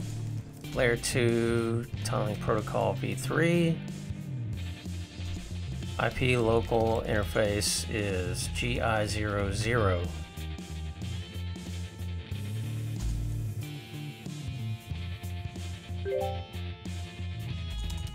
Cool. Okay, it's happy so far.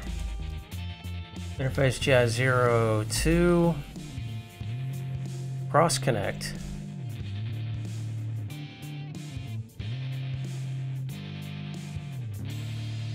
10.189.255.253. That's correct. What? Unconfigure. Oh, I've got a no in front of that.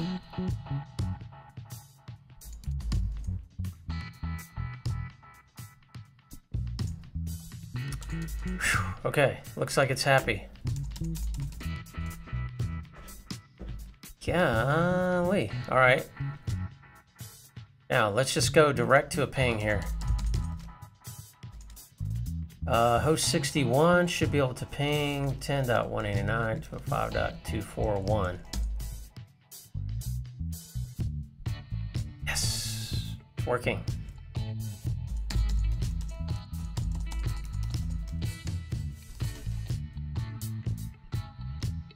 Uh, 246. Woohoo! Nice. All right, uh, that was my signal to do a stand-up break. So we got this working. When I come back in about two minutes or so, um, we will do some Wireshark captures and take a look at the encapsulation and also look for these uh, raw mode that we talked about earlier. So be right back.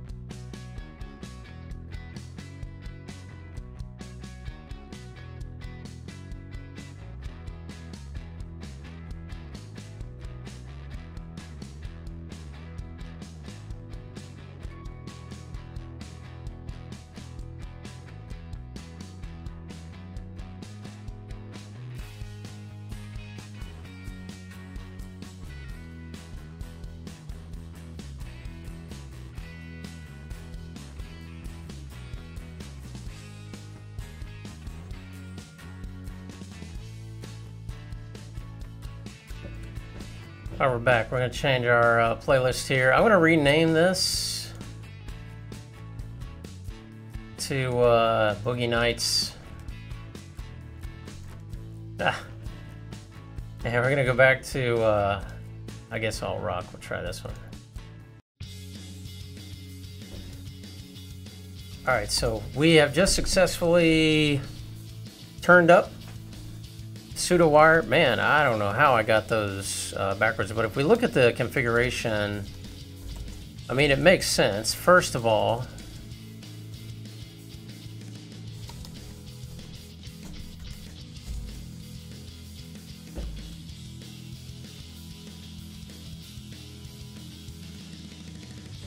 um, that you would, the local interface for the pseudo wire would be um, like this, you know, diagram is showing. I mean, it's going to be facing the pseudo wire is like a virtual wire connecting between these two routers. So it's going to be this interface, right? And we're telling it here, uh, there's a class and everything assigned to this class is going to use every interface, right? I'm sure it could be multiple, I would assume um, you would have this encapsulation type. Uh, then you, you put your cross connect, which if you think about a literal cross connect wire, um, you're going to be cross connecting the pseudo wire over to, uh, they need to be over here, cross connecting the pseudo wire over to this wire over here, which is an a wired interface so that it would go into this side, right? And I don't know how I got from the other one that I, I that the local interface here needed to be J02, but anyway, once we got over that, it got it started working. Let's do some caps. So I want to cap on both sides. I'm already capping though, I think. Uh, we're capping. Who is this? Uh, if we look at, oh, here we go. Yeah.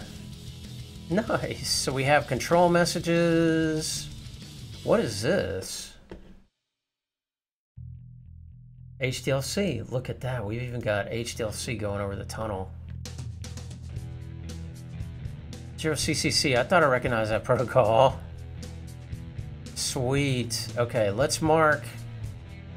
We got some good stuff in here. We got some really good stuff in here. Let's mark, first of all, this. And if we do a show CDP, this was the case with AToM, that we would see CDP showing the remote.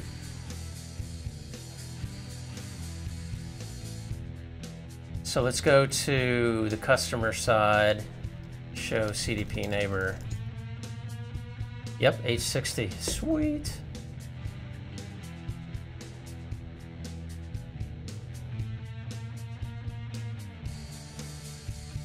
I have had customers in the past that use layer 2 uh, layer 2 circuits. These days you see layer 3 so often, but I have definitely seen layer 3 in production. Um, let's see what else. Oh, so we've got some CDP.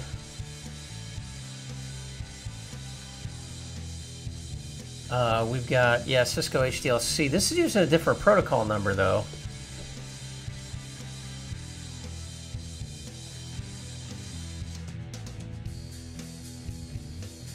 Let's mark that one. Some L2 TP. All right, this is a control message.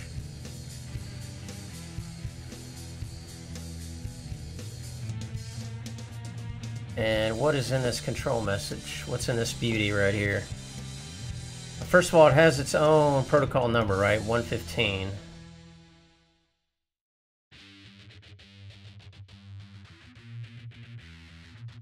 Control message, connection ID, control connection, NSNR. I don't know what all that means. That's okay. Hello. Then we have this response. So I'm sure there's sort of a negotiation that takes place here. Zero length body message. All right.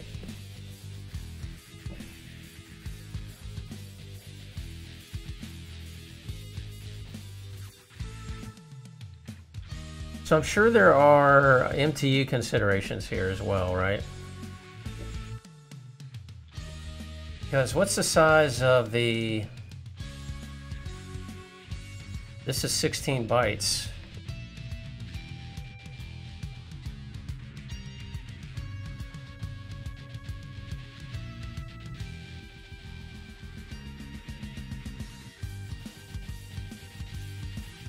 These hellos are sent at particular intervals, it appears as well.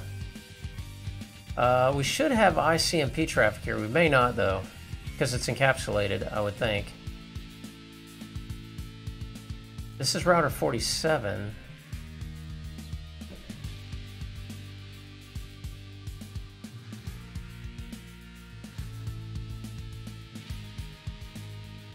Uh, what interface is this?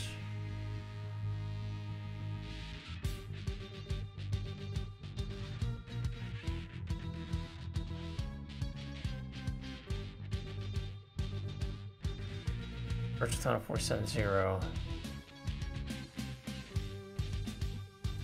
Uh, do we have any ICMP? No. Alright, I'd like to see the... Oh, that's my... Uh, I'll be right back, folks. That's my uh, water for the coffee. Boiling.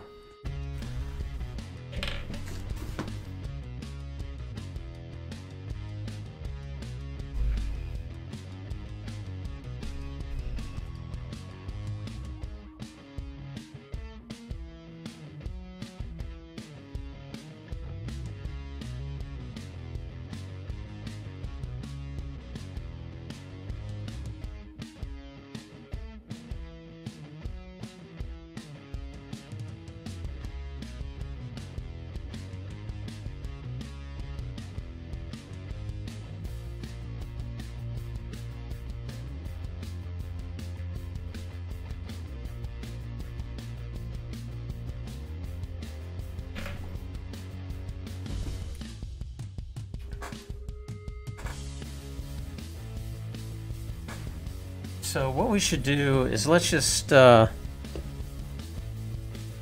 let's trip it again, and I, am not sure about this capture, so.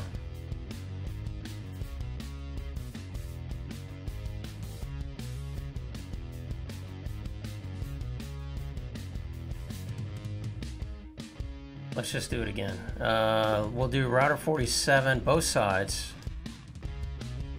Actually, the main site I'm interested in is GI00.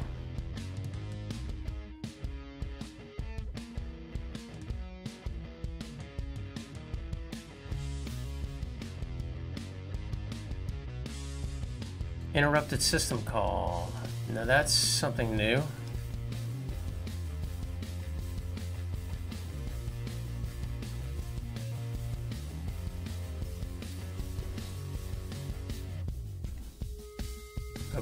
Interesting. Let's try that again. Actually, let's go up here. We'll go to router 51.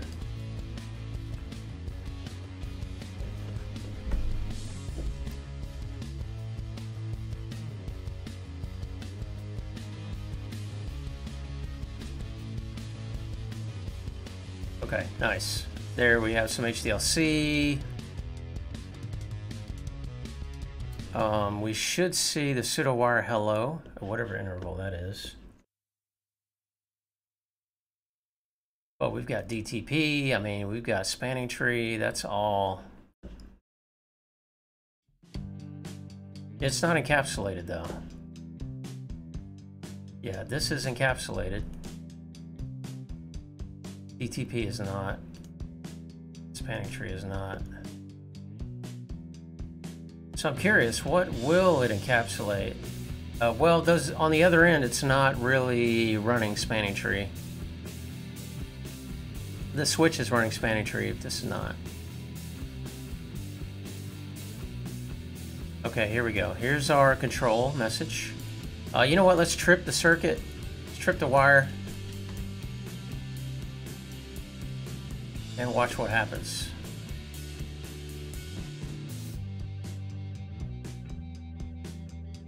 So we're going to go to 51.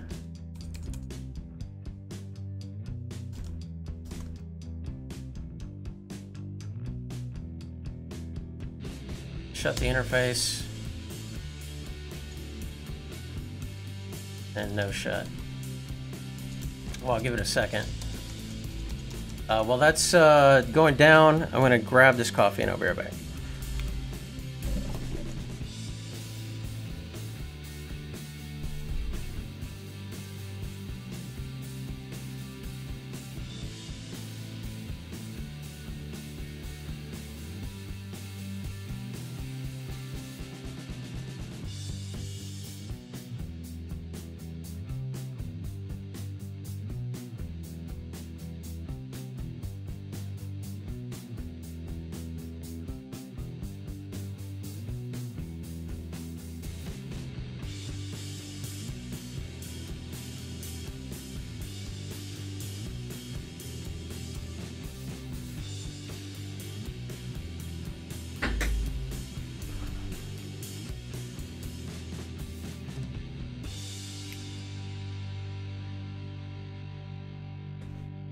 Okay, do have coffee. Nice. All right, so let's bring it back up.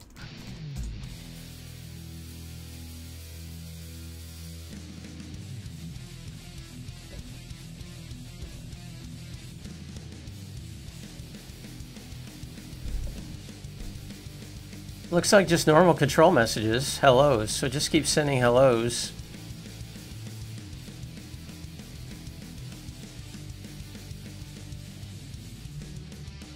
Let's do a ping from the client and the customer.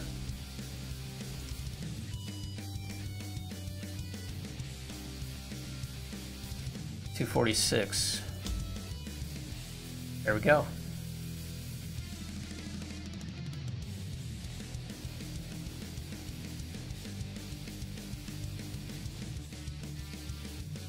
right, let's see if we can unpack what's happening here. Uh, it looks like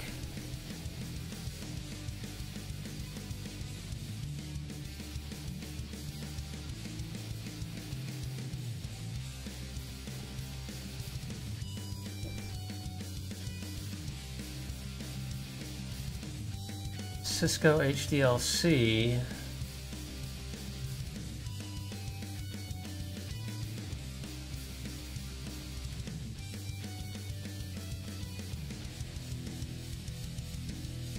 Yeah, I don't see the pings. They must be...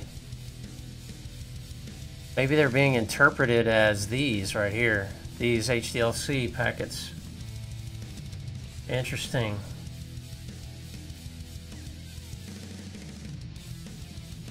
Huh.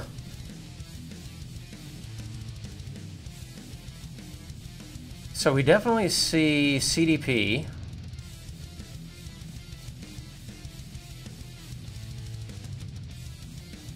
That's from switch 3 though.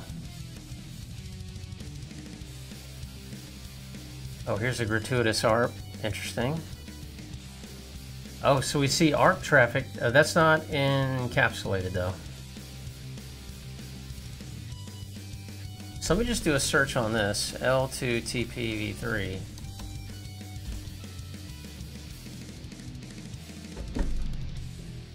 This is all of our traffic that's encapsulated. And it's interesting that it either comes across as HDLC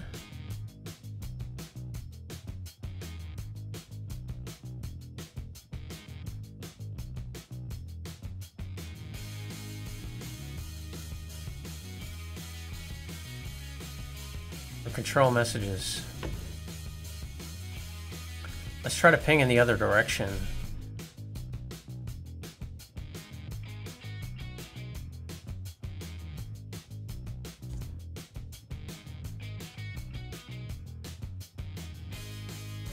Okay, yeah, these are coming across as like these HDLC messages. I'm pretty sure of it.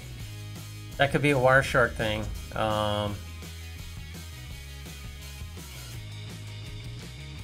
let's see, Wireshark.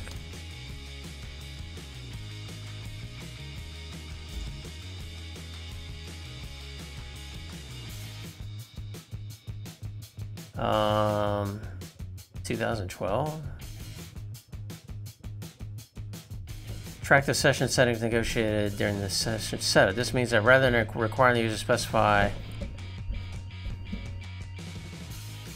So we may have to tell it to decode. But see, it's L2TP. It sees Easus version 3 as well. Okay.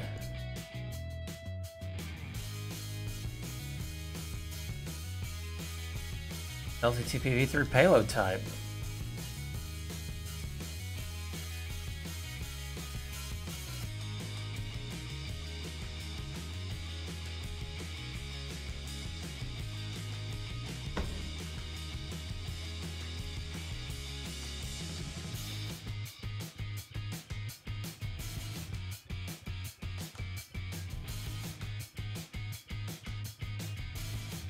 Wormhole through your network. Let me see what these captures look like.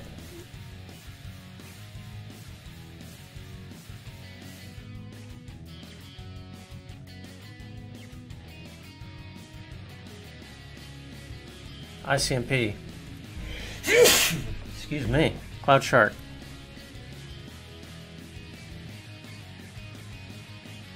Okay, it gets the same thing.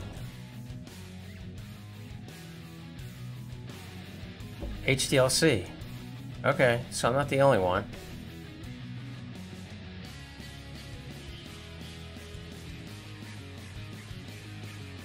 Fascinating. ICMP over L2TP pseudowire, ICMP in LT2P. I don't know how those are different.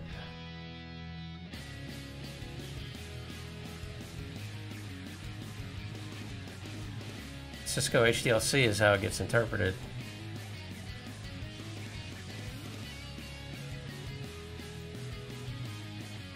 Interesting. All right, well, I don't want to get too deep here. I think we captured a good sample. Let's uh, save our sample. Let's mark some packets. We want a copy of, we want that, we want that.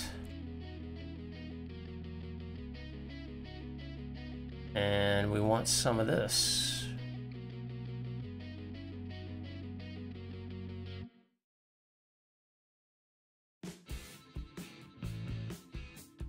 Notice how it's sort of iterating these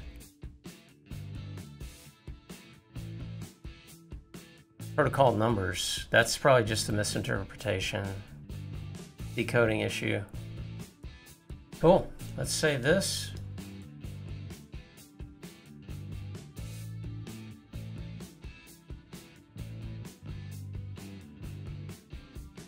I gotta stop it. Mark packets only, and we're gonna call this um, L, let's see, L2 VPN, wireline, L2 TP v3.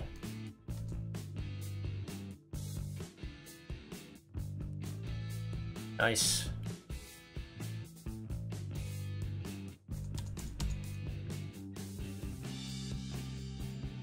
And let's write these changes. We want to save this for future use.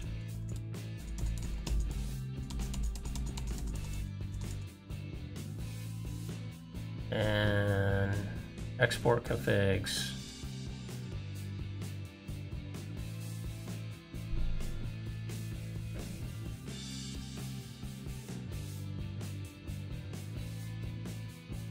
Okay, so back to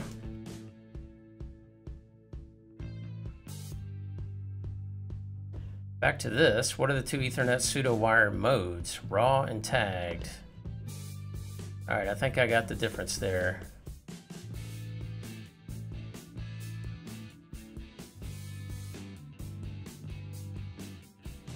Oh, where's the answer?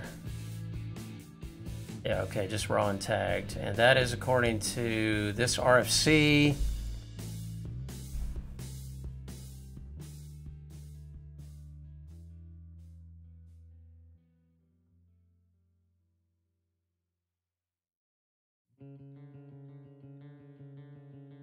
Pseudowire type, Ethernet.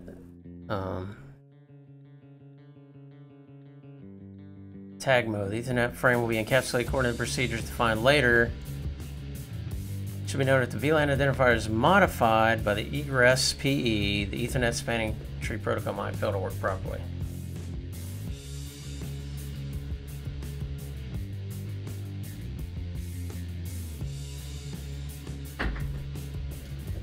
We really wouldn't uh, see a lot of that unless we did, unless we hooked up switches instead of routers.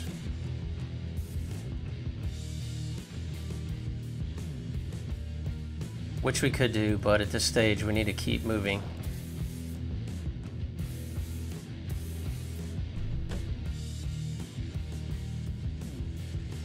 Oh, glad you like the music, Banner. This is more a little bit of rock. Uh, okay, that part we're gonna say is pretty much. Oh yeah, let's keep going. A few more of these questions. Uh, what is another name for an Ethernet pseudo pseudowire in raw pseudo wire in raw mode? Um, untagged, port based. Okay. Uh, port based, VLAN based. All right. Ah, right, because this is where you're adding tags, or the customer is adding tags, right? What's the difference between tagged and raw mode Ethernet pseudowires? Tag mode receives a service delimiting VLAN tag. Raw mode removes any service delimiting VLAN tags when sending data across pseudowire. Both modes transparently pass customer. Okay, right, right. This is the best explanation yet, I think. Which makes sense. If you have multiple customers and or um, you're using a VLAN service.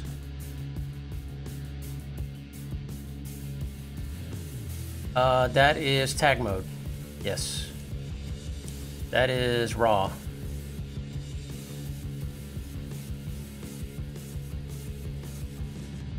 Zero x zero zero five. Zero x zero zero four. Okay. Um, L2 TP. I don't think we had anything there. Yeah, we just had two. Yep, 115. Yeah.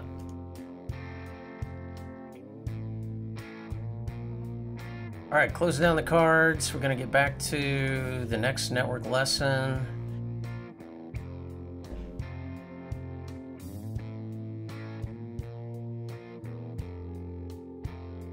Metro Ethernet.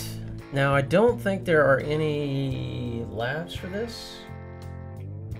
This is just a lesson. Yeah, that's right. So I'm going to skip that for now and read that later. I've already read that once. I'm going to read it again. IPsec.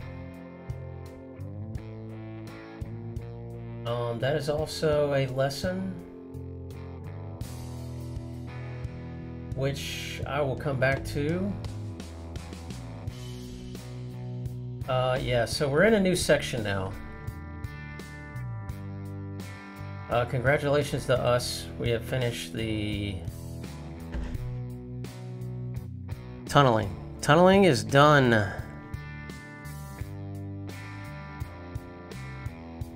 Yeah, I was hoping there would be some of these, but I mean, that's okay. Like labs. I'm sure I can find some. My goal is to get through a lot of this today. I may skip IPsec because I'm more or less familiar with that. I really wanted to get to this Get VPN lab today and this IP6 over IP4 GRE with IPsec. So let's let's go right to Get VPN. I think there's a lab here.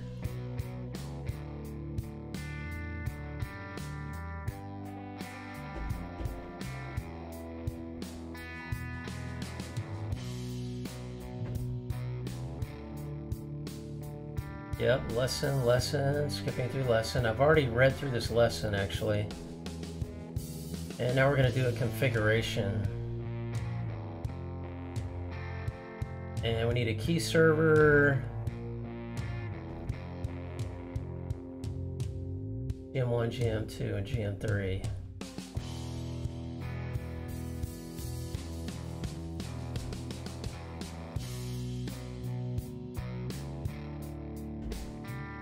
Okay, so first we're going to do, we need a topology to work with this.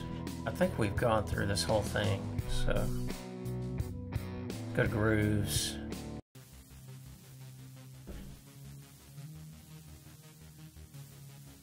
All right, let's see, how can we do this here?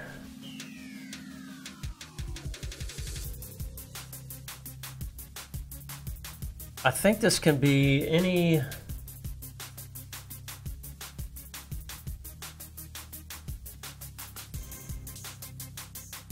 Yeah, this really needs to be a switch.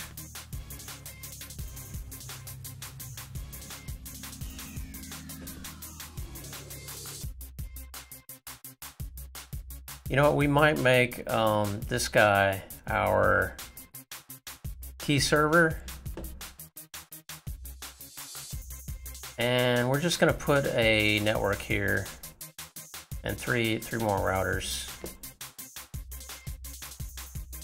Gonna keep it simple.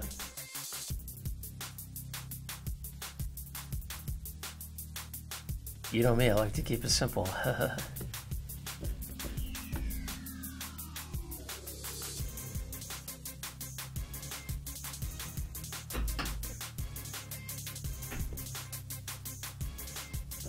okay.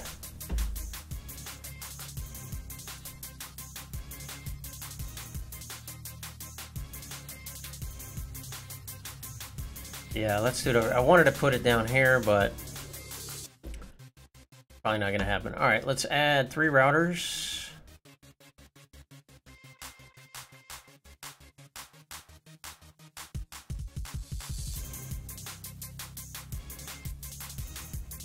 The system's like, you want to do what?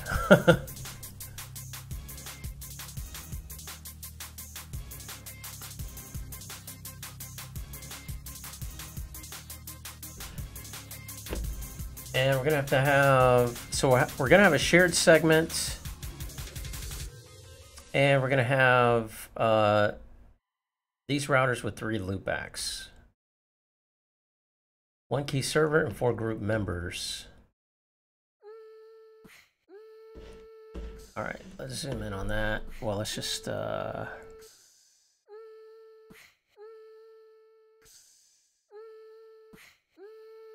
uh, vertical line All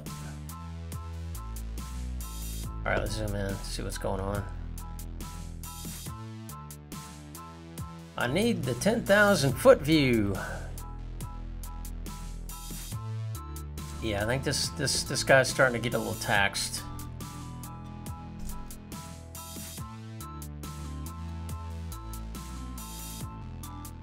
And we might need to uh, upgrade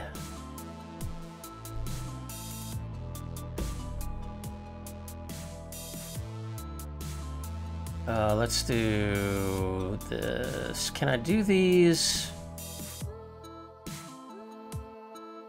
I'm curious. Okay, I don't think that did anything. That's fine. So at least align these horizontal. Oh, no, no, no, no. That needs to go down. There we go.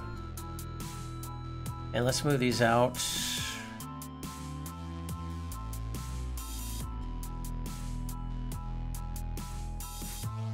Yeah, it's, it's kind of freaking out a little bit. Not too bad. Okay, we'll shut him down for the time being.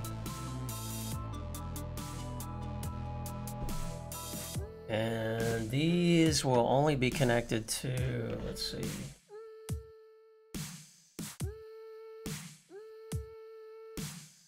Yeah, zero one. Yeah, all the way around.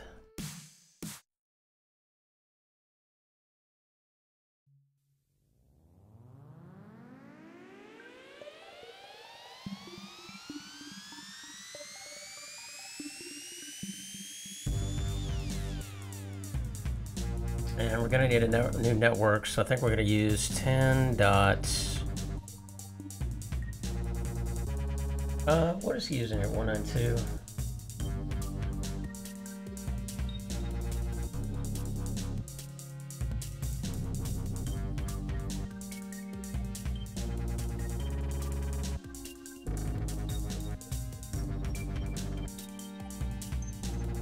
Yeah, we're gonna have to upgrade the lab for sure. Even though it says...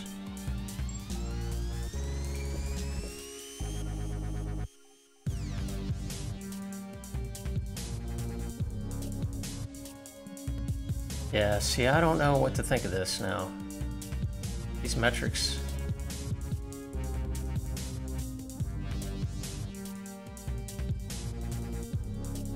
Uh, Jazzer 1. check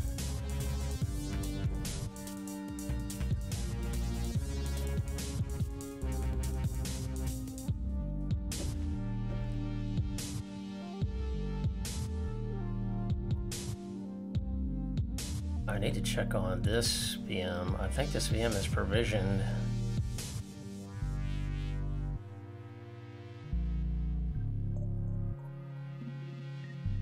Yeah, this is this is the big Kahuna. This is the 20 vCPUs, 160 gig of RAM.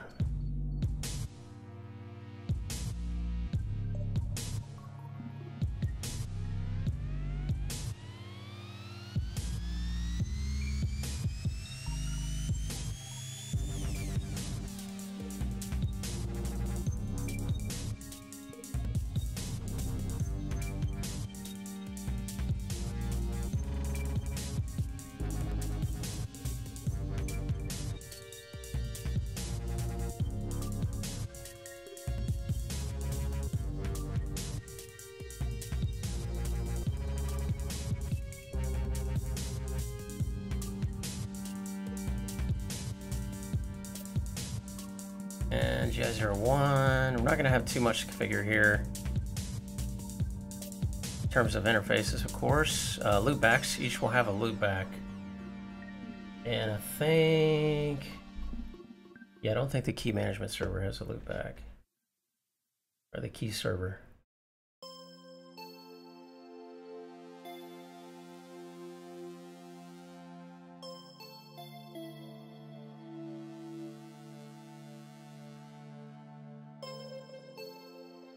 Okay, uh, let's go ahead and create, uh, what do we use down here? 10.189, yeah.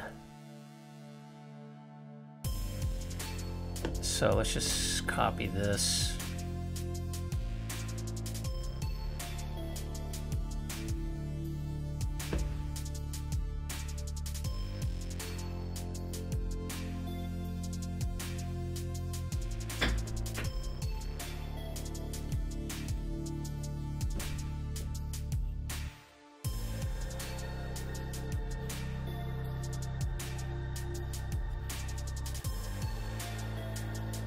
Is just going to be 10.187. Uh, dot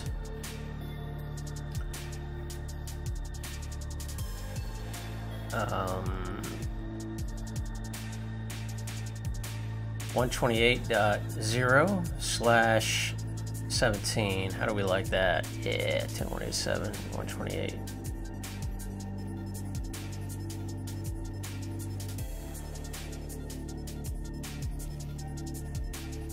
Yeah, that was going to be kind of fun, so let's do that. And in order to depict get VPN, I think what I want to do is just create a maybe a little cloud. So let's just add a circle.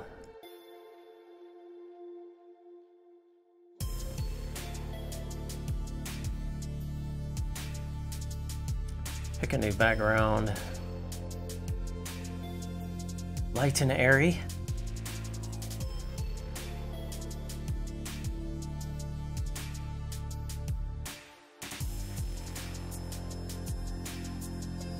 Yeah, VPN should be cool. Would be cool. Yeah, man. Uh,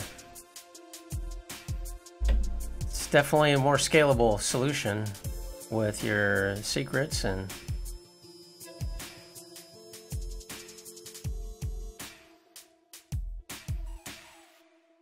That should have been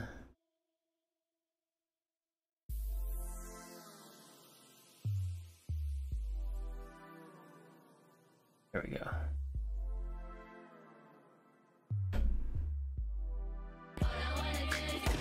New subscriber in my forces. How are you doing these days? My force hadn't heard from you in a while. Thank you for that Twitch Prime subscription. Thank you for the support. Uh, enjoy your emotes. Your emote. Mota. One day I'll be able to get more uh, emotes. Uh, hope all is well, my friend. Hope you're having a good Monday afternoon.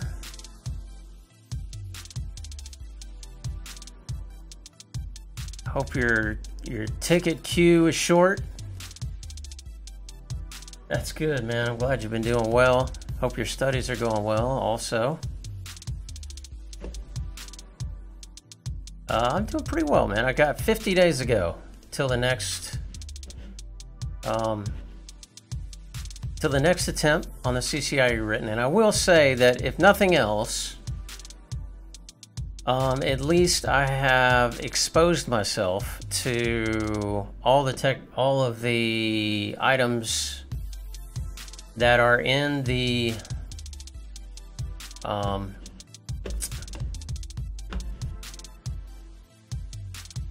you know that are in the blueprint because um, I feel like the last time, the last two times, there were so many things that seemed to be kind of out of the blue.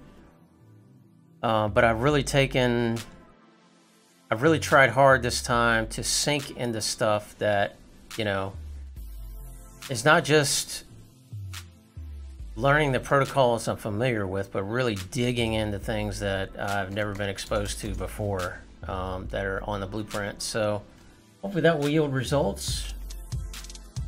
Really wasn't um, like my last scores weren't way off by any means. Uh, as a matter of fact, if I if I had passed the evolving technology section, I would have come close to passing. Um, so hopefully, this extra several months we'll be able to. I mean, I'm not even labbing this stuff. Get VPN, I read about a number of times. You know, with Get VPN, one thing I think is important is the there's different sets of keys, right? Like there's uh, uh, the KEK and the TEK, the key encryption key and the traffic encryption key. So I think it's important to know the difference there.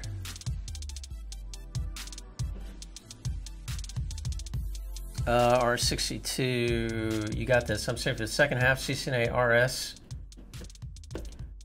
CCNA Cyber by Christmas. Wow, two exams by Christmas. That is awesome, man. My exam is uh, on a holiday. It is on, uh, well, it's on New Year's Eve, December 31st, last day of the year. So that's good, man. CCNA second half, the CCNA. Route. Good luck on that, dude. So that means you'll get that CCNA route switch, which I tell you, man, when you finally pass that, it feels really good. You get that first, like Cisco cert, you know? Feels really good. Just occurred to me that might look better about right there. Trying to trying to hatch out of the egg here.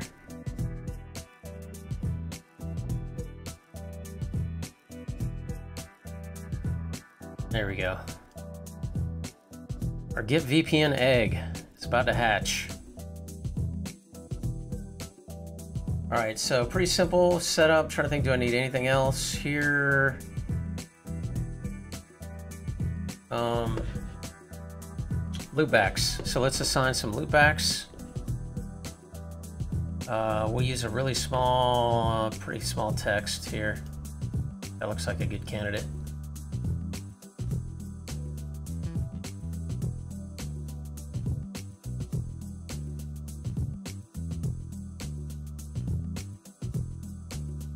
And route switch for 2019. I love it, man.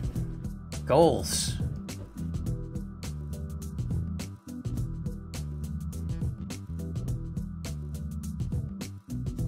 What's going to be interesting here, guys, so we see how the interface is starting to slow down finally after, what, 65 routers?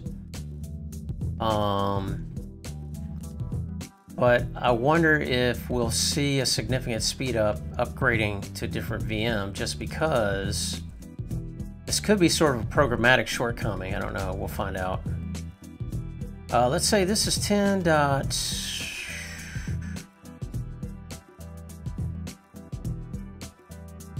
Uh, 10.255.208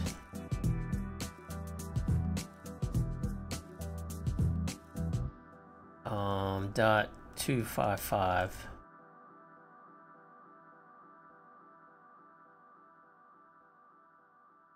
Gotta always keep moving forward, you know. Um,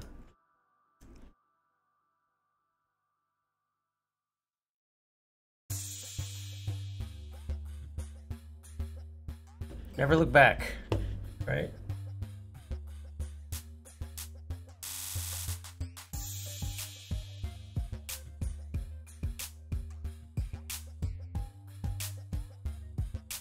And I think what I'm going to do on this one, folks, is just come down here to the bottom configuration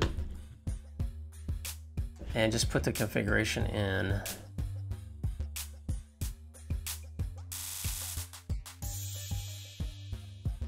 All right, this will be 254.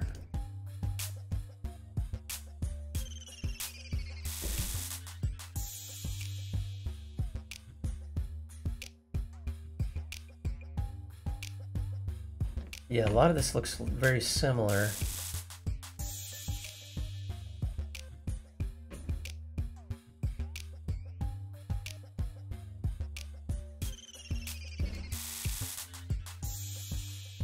Uh, just to avoid any issues, I may vary this up a little bit here. Let's do um,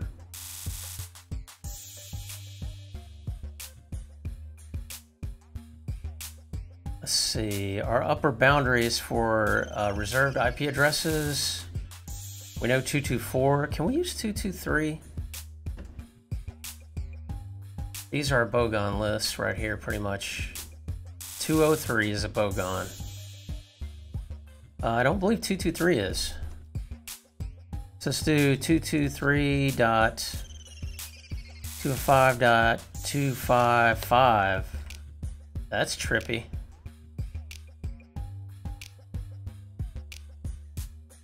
We're going to try it out.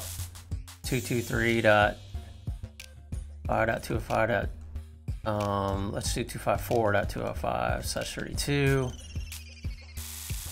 Living on the edge.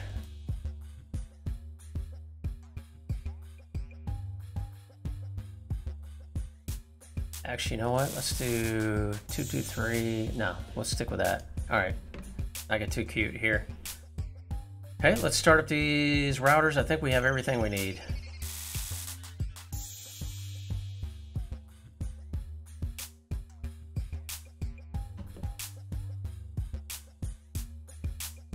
Double create network. Yeah, that happens from time to time.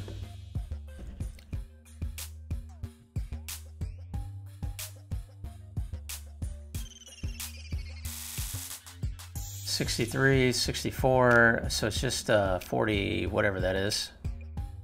40.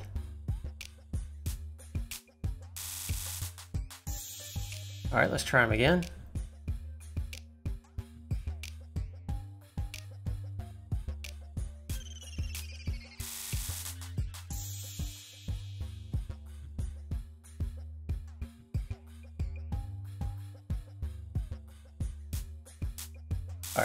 Starting up. Okay, so we'll go, let's see, 64, 63.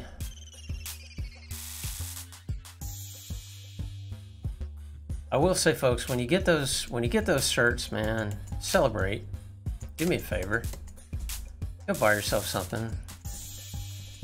Take a significant other somewhere special you know, get a steak. Uh, it's important to celebrate, and part of the celebration is taking a little break, you know. Trust it from an old man like me. Um, pacing yourself, and one, you really want to enjoy, you know.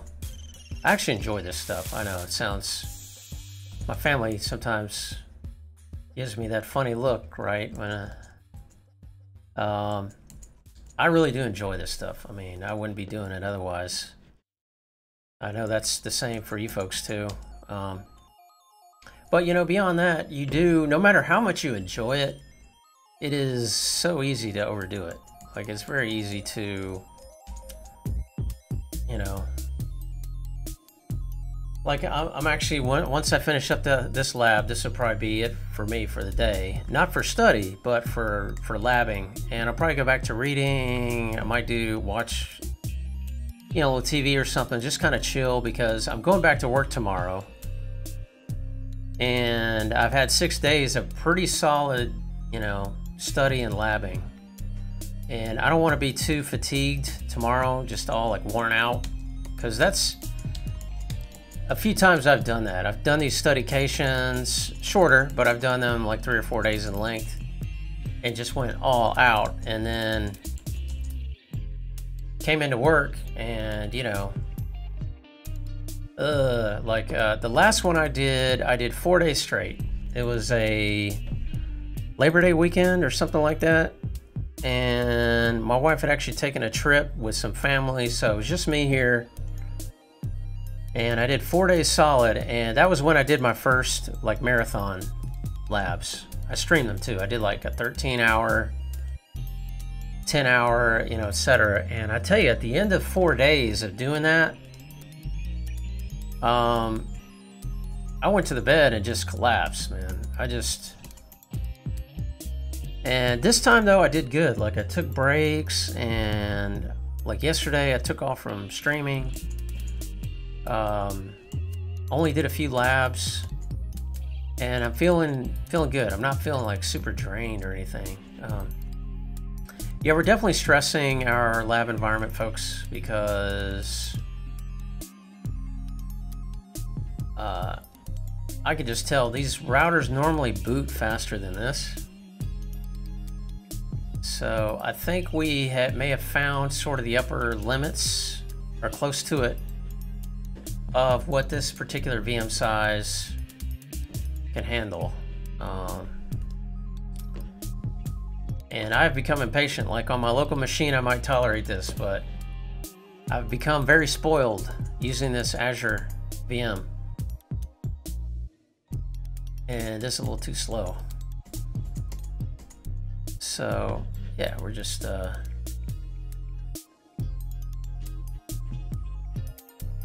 It's a good lab though. And I think we can just, I think on a new VM, we'll definitely be able to continue to grow it. Uh, I see the CPU hogs.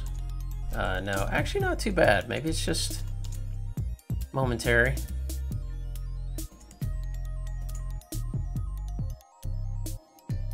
Okay, um, not too bad. Whenever routers are booting, uh, like that is the most stressful uh, on the system for sure. Yeah, it's it's just starting to struggle. I'm sure it'll calm down once they come up. But normally that would not even stress the system too much. Um, if I look at the VM performance,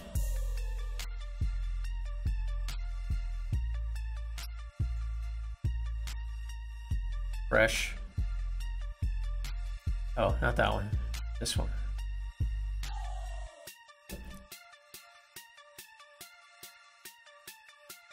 Yeah, see, it never gets over 40, but um, again, I, I think this is just kind of like the same situation you have with VMware trying to report the VM performance. Okay, host name.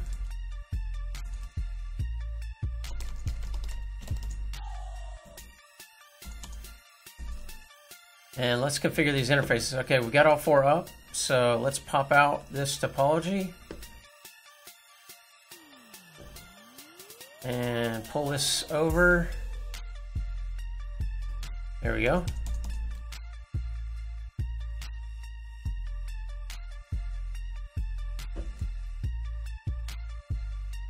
More RAM, yes. Exactly, more CPUs too. All right, we're gonna do a no shut here and um, IP address 10.187.128.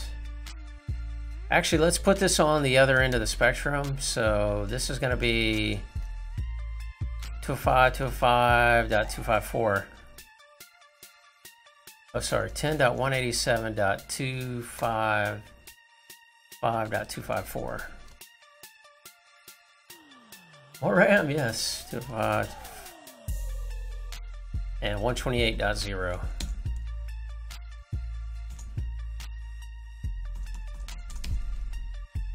Okay, router 62, um, interface GI 01, IP address 10.187.128.62. Uh, we won't tor torture ourselves here. No shut.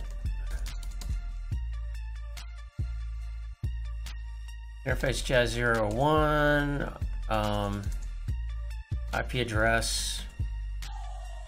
Oh, I didn't do the loopback. That's okay. I'll come back. 10.187.128. Two. Hey, new follower. Chaos Theory. I like the name. Chaos Theory 34. Thank you for the follow. Welcome to the LAN Tamer stream um, where we are going CCIE or bust and playing with networking. So yeah, welcome. Uh, feel free to join our Discord. And uh, join up in the conversation, share your pains and sorrows, as well as your happy moments. Uh, we're create a loopbacks here. IP address 223.255.254.255. Because we're sick and disturbing like that. Come back and do this loopback. Interface L64.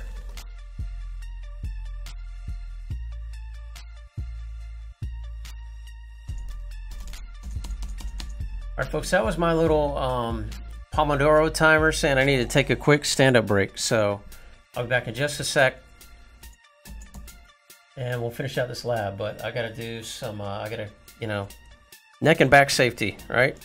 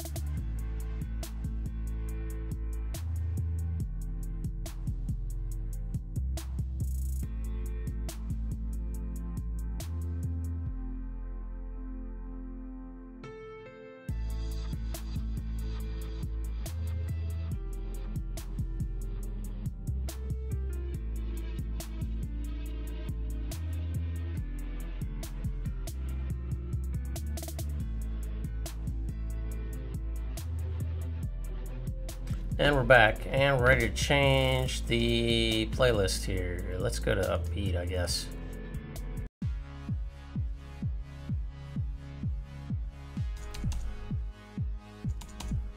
Okay, so router 62, um, let's see if we can ping 10.187.128 dots, or actually 5.2.4.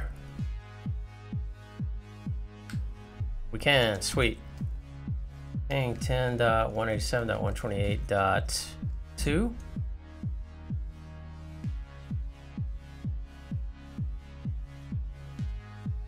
See, is that him? That's 63, right? Oh, shut down. Yep, interface jet 0, 1, no shut.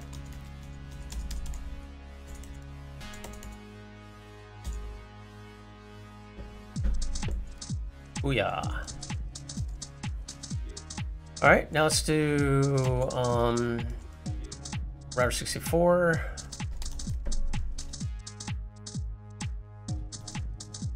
IP address 10.187.128.3.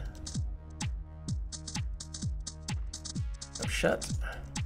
Interface L644. IP address 223 25 25 25 25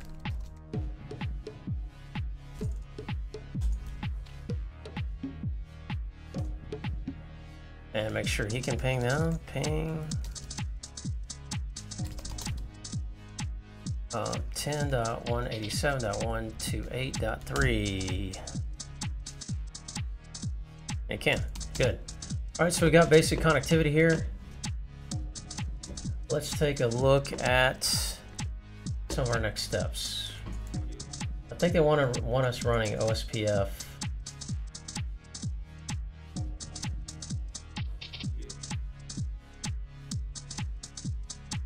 Yeah, let's go ahead and do that before we configure um, GETVPN.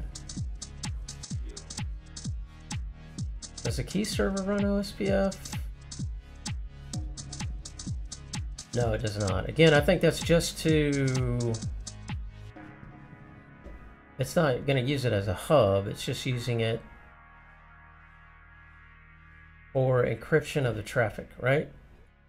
So let's go to server six, uh, router 62 and router OSPF 60530 and our network is 223 205 253 205 0000 area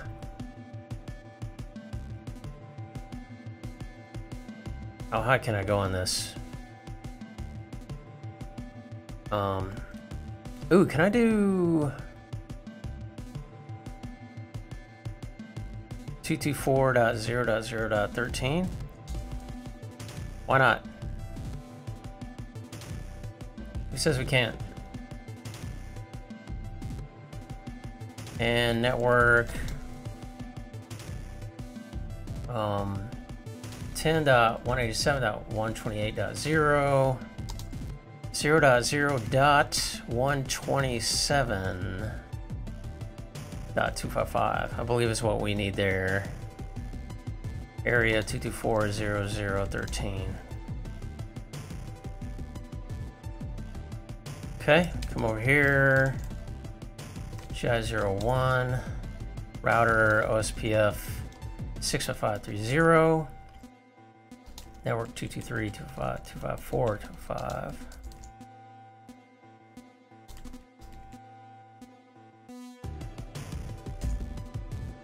and then network 10.187.128.0, 0.0.127.255. Should get an adjacency now.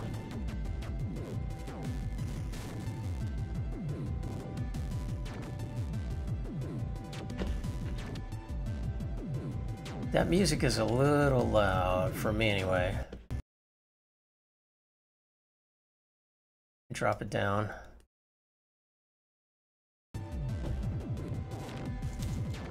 Show IP address brief. I wonder if it doesn't like the router ID.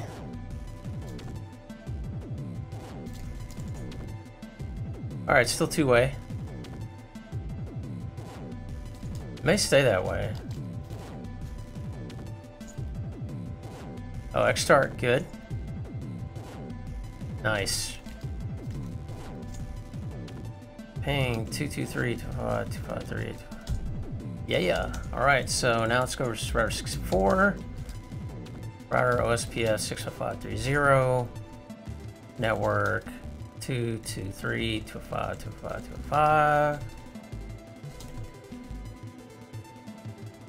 And then network 10.187.128.0.0.127.5. So basically we should have full reachability, but no encryption, right? All in the open.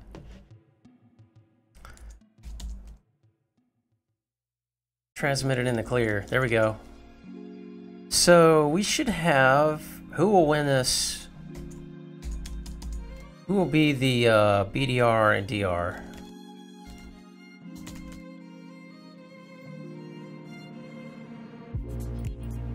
So, yeah, router 62.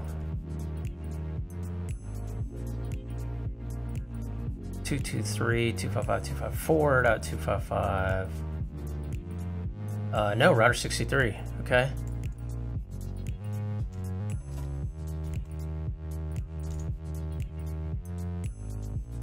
Yeah, DR. That's just because we don't have preempt. So it's not preemptive, right? Yeah, DR, BDR. Okay. Shared segment. So now let's go to our configuration. First, we need to configure the key server, which is this guy, 40. Crypto, ISAKMP, policy, 10, encryption AES, authentication pre-share, group 5,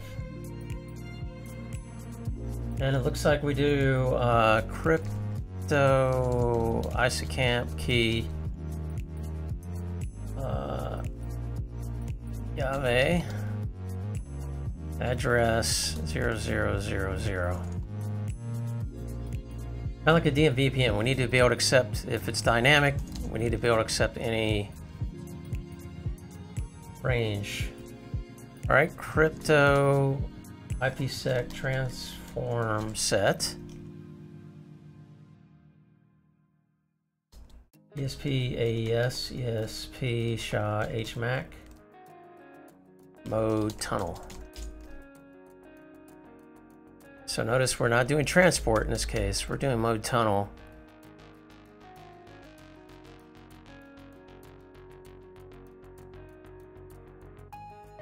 And crypto IPsec profile, IPsec profile. Set transform set. Okay, simple enough, right? All right, here's where we go with the um, GETVPN configuration. Crypto GDOI. Uh, said its official Stan Lee dies at age 95. Wow. Rip May, your legend live within our hearts. Wow. 91. Man, I hope I lived to 91 for sure. What a man. I mean, he did good.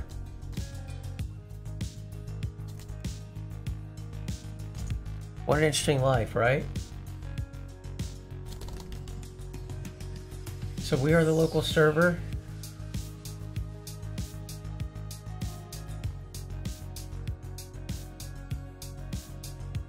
Okay, GDOI, group dy uh, dynamic, I don't know what that stands for.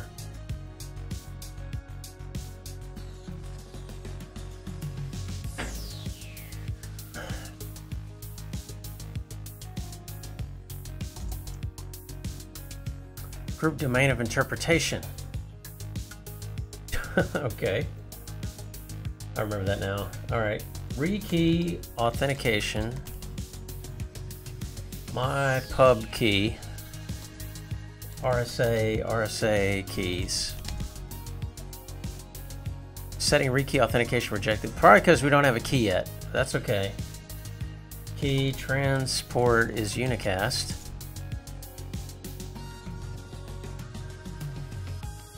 SA IPsec 10 profile IPsec profile match address IPv4 ICMP. We're going to have an access list. Replay counter window size 64. No tag. Address IPv4. Um, this is what we're going to listen on 10.187.128. Actually, this would be 225 to 254.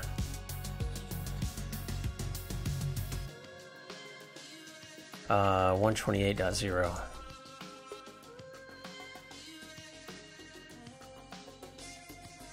Uh, it doesn't like address.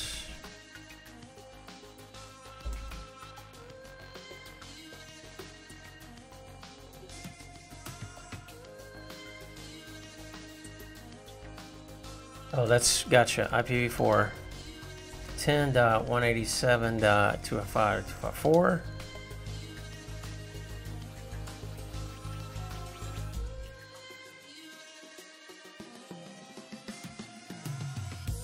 Oh, we don't need a mask here.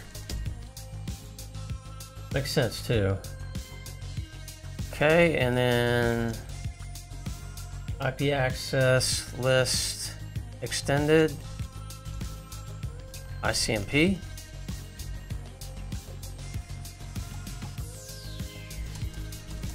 Show run section GDOI.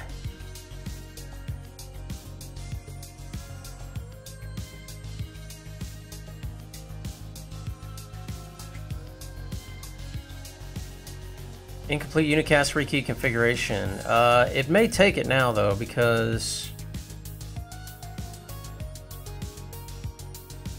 Oh, we don't have keys. Yeah, we gotta generate our keys.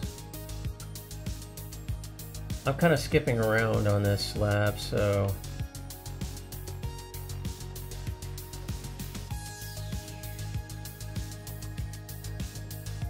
Yeah. Crypto... Oh, this under config? Crypto key generate RSA modulus H4 label RSA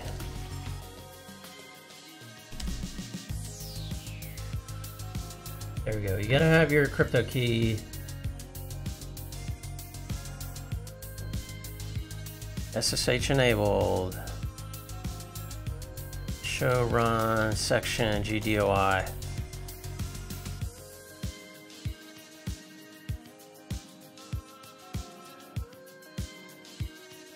Man, this song is like long.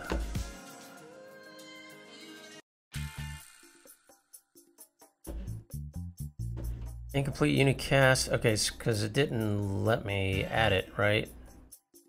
So let's go back in.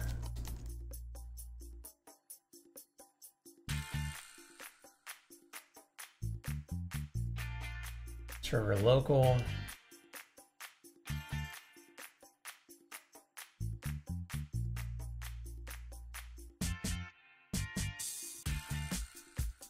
Rekey authentication. My pub key RSA RSA underscore keys. Now it likes it.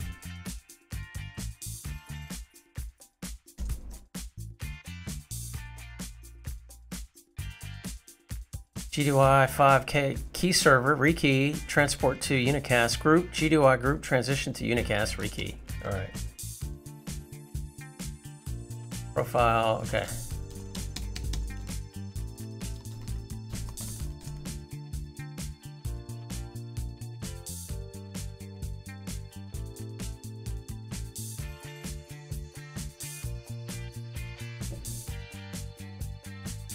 All right, it looks happy. So let's go to server number one. Uh, we also need to do crypto ISAKMP. Wait a second, do I need a SSH key on here too?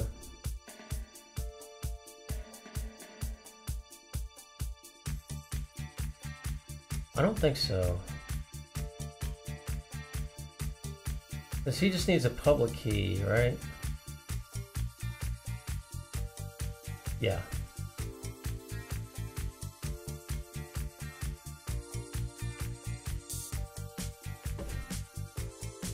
Crypto ISAKMP policy 10. Encryption AES. Authentication pre-share. Group 5. Crypto.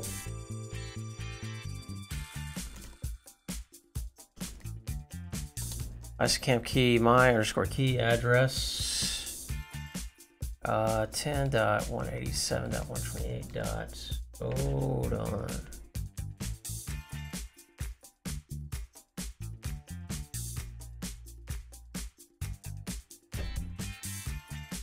Yeah, this is the IP of the key server. Uh, this would be 205, 204.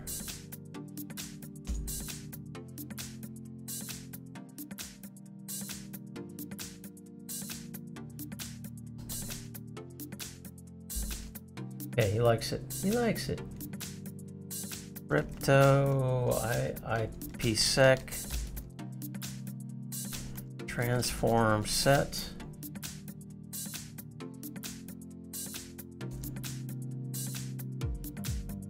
SPAS, yeah, SP SHA, HMAC, mode tunnel, and then crypto. I always tend to put the P before the Y. PDOI group. Identity number 123, server address.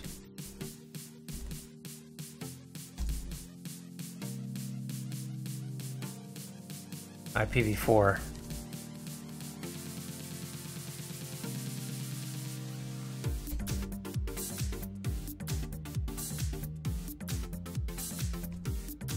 Okay, crypto map.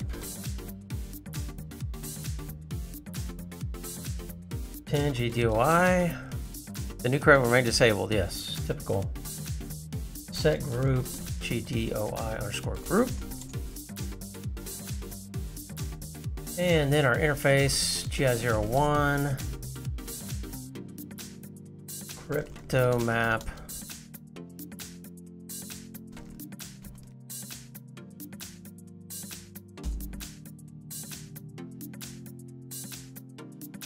Start registration to key server. Okay, that's good.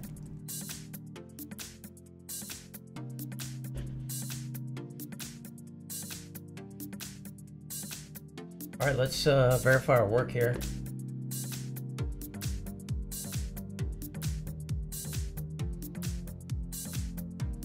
Um, on key server. Uh-oh. IKE message from failed its sanity check or is malformed. Uh oh, okay. Show crypto GDOI.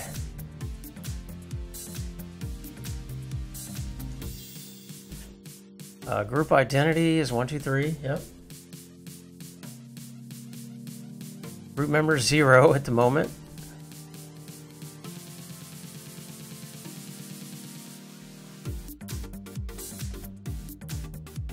SA rekey number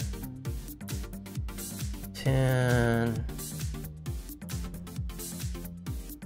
Lifetime, transmit period, retransmit attempts. ACL configured access ICMP. Huh, he doesn't like, he's not passing the sanity check here. Start registration.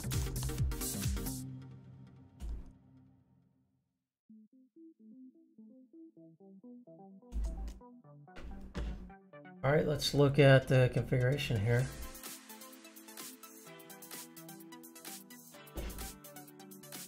Show run section crypto.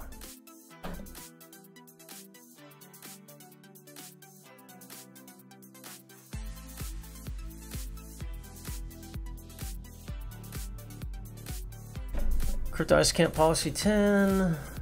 Encryption AES. Authentication pre share. Group 5. ISAKMP key. My key. Address 1027. It's definitely sending.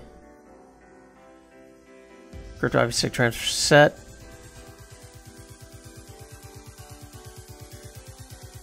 Mode tunnel. Crypto GDOI group. GDOI underscore group number 123, server address 10.187.255.254.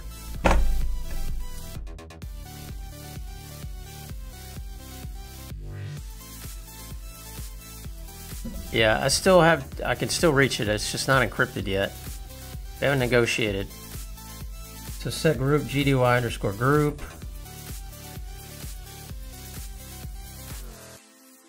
And crypto underscore map.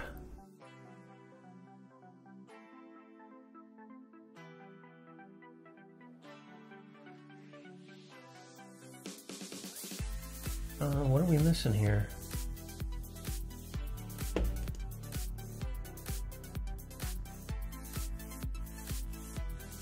Uh, let's look at the key server again.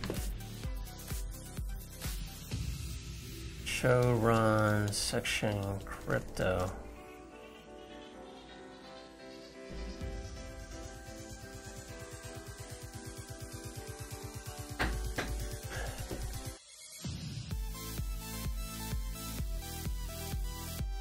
The camp policy 10, encryption AES, authentication for sugar 5, cryptized camp key, my underscore key.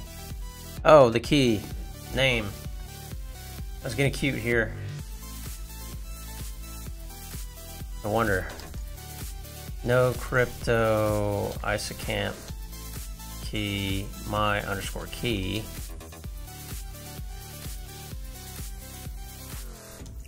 Crypto ISAKMP key Yahweh.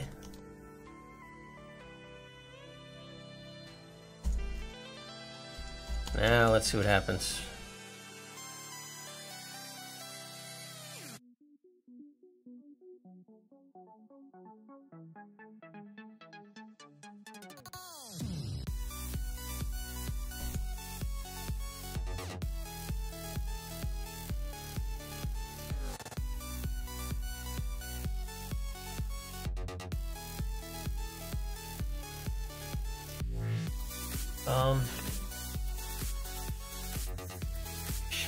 Crypto GDOI, right?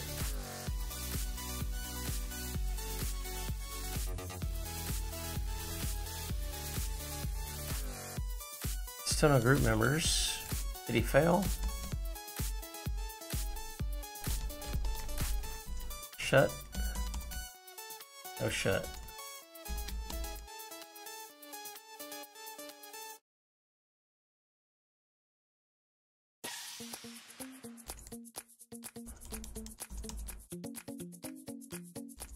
OSPF is up.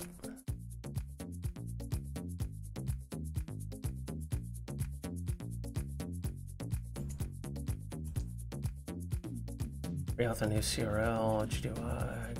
Oops.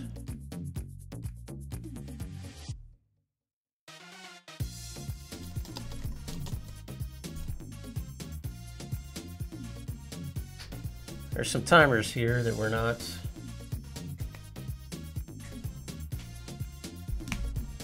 Drives Camp Kiyabe, address 10172524. That's right.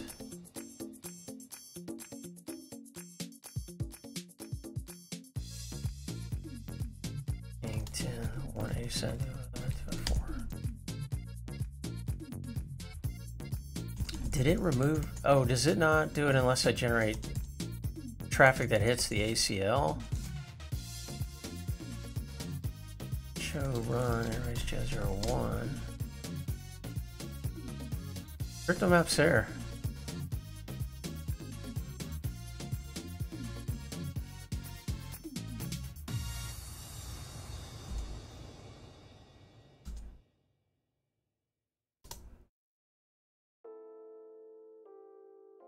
Zero group members. Yeah, I'm not seeing attempts anymore, I don't think.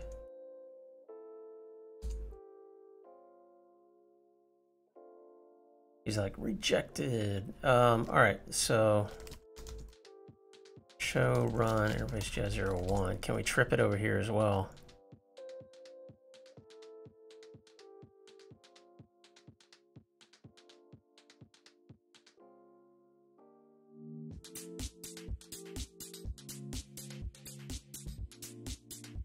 Rekey transmit period, 10 seconds. Transmit attempts 2.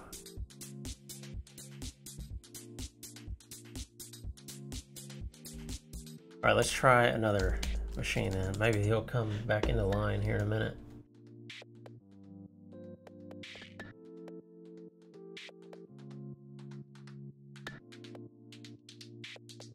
All right, group management uh, member number two.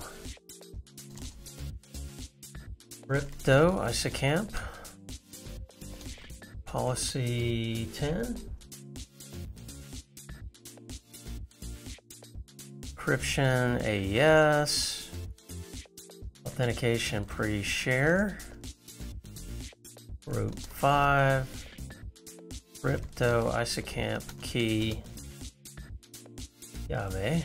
Address 10.127.205.254. Crypto IPsec transform set ESP AES, ESP SHA HMAC, mode tunnel,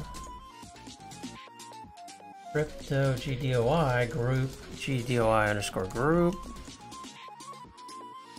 identity number 123, it's the same, server address IPv4, 10.127.25254, crypto map, crypto underscore map, 10 GDOI, set group, GDOI underscore group. And then on our interface, interface jazz 01, crypto map, applied.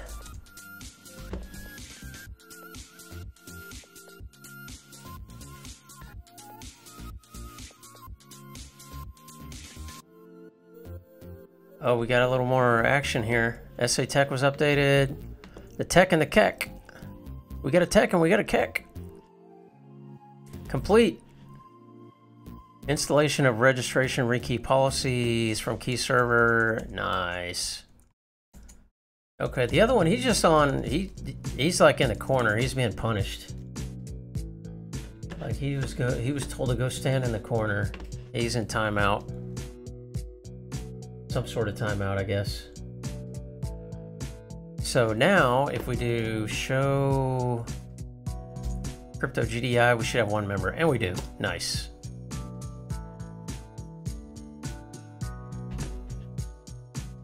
Uh, so let's look at some of this output here.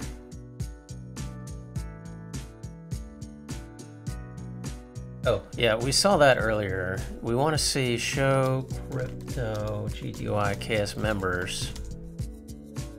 There we go. There's our first member. Is registered. The key server ID is this.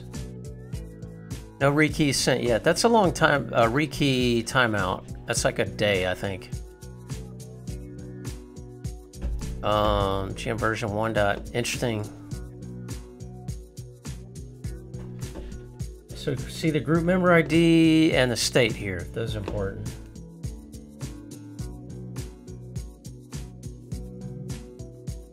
And then let's look at show crypto GDOI KS policy. Uh, key policy, we have a KEK and a TEK policy. Unicast, Encaps, Encaps Tunnel, Access List ICMP, Okay, so um, this policy was pushed out to this server. So what I'm assuming right now is that this server will not be able to ping um, 10 that it will be able to ping the server and possibly not the other routers 10.187.128.255.254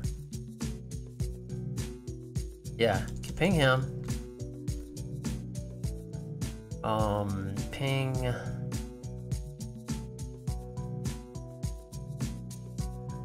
Well what was the policy here? The access list. It was just ICMP any.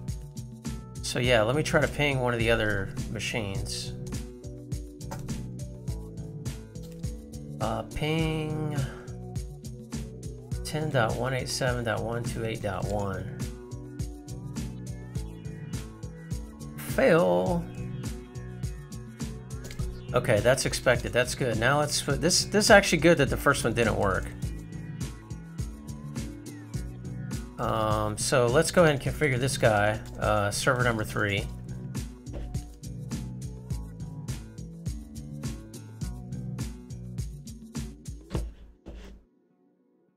Um, crypto ISAKMP policy. I used to be able to type this just all this ISAKMP stuff whenever I was doing uh, IPsec DMVPN, man. Authentication, pre-share, group five.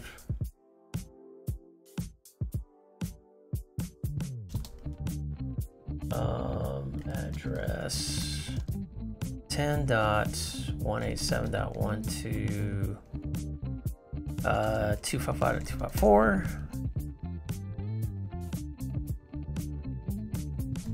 Before I attempt the practical lab exam, I will know all this by heart without even being able to think about it. I know you can use different transform sets, things like that. These seem to be the most common. Mode, tunnel,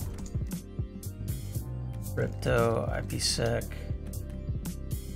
a crypto GDOI. Group, what was again? GDOI?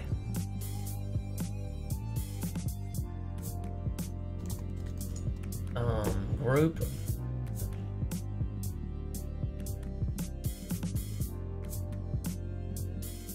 Domain of interpretation. Interesting. Uh, group GDOI underscore group.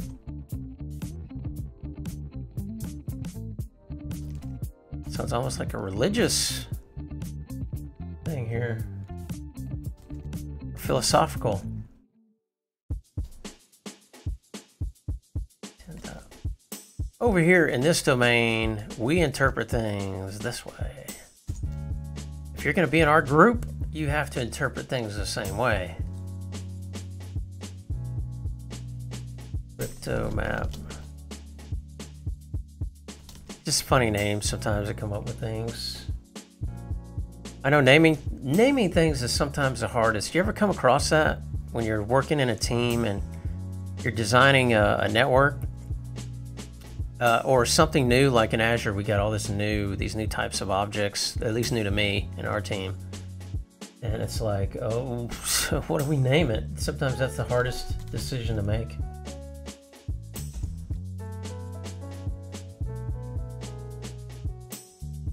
And sometimes spark the biggest like arguments about, you know, how we should stru- do the naming structure Interface zero one. Okay, we got a group set. Crypto map. Okay, we should register now. Boom, shakalaka. Success. That was quick, actually. So now if I ping 10.187.205.204,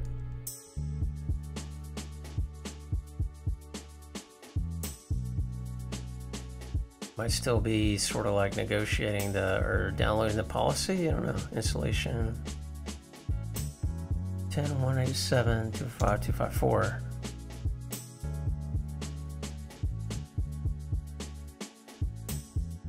Mm-hmm.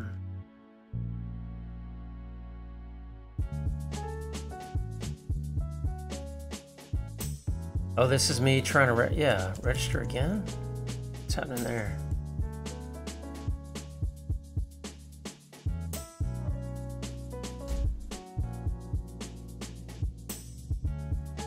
Uh, can he still ping him?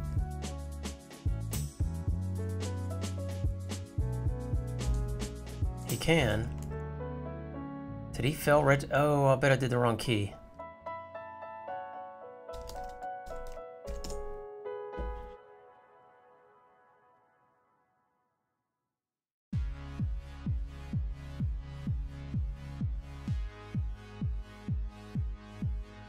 No, crypto ISAKMP key, Yami address 10, what he said to 4.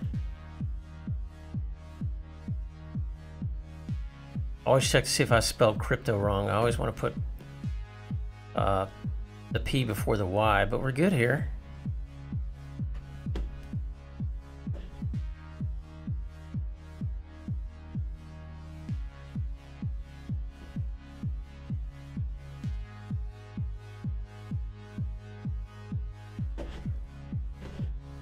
Interesting. All right, do we have another...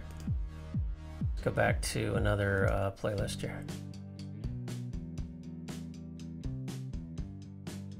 Huh. All right, so let's do... Uh-oh. Decaps receive Ten, uh, something's wrong here. Invalid SPI. Decaps received as invalid SPI for destination 10. Source address. Input interface. Interesting.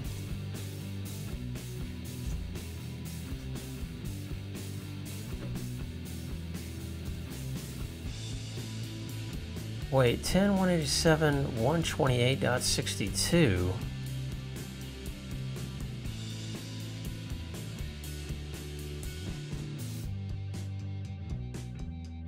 Uh, okay.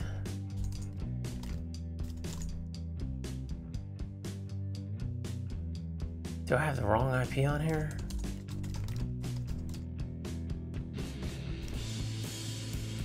Okay. I don't think that makes a difference, but...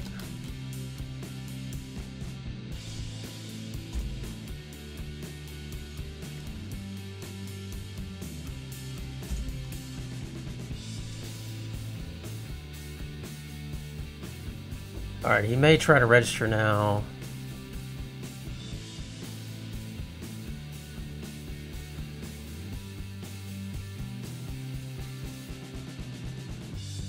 Success. Okay. 10 dot 187 dot 1 to uh, 255 dot 254.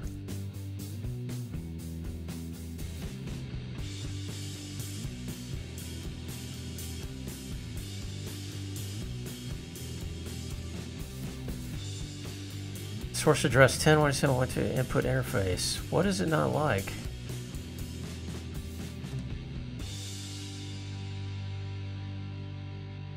All right, they're all registered.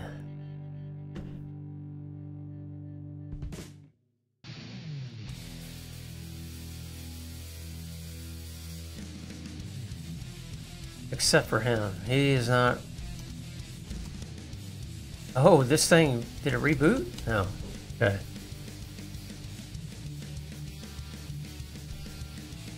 Um, show IP interface brief. That's right. 63 is dot 2.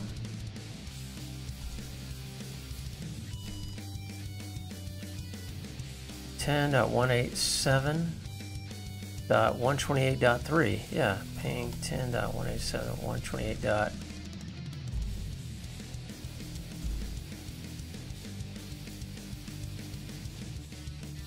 Yeah, this is the only one with encryption that's working.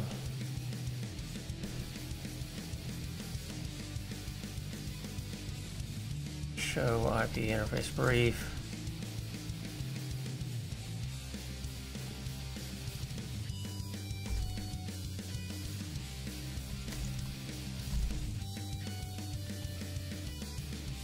All right, so we've got two that uh, one is encrypting, two that are encrypting, and two that are not. Interesting.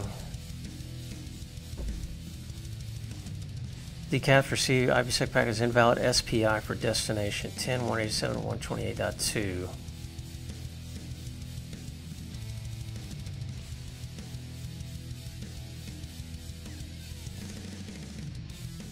All right, let's compare configurations here.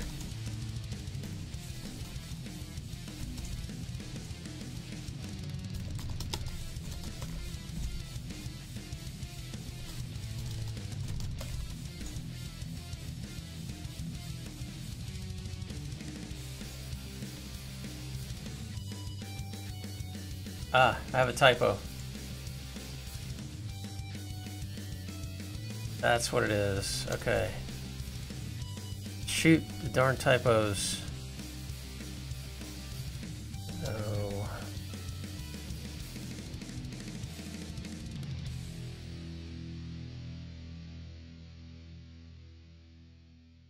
Always the typos. 187. Probably did the same on this one. No, he looks okay. 10, 187.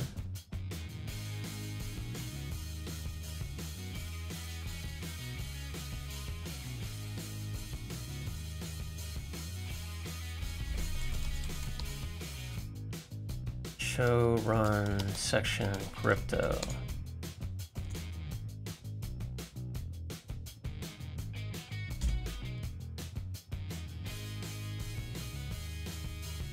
Ten, one eight seven, two five five, two five four. Ah. Crypto GDOI group. Server address. Ah. IPv4 10.187.25254. Okay, you should register now.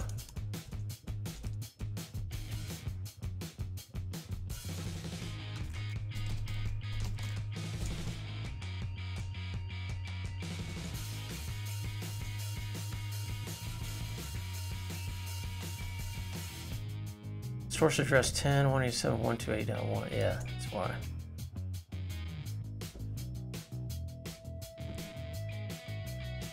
Ten one eight seven two five two four ten one eight seven two five two five four.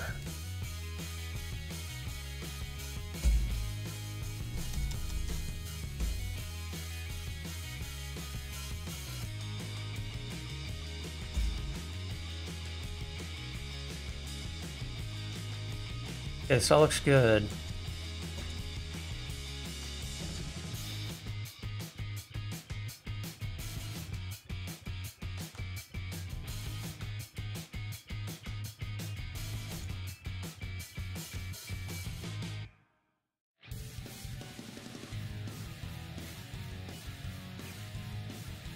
Something looks different between these two.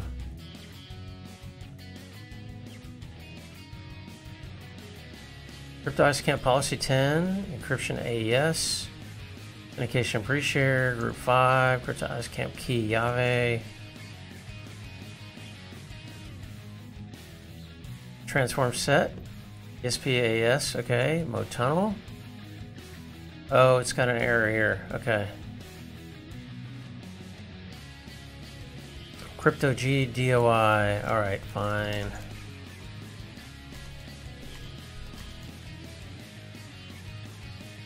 Identity one two three. I thought I put you in there before.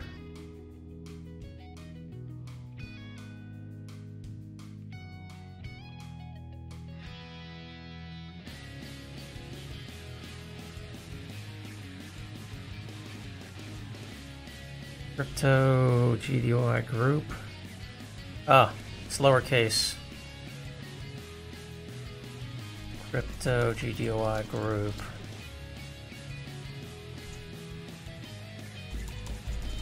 Case sensitive, apparently.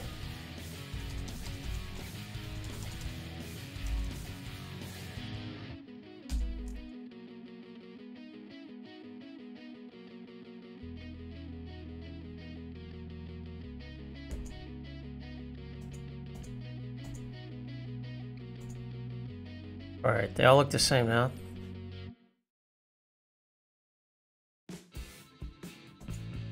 Oh wait, this one is wrong.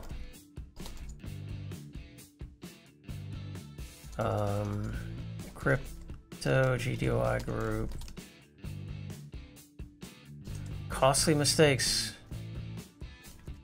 in terms of time.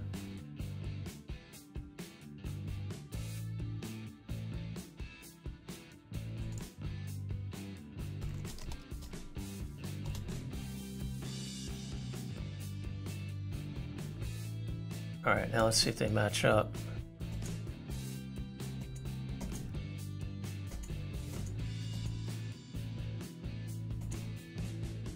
This course is not in the lab. This is not part of the um,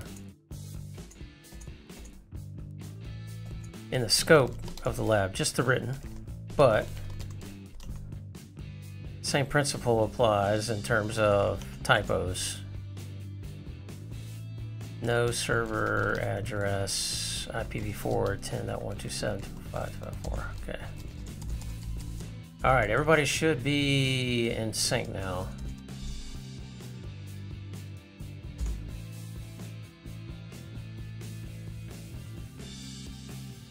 Registered, registered, registered. Nice. All right, let's see if that's true. Ping 10.187.128.2.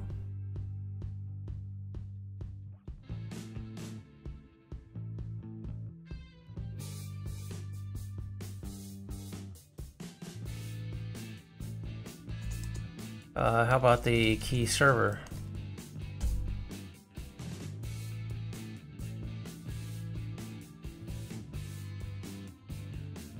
Invalid SPI, huh? Clear crypto SA. Let's clear them all. Clear crypto SA. Clear crypto SA.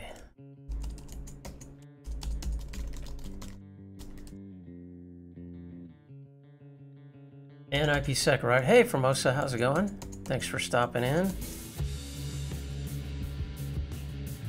Let's do that as well. Clear crypto, IPsec SA.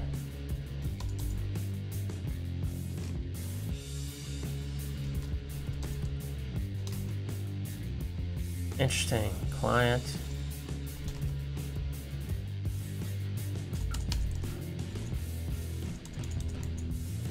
Okay, so we have successful registration now.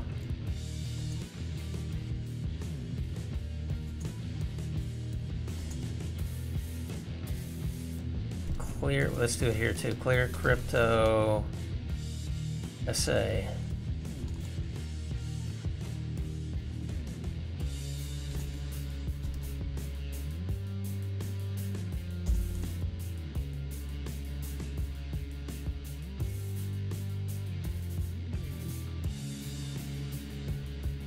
Invalid SPI for destination 10.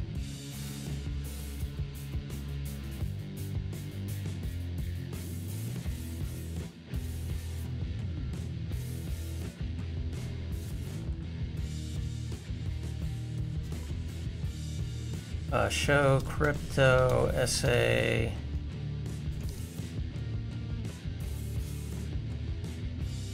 GDOI.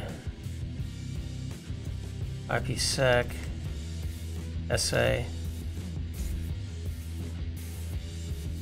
Uh, clear crypto session.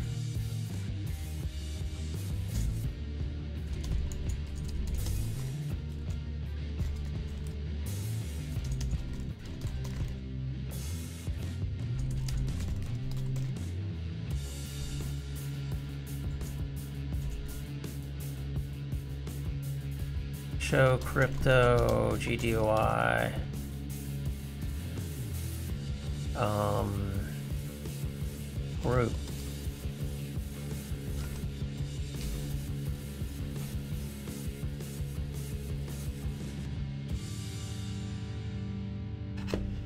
GDOI KS.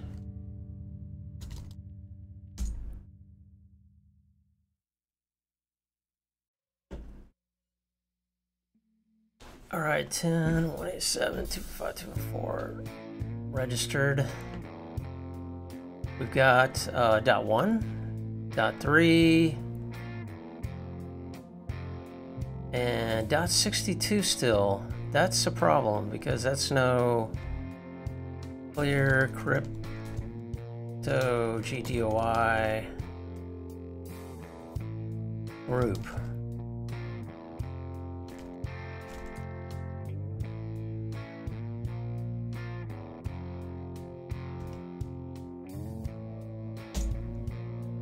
Key server will destroy. It will destroy created and downloaded policies. That's exactly what I want you to do. Hold on, I want to capture that. It's kind of a cool.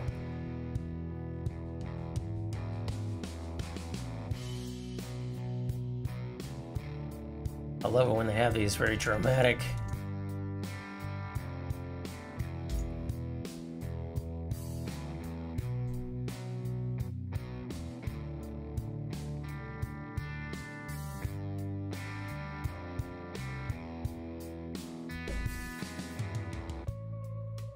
Destroy. will be destroyed. Yes.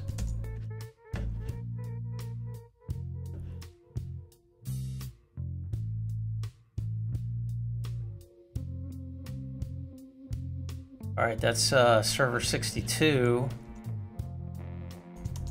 Maybe he's the only one truly registered at this point. No one yet. Okay. It looks like he's attempting to re-register. He's attempting to register.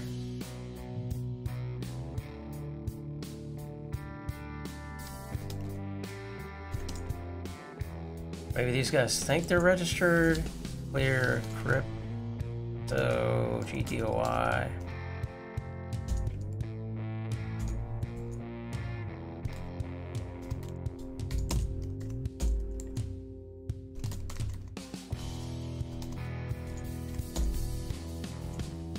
Now let's try to send some traffic.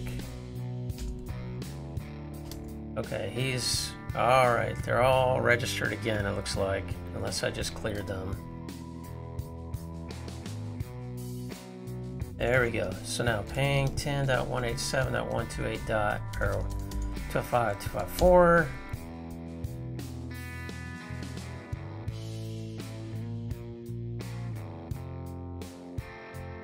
see if we get an error here. Still getting an error message. Source address 1027 input interface. Um, all right, let me check the.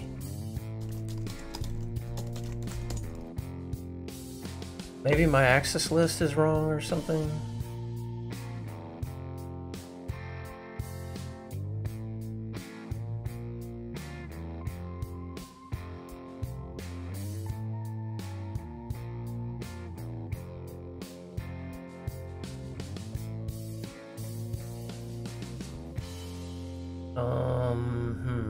Server.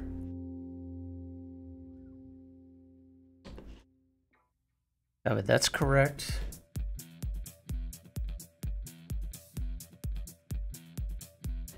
Ah. Show, I don't think I ever created my access list, or if I did, no?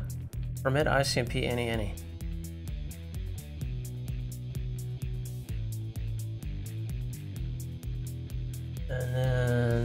Show crypt.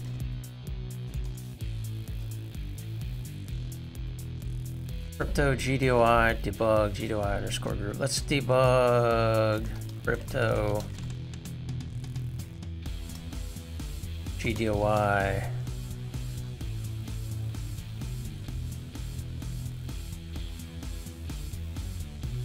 Uh, let's just do all features. Let's do, um, interesting. Terse, packet, event, error, detail, all levels. Let's do error to start. This is kind of like debugging uh, IPsec. There's like these different levels of debugging you can do. They can get very verbose. Debug crypto, GDOI, um, all features, error.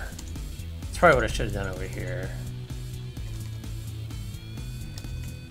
Okay, that's what I did here too. All right. So let's try to ping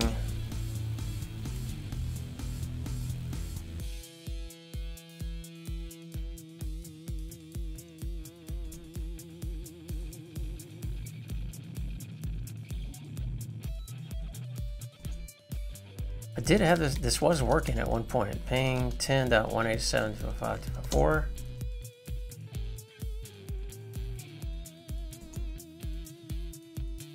Crypto for received packet invalid SPI. Decaps received IPsec packet as invalid SPI. Can you show IP interface? Pretty sure, man.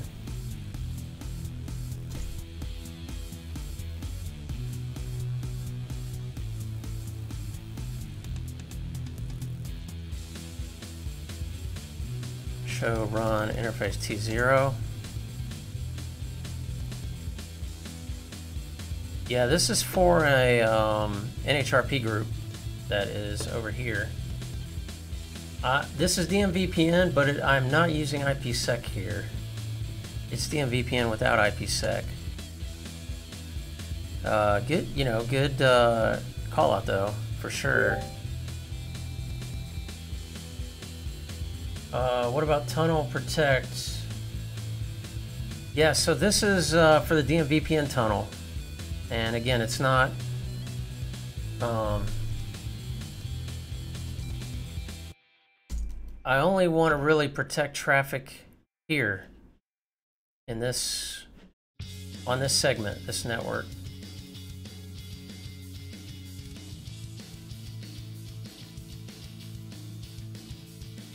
Um,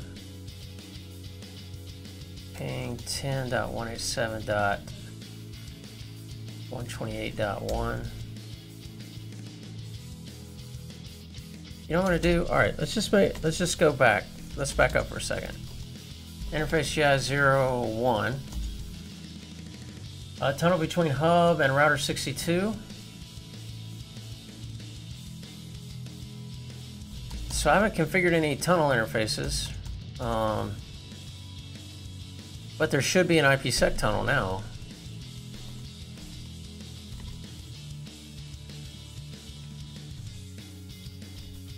Let's look at them. Yeah. So I don't, I'm new to GDOI. I'm very new to this.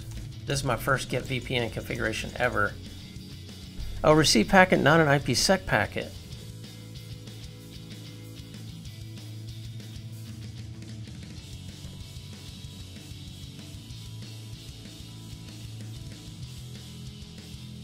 Um, hmm. So it's expecting. So it has. It looks like. Oh, the source. What are What are we using for the source? Let me check over here in the example.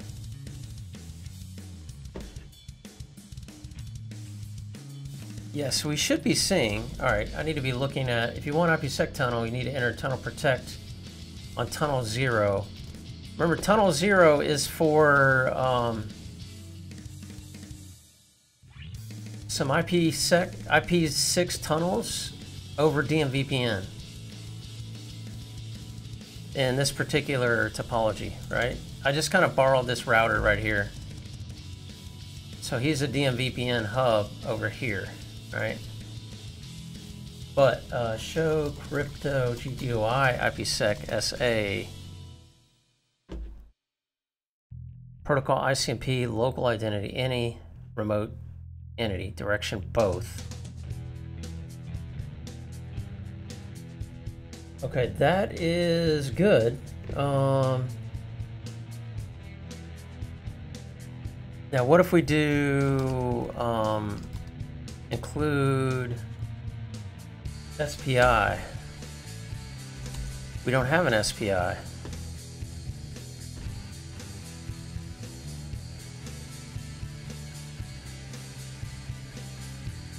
Oh, show crypto. Make sure I have the uh, this window up so I can see any good uh, input here.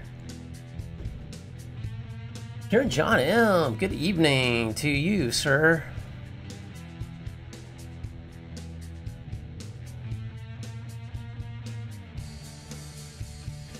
Oh, here we go. All right, this is what I'm used to.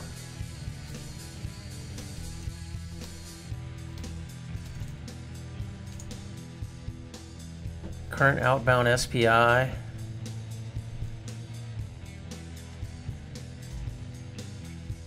And I have I have not used this in a while, folks. It has been a while because um,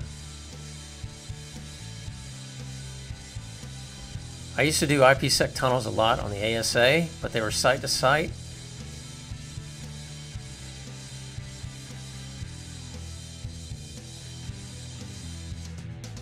Okay, so local identity, remote identity. Uh, current peer, port 848. Uh, packets encapsulated, packets encrypted.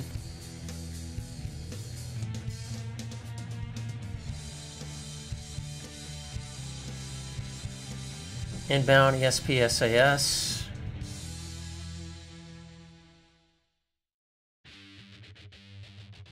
Active active, uh, outbound ESP SAS.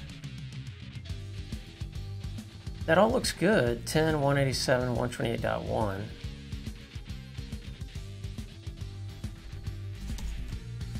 Ten dot one eight seven dot two five five dot two five four source. Jazz 01. No encrypt, decrypt packets on IPsec.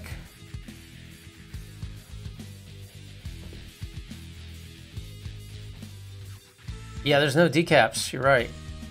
It's not. It's like it's not matching on the inbound SPI, right?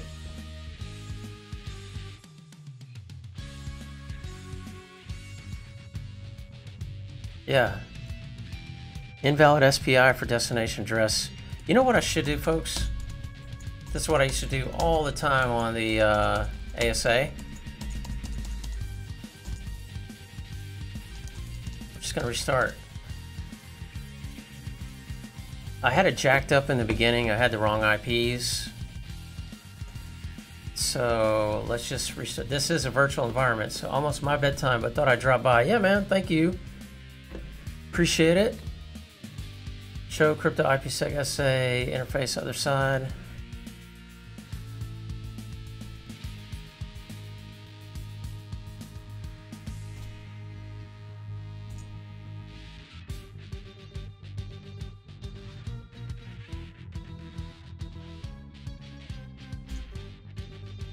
No essays found.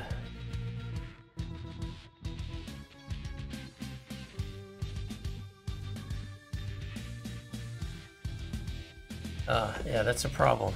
Let's uh, just reboot this bad boy.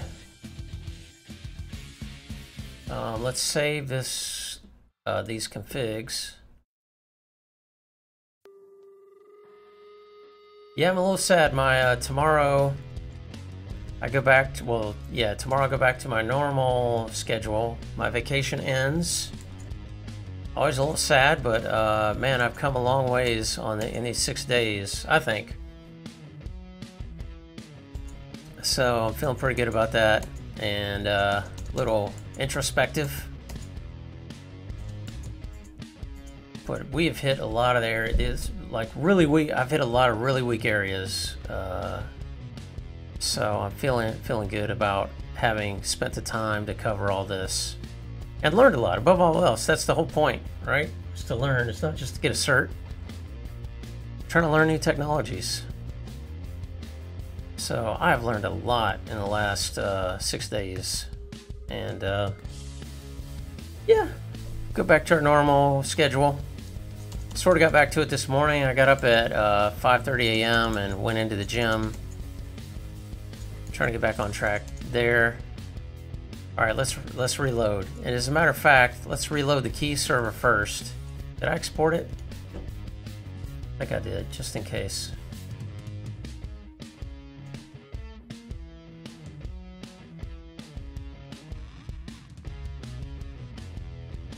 Yeah, I did.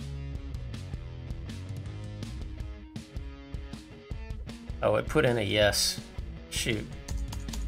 Yeah, when you do the export config, it does something unusual here.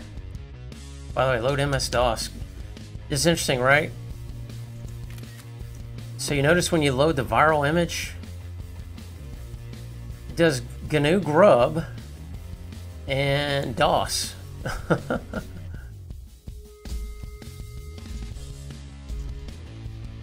let's reload these bad boys.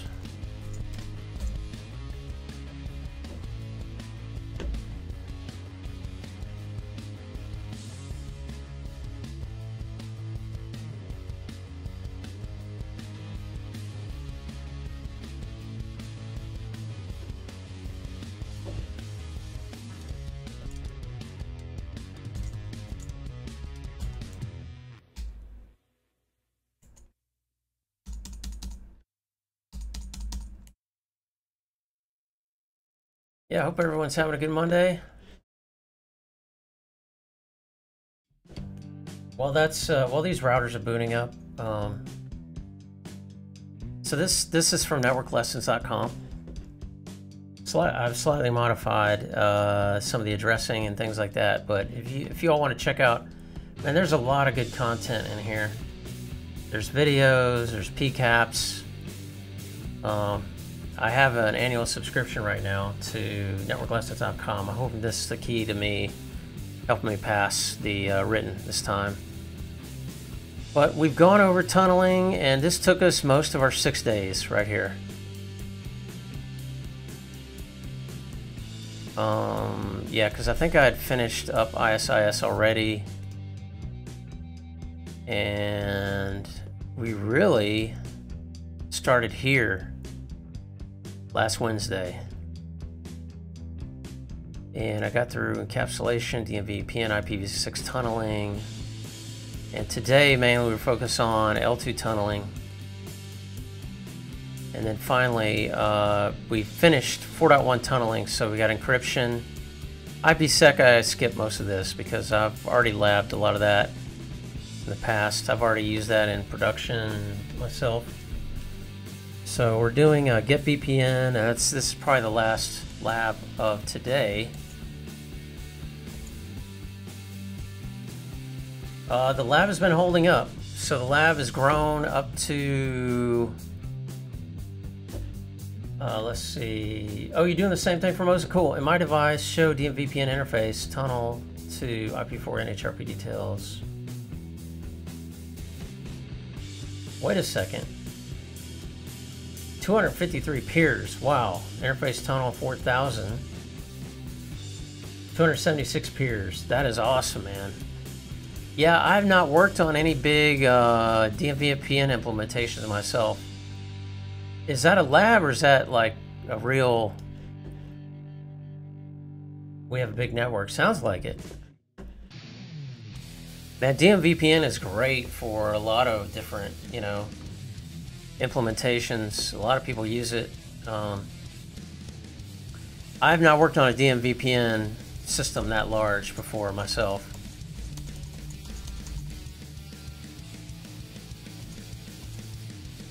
I would be curious how many I could do DMVPN in this on this uh, virtual machine. Because right now I've got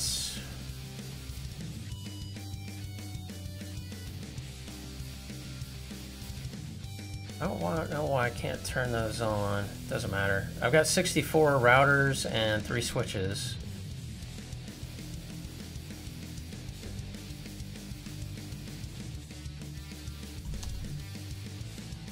That's cool though.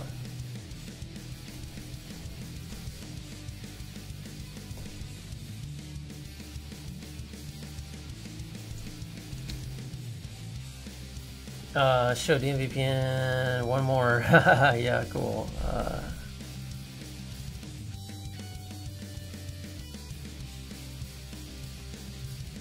wow, yeah, that's a lot.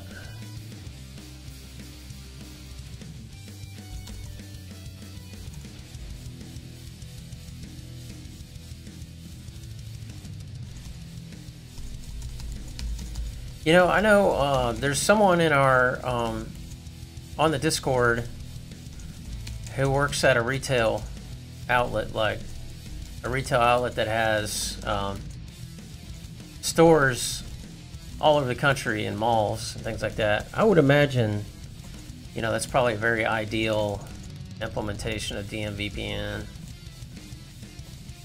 Keep your costs down, just, you know, basic internet to the sites. And using DMVPN. Alright, so these routers have come up. Um, show run section crypto.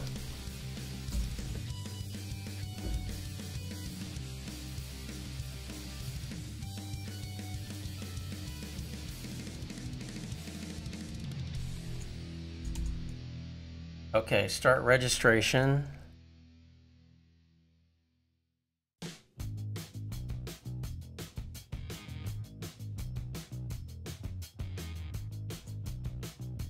Guys, I'm probably gonna kill the music because uh, I need some new playlists. I've heard these playlists now about three times today each, so I'm just gonna kill those.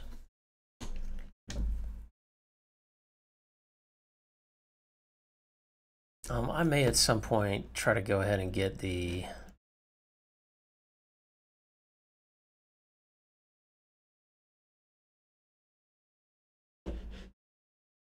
We can kill this desktop.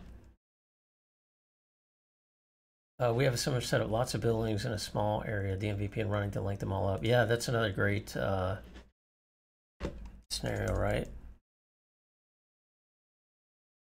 Okay, so this looks good.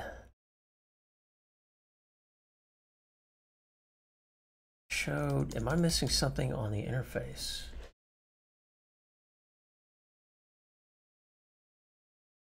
Yeah, FlexVPN I hear is a great option.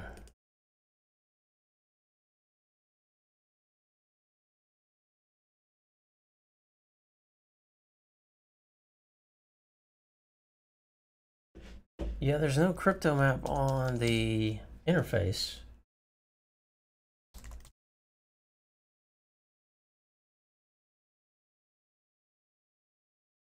Oh yeah, this is, oftentimes they come back up, uh, shut down.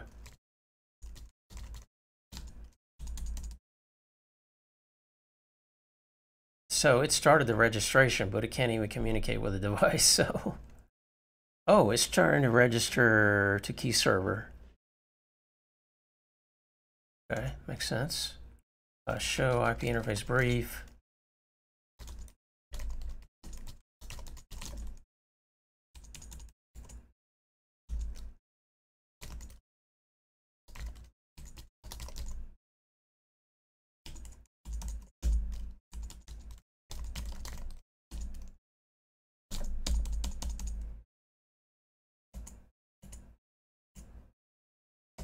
Okay, coming up. Coming right up. Show run section crypto.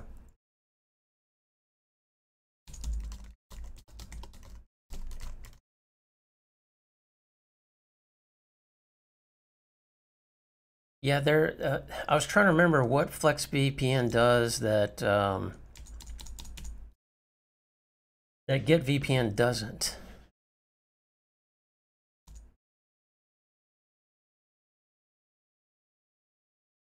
Okay, we always get this. Registration complete, install policy success.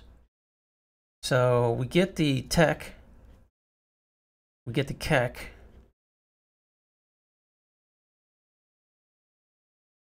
OSPF adjacency, that's good. Registration to key server, complete. Policies installed. There are quite a few. Oh yeah?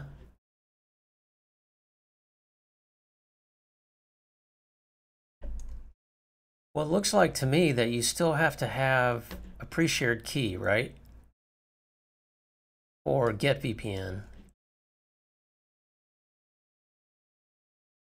Crypto key, which, I mean, makes sense. You could use your certificate too, I'm sure, right?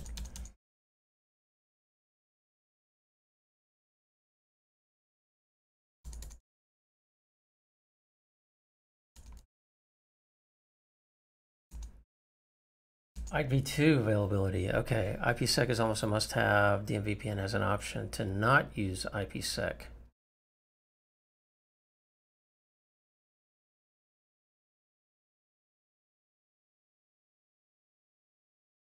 Are you talking about for phase one?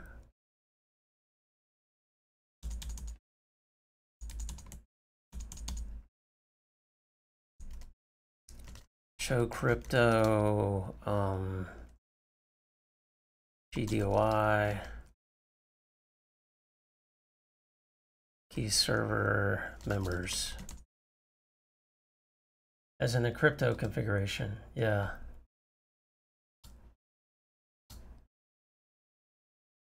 Okay, these these folks are registered. Rekeys, we don't expect any rekeys at this stage.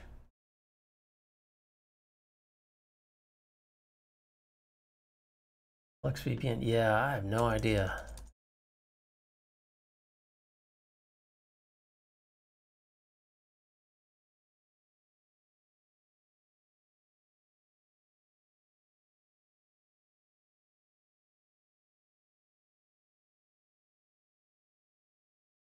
I think I understood that, um, you know, I'd watched a video on this by Brian McGahan, INE uh, routing and switching written video series. And I seem to remember something about whenever you want to change the key in DMVPN with IPsec, for example, um, it's not easy. Let's say you suspected that like your pre-shared key got out, right? Um, it seemed like to me, if I remember, that making the transition would mean downtime in DMVPN with IPsec, whereas with GetVPN, you might be able to avoid downtime. Uh, and yeah, you can use search too. That could be wrong. I should look that up though, because oftentimes written exam questions are about how this or that is different. And I wonder, isn't it on the revised blueprint? Seems like I may have seen it on there. Um, yeah, no, okay. Yeah, describe get VPN.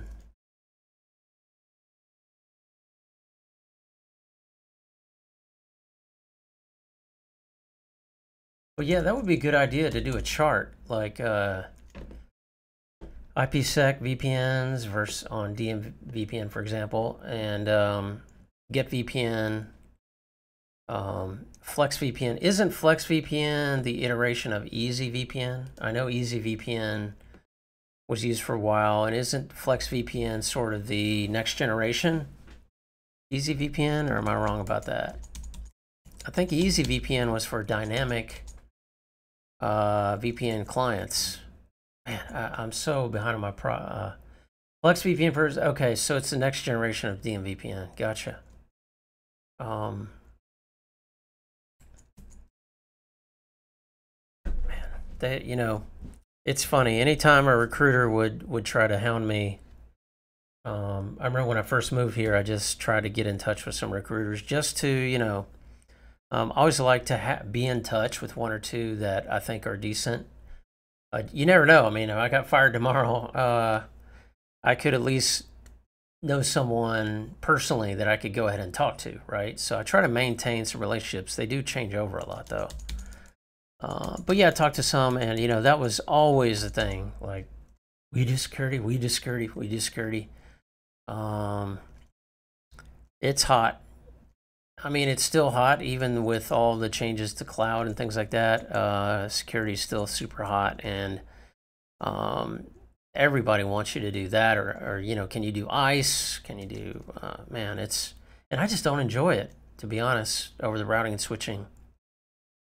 Um, I do enjoy like working with cert. I, I work on the on the. Uh, I was still sort of am an F5 uh, SME and I had to work a lot with uh, SSL standards and um, things like that. So that's where I started to get a little more into SSL security and H- HTTPS and handshaking and um, so in Azure, let me tell you, I work in Azure a lot um, now. It's my full time job, and the some of the biggest struggles we have had is with some of the Azure native Azure services that you know pretty much. I mean, you don't have to do HTTP on everything, but we do. I mean, we do HTTPS, I should say, and managing those certificates um, with some of those devices is is always a challenge. Uh, recruiters annoy me a little. They tend to go for people who say the buzzwords, yes. End up getting scenarios who does everything by the book and doesn't have much well-rounded experience. So true, man. Recruiters annoy the hell out of me. Excuse me for interrupting. Hey, not an interruption at all, Jimmy. Good to see you, Jimmy Six Seven today uh, in the chat. Appreciate it. Uh, appreciate you chiming in. But yeah, they do. It's hard to find a good recruiter. I have found a few in my career there's actually a good one I know in Orlando, and uh, he does tend to annoy. But um, what I what I tend to do is I give them like a Google Voice um, for my phone number. Never give never give out your real phone number.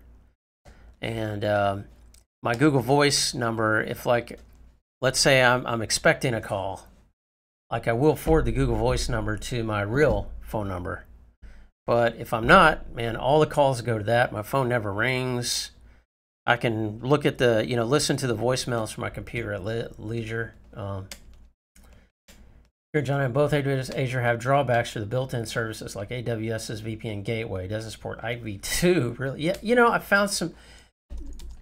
The word that comes to mind there is maturity. So yeah, they're they're continuing to mature their solutions. Is the politically is what the salespeople would say. But yeah, uh, there's a lot of areas like that, networking and security, that they um, they're they're far behind some of the things that we're used to on premise, right? Um, all right, let's see what we've got here now. Let's let's just do a ping. I'm just gonna ping 10.187. Let's get our topology back see if we can wrap this lab up because I'm ready to like take a break, chill out a little bit this evening. I don't know what I'm gonna do. I'm probably gonna just study some more, but uh, study on the couch with the with the uh, tablet and just you know chill before work tomorrow. Get to bed early. Um, 10.187.25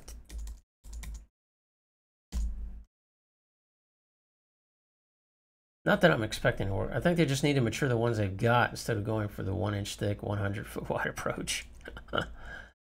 yeah, a lot of people would agree with that. Okay, so we have encaps, no decaps. So it's like, it's almost like, don't we need, all right, so over here,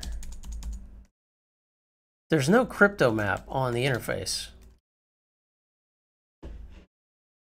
And I'm, I mean, this is a configuration, the solution to the lab.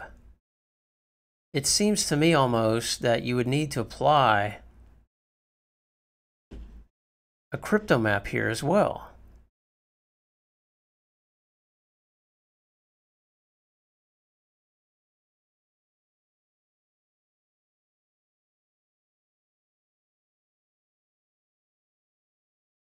Yeah, this doesn't have a crypto map though, does it? Doesn't have a traditional crypto map.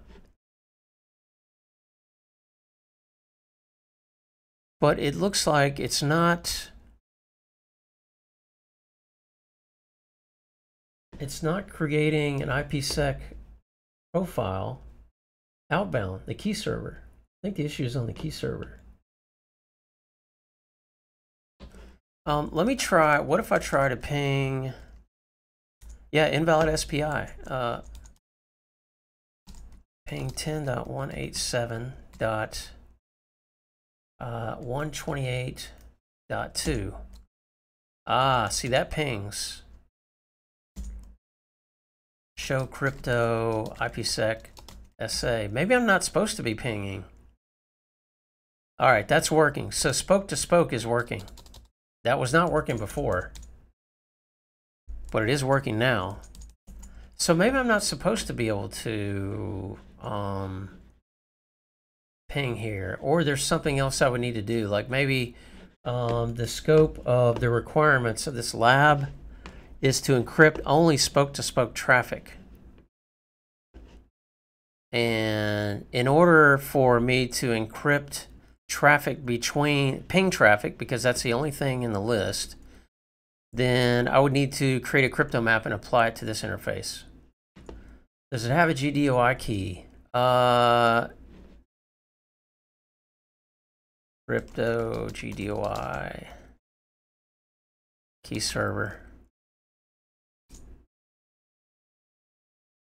Uh, total well, this is not a key server. Uh, GDOI.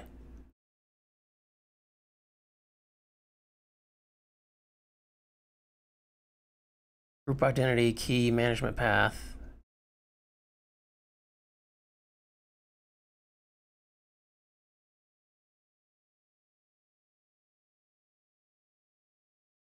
Yeah, it's, it's registered. Uh, someone's at the door. One moment.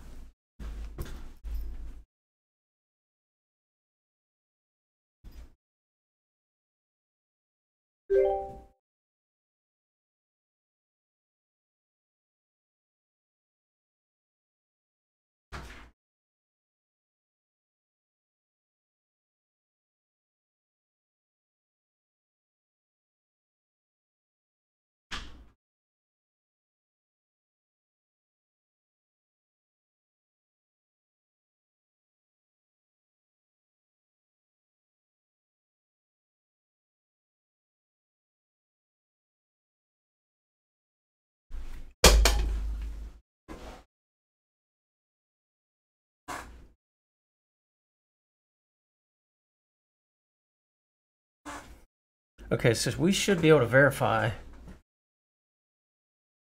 All right, so Formosa, um, this is not running DMVPN as far as I know. Show DMVPN interface spoke. Yeah, we're not running DMVPN. Uh,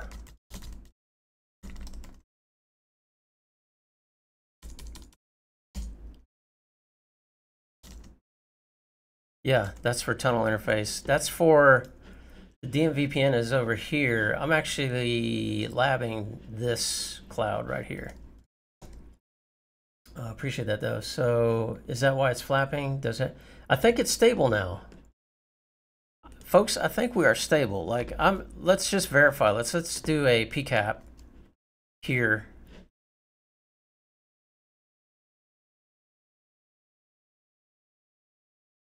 and GI01. Like I haven't read through all the material in the lab. I'm going to do that later tonight, but um, I'm pretty sure that the scope of the lab is just to encrypt traffic between um,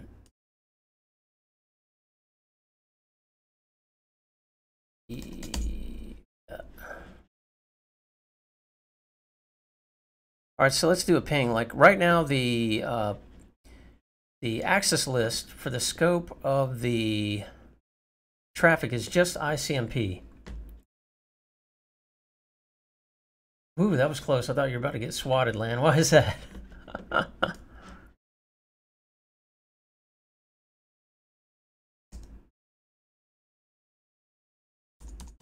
so if we do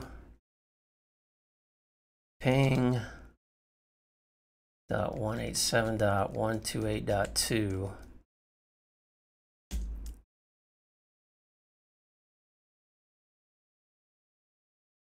Yeah, check it out. See, it is encrypting traffic between the spokes. Networking is a dark art. Yes, indeed. All right, so that's working. So, sequence numbers. Yeah, that's fine. Well, it's we're good here, folks. We are good. Um, show IP route OSPF. Yeah. So now I should be able to ping the loopbacks 223 to 5. Yeah. Capsulating security payload. Guess I've been hanging too long for the other Discords. Amazing. Yeah, it works. Uh, you know, so this is what I think. This is just me. It's my opinion. We can try it. It's a lab. We can break whatever we want. Um, oh, you know what I want to capture? And because I've tried to, you know how as a kid for biology, they'd send you out with a bunch of, you know, um, uh, glass slides, and you had to go collect all these different um, specimens, right? So part of this labbing uh, that I try to do is always collect a specimen. So this is a good specimen, and in specimen terms of you know Wireshark captures. But I want to capture the key registration process. So I want to kind of start that again.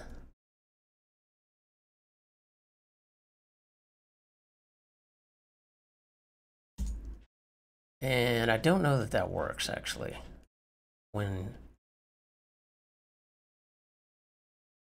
it seems to, and that's the thing. Um, one thing I'm not sure about is I know with IPsec, you can build your tunnel configuration all day long, but if you don't have any traffic, interesting traffic, right? Um, attempting to traverse the IPsec tunnel nothing's going to happen. So, MITM, man in the middle time, yes. Is there a song, man in the middle? Is there a song for that? Uh, it seems to have. I'm thinking Michael Jackson, something. Could be could be wrong there. All right, so let's let's do a recapture.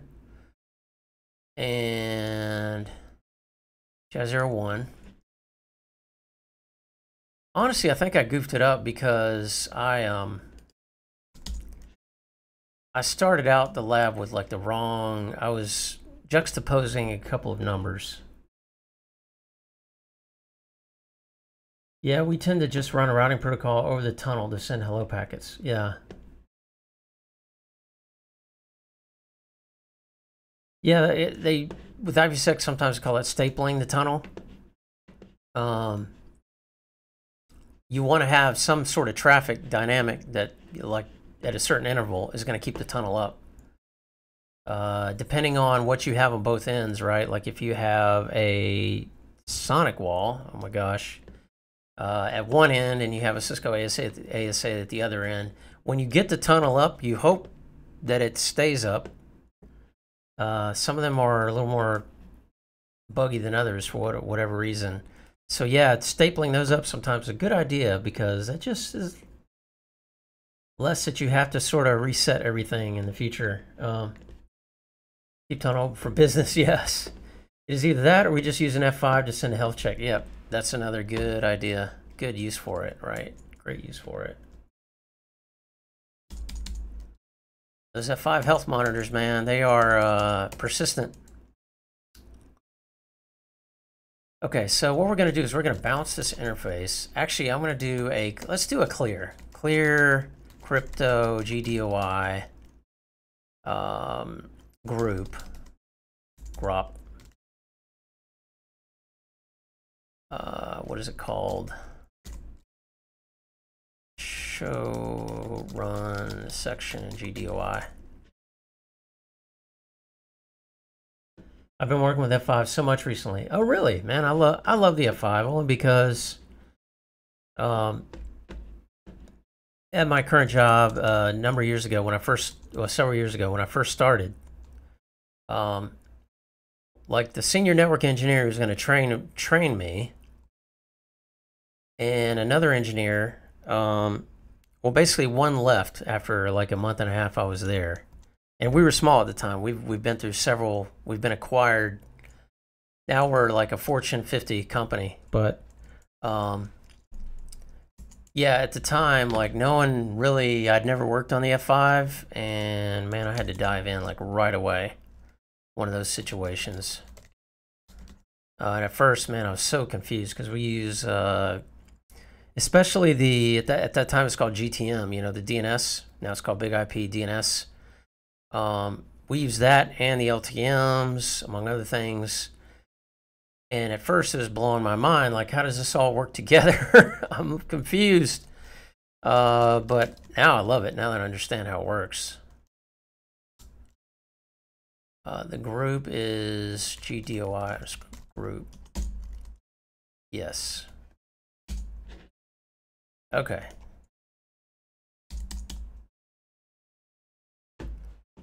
Uh, good thing to have on the CV. Yes, everyone wants, and I've got a lot of annoying annoyances from recruiters on that too. Dynamic DNS, yeah, I've ASM too. Yes, so the ASM is cool. Um, you can do the WAF, you know, on the ASM, which everybody, you know, you gotta have WAF these days.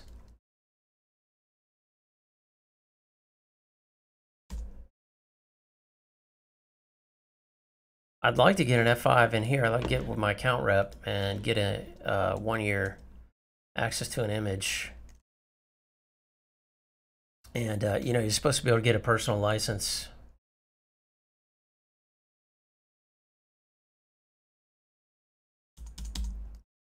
Not that I need to, I just want to because it's I'm geeky and, you know, why not? Um, Let's see here. Okay, so now show crypto GDOI KS members.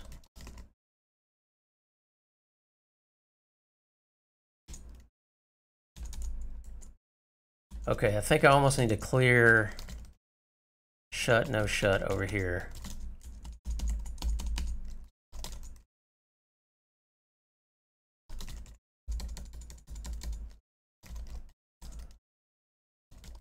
Yeah, I thought about getting it as well, uh, Kieran John M, about the F5 201 cert. I've been to this, uh, a number of the classes, a few, well, two maybe. Um, I just haven't really pursued it. It's not, I'm in enterprise and it's not really a big deal for them that I get the cert. Um,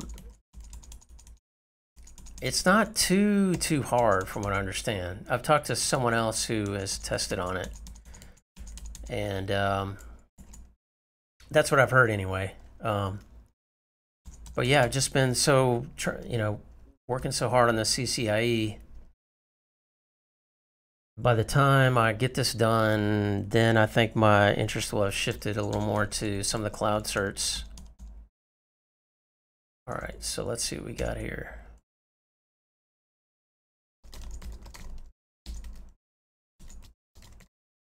Yeah, this process does not really reset very gracefully, at least from what I can tell. Actually, we did this already. It just took a minute. It just took a minute. That's cool. We'll give it a minute. And we should have here, I should have some traffic though on the Get VPN. I wonder what it's going to look like. Like what protocol?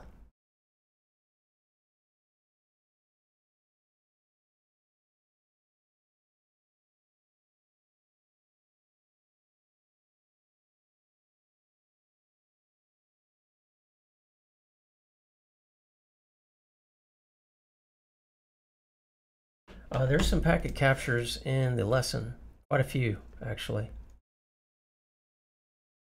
At least it, I had the impression.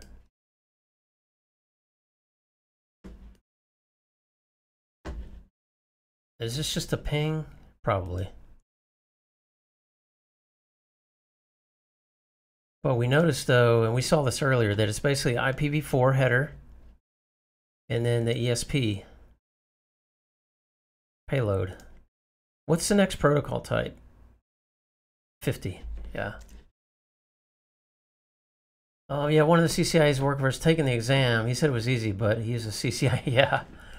Uh, anything compared to once you get through the CCIE is probably going to seem somewhat easy, I would imagine. All right, so we probably don't. Do we have any? As it try to check into the key server, we got this thing again where we need to, I think, actually generate some traffic. Uh, this thing spawns like eight windows. The uh, I'm not complaining though. I'm glad I have it. I'm glad I have the wrapper for the Mac. It, it works. It works well. It gets the job done. And on the Mac, at system level operations, that's saying a lot. All right, so ping 10.187.128.2 show crypto IPsec SA. Okay, we've got, uh, so we must be registered by now. Um, I did not, however, see, anyway, yet the registration process. Uh, let's look for destination. Key destination.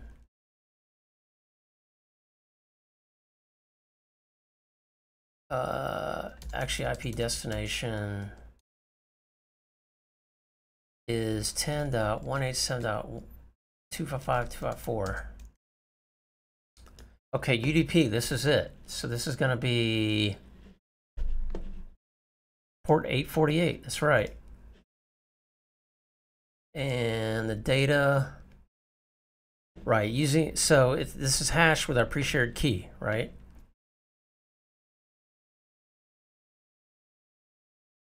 So there's, uh, and then we should have a response. Ah, put that back. IP source 10.187.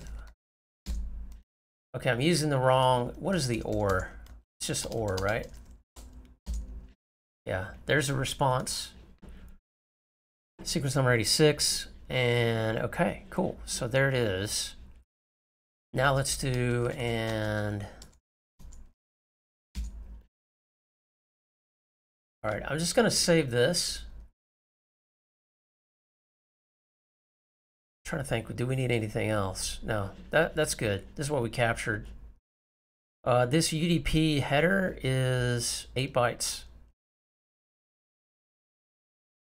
And then the payload is 92 bytes. So let's save this.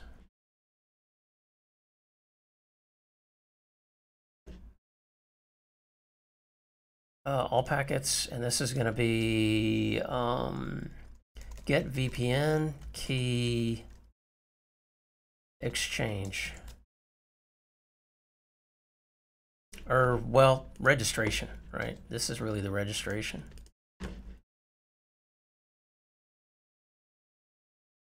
Where did I save that? Okay, it's here.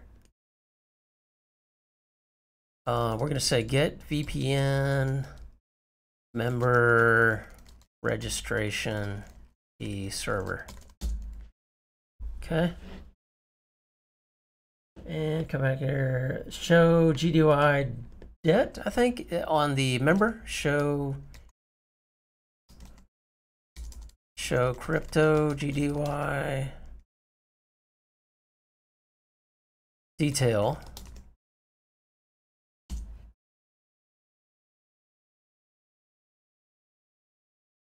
Oh yeah, this is good stuff. I think I used it without the detail earlier. So group server list, because you can have multiple, right? Uh, ACL received from the key server. This is the cool part.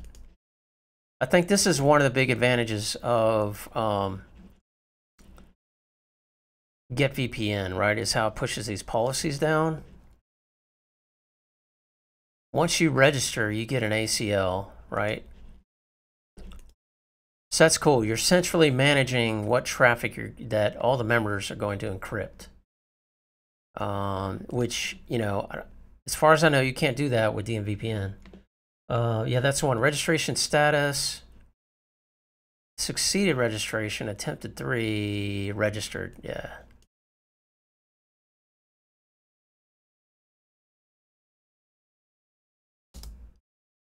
Um, and then these are a lot of the detail ciphers, NANASP.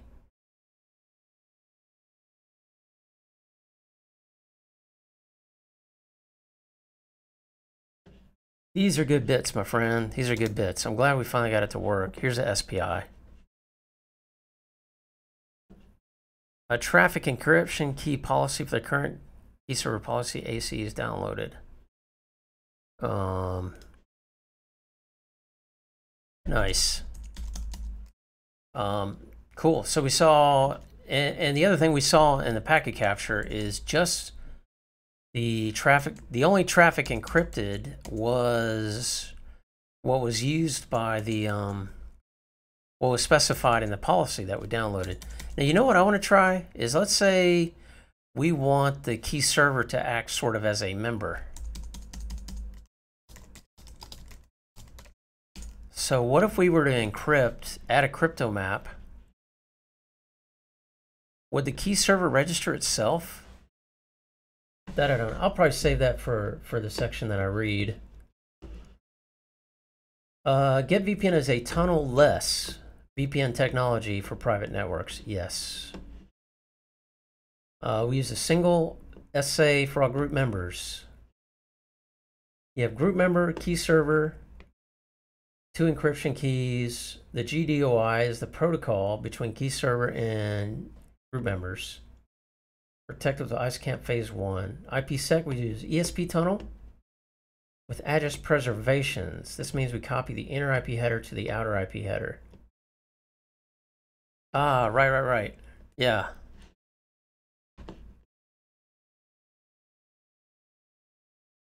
Because we're using tunnel mode, right? Teams register and authenticate with the key server and receive IPsec and security policy. All GIPs have the same IPsec security association, so they can encrypt. Ah, okay, that's what makes it simple, right? Oh man, you gotta get early. Uh, thanks for hanging out, Kieran John. Enjoyed uh, enjoyed the good bits, and you have a great, great uh, sleep. And we shall see you tomorrow. I will not be streaming tomorrow because I'm going to be meeting up in the evening with uh, Show IP Interface Brief. Actually, we're going to meet here in Orlando. But uh, yeah, talk to you soon, my friend. Uh, enjoy, enjoyed uh, chewing the fat. All right, folks. Well, that I think what we're going to do is we're going to save this config so we can always come back and refer to it.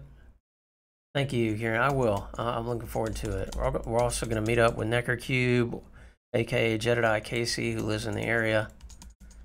Um, so it should be fun. Should be fun. All right, we're going to save this off, and that way we can come back anytime uh, to play with this.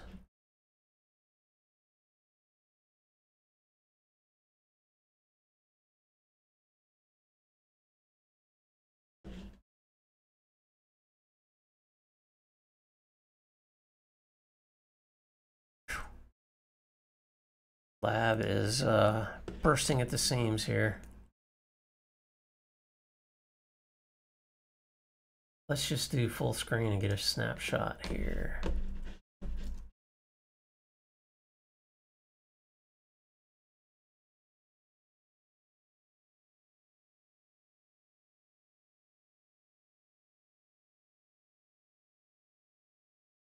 Okay, R63, we'll take care of that here in a second.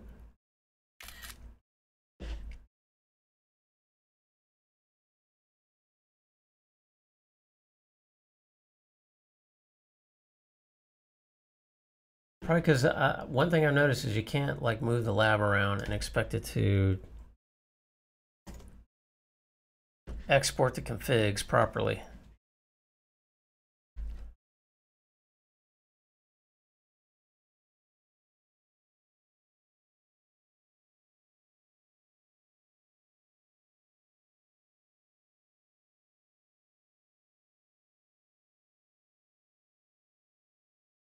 Okay, 63 exported.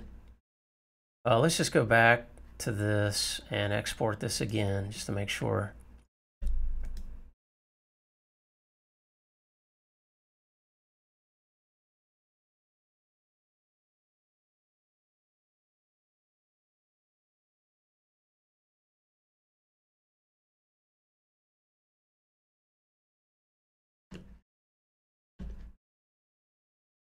While that's going as well, let's pull up the uh, flashcards for GetVPN.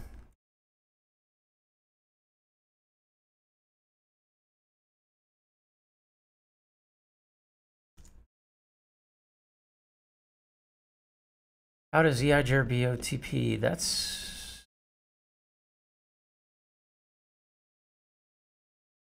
Interesting. Okay. DMVPN uses multi-point multicast GRE to encapsulate both data and control plane traffic. Whereas OTP uses Lisp UDP-based encapsulation for the data plane while running EIGRP natively without additional encapsulation. Uh, this means no tunnel interfaces are required for OTP, right?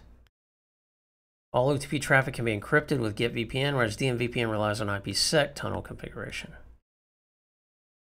DMVPN relies on NHRP for mappings, whereas OTP uses EIGRP for the mapping, and no other control plane protocol is required. Yeah, I hope to lab over the top protocol before the exam. How is encryption performed differently between DMVPN and EIGRP OTP? Yeah.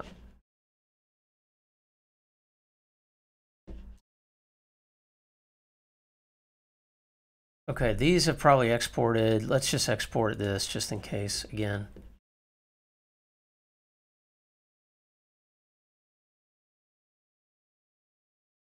And let's just take a little uh, inventory of our lab here. Once that finishes. Let's just let's just check in with our lab here. Let's see how the lab's doing. Let's do a little health check. F40 failed to export. Okay.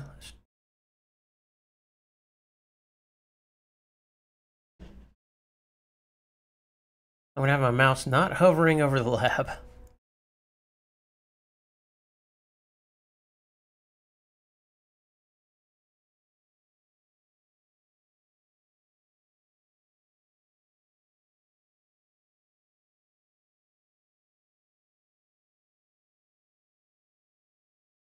Okay, exported. Good.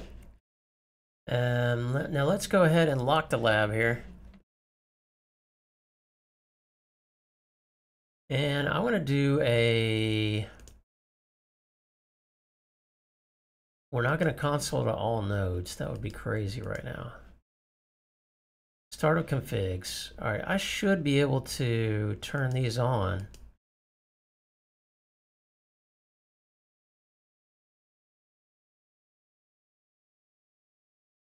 Um, H61, that's interesting. And H64.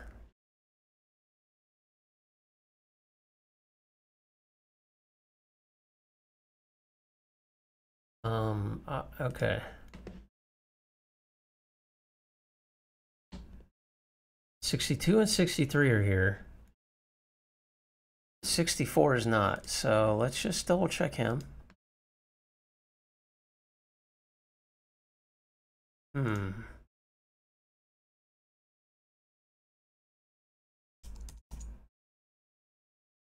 Oh, did I not, not do a write mem?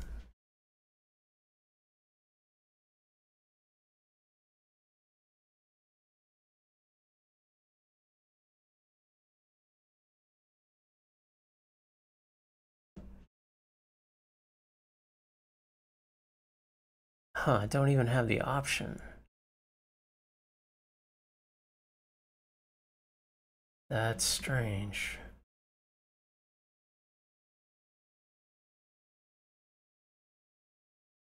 I think I can go back and look at my notifications somewhere.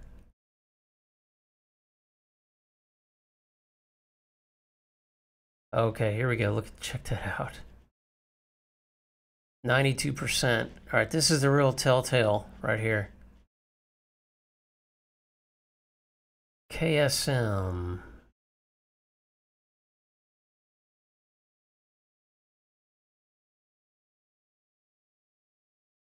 Okay, that's on. I don't know what these things do. I think that has to do with swap memory or something like that. Um, all right, so lab details. I'm wanting to see my notification log.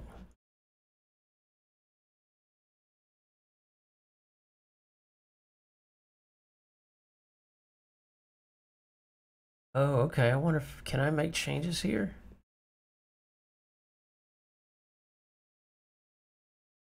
So I have 243 configured objects, actions. None. Okay. Probably in the pro version.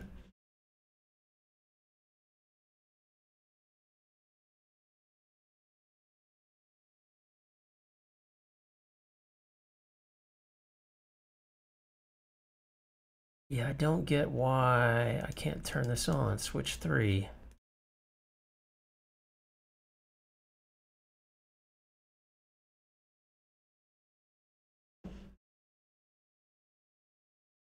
Cancel. Um, I know Switch 3, I have rebooted it, and it has come back up just fine.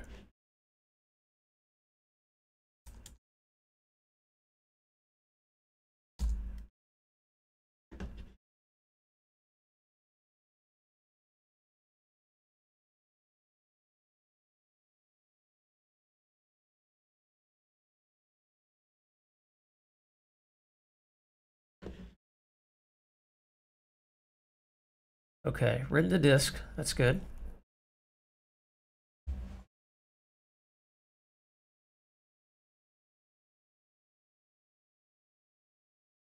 Export config.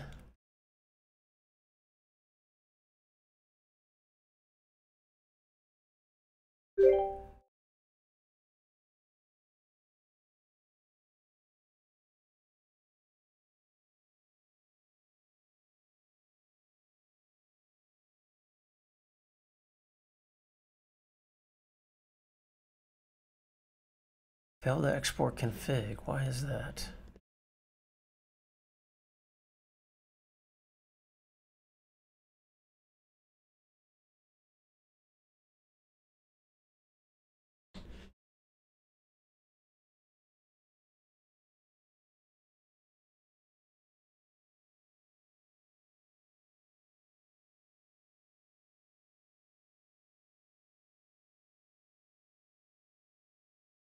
I wonder if it's just taking too long. Maybe I should shut down some of the other routers.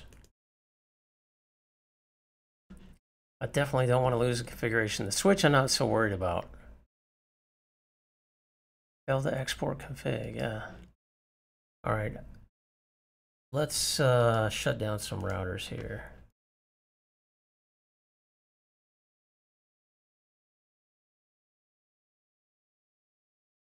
I know these are backed up.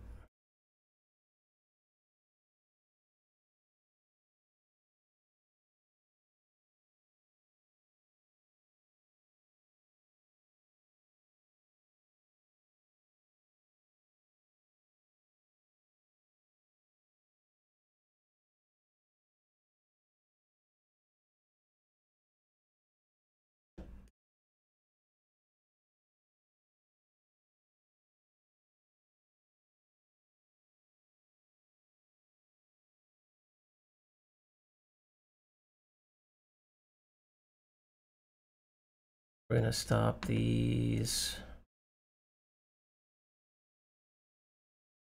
Yeah, uh, I'm at the point, I mean, I'm getting backups every night of the virtual machine uh, in Azure. So, but I put a lot of work into this thing. So I want to make sure that I have it copied off the, uh, the lab file and that all the configurations are correctly exported. Got the CCIE, yeah. One day I want to get it, man.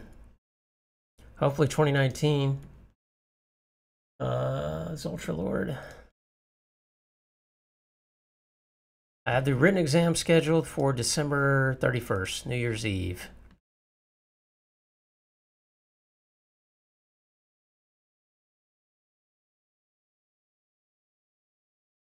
All right, gonna stop these routers as well. Hey, thank you very much. I need it.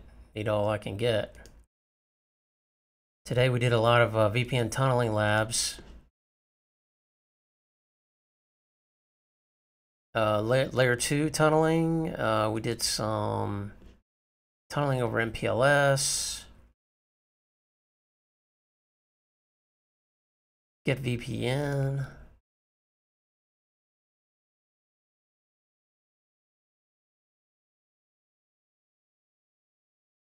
Now we're just trying to gracefully shut down the lab, sort of end the day, and make sure that uh, the all the configurations are saved to the lab file. A lot, many hours of work are represented here. With the um, end product, hopefully being knowledge. Okay, a lot of these routers are stopping. That's good. Very good, very good.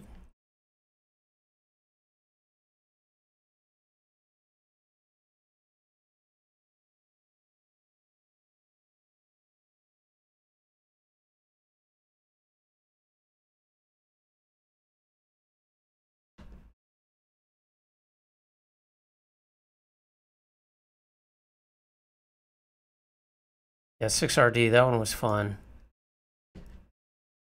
That uh, was a lot of my day yesterday, actually. Is ensuring uh, that 6RD that understood what the heck was going on there.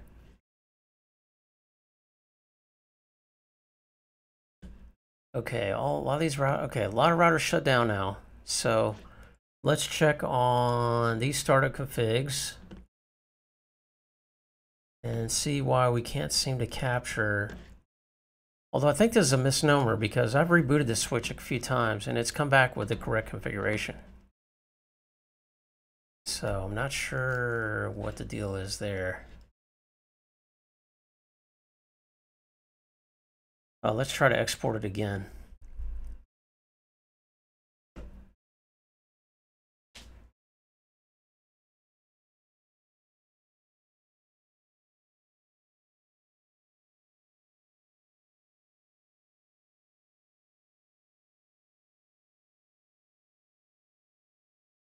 Yes, exported, finally. There's just too much going on. All right, let's see who else needs an export here. Router 55.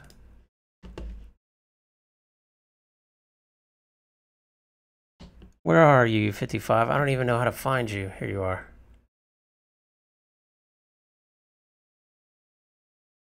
Uh, did I do this today? I did do this lab today. No, don't do the, cannot translate. All right, we'll come back to you. Uh, 56, 58.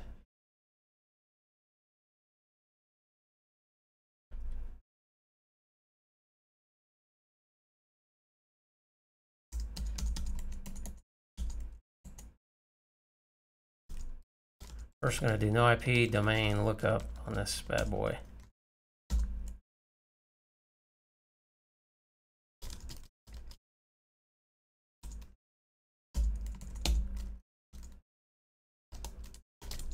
No IP domain lookup.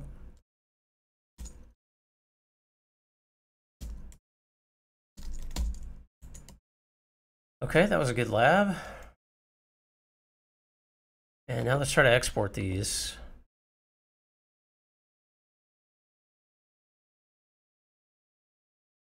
This was uh, a L2 AToM tunnel. Any transport over MPLS. 55 exported. 56 exported, good.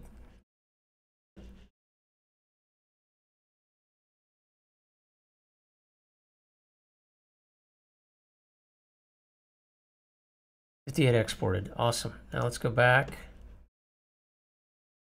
Okay, now we just need two more, which is H61 and router 64. Okay, let's shut these down.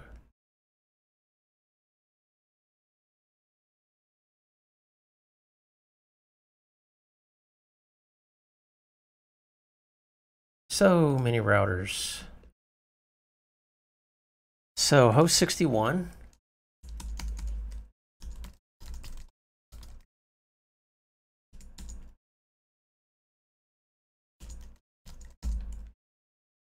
And router 64 over here.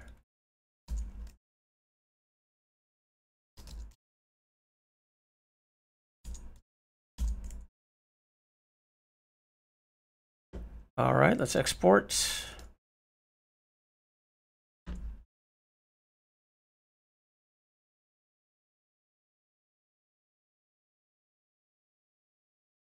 Good, that one's done. And now 64.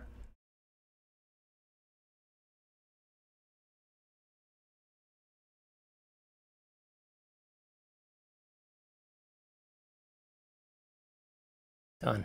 All right, should be all set. Startup configs, all green, yeah.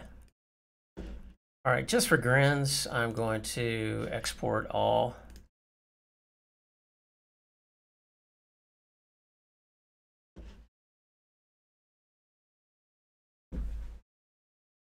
Yeah, this is this has been fun. Uh, what is our what are our lab details now? Our our lab status. Yeah, this is what I need to be checking. And we're definitely hitting high percentage, so we're gonna have to upgrade our VM for sure. Our VM's getting to where it can't handle it. Um, that's something I'll probably work on tomorrow. I already have a VM here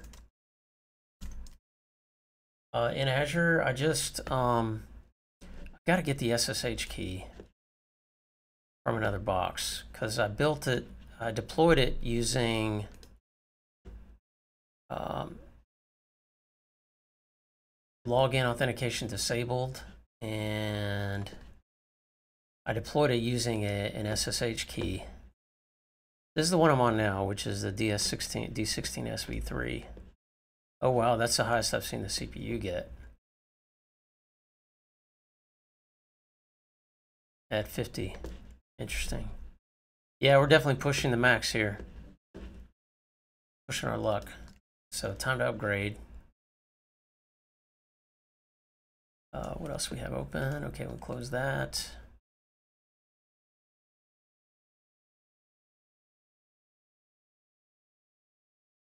I got some good PCAPs today. Uh, I will copy these to our PCAP, PCAP repo.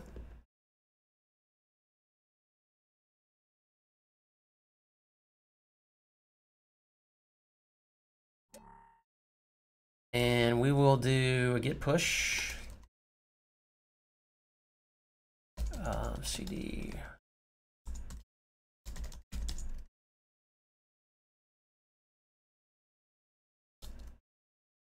Packet captures. Git pull.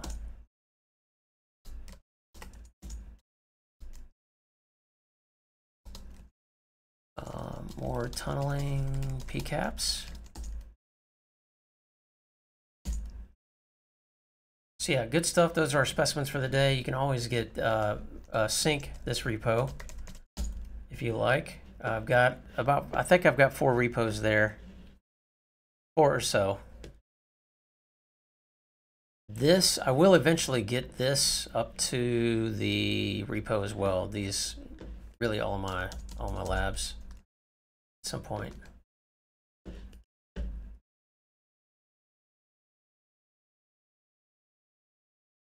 And let me see what else here. Well, that's working.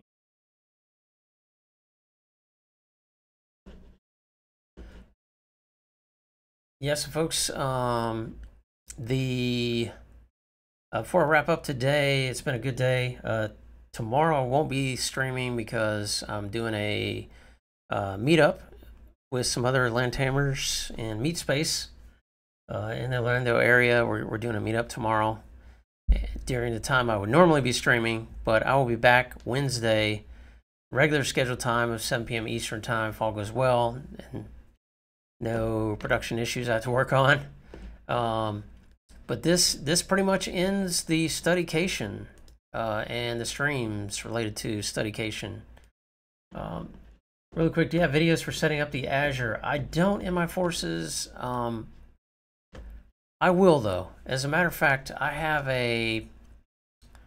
Um, it, it's pretty simple to be honest. Um, if you want to do a manual deploy, um, at some point, what you want to do is do, well, you don't have to do this, but I'm working on an automated deployment. So I can actually deploy the virtual machine now um, automatically using Azure DevOps. I've been kind of waiting to finish that so I could package it up and just make it available to the public. Um, but in the interim, I should go ahead and do a video, and hopefully I will soon. But yeah, I've got these uh, this build right here that I've deployed.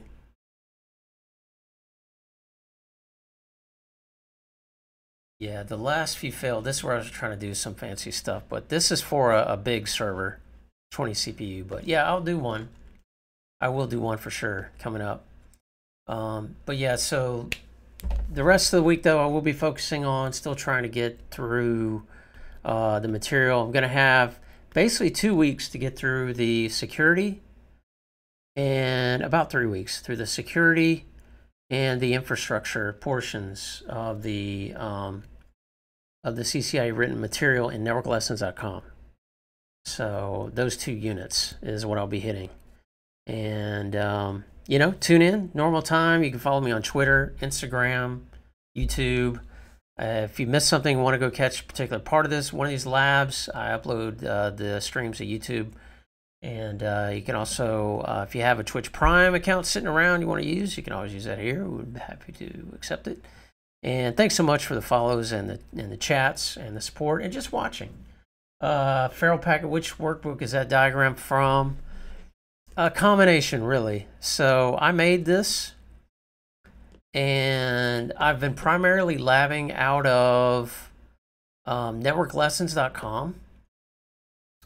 Um, but what I've been doing is just using my own uh, like networking scheme, network numbering, and my own topology.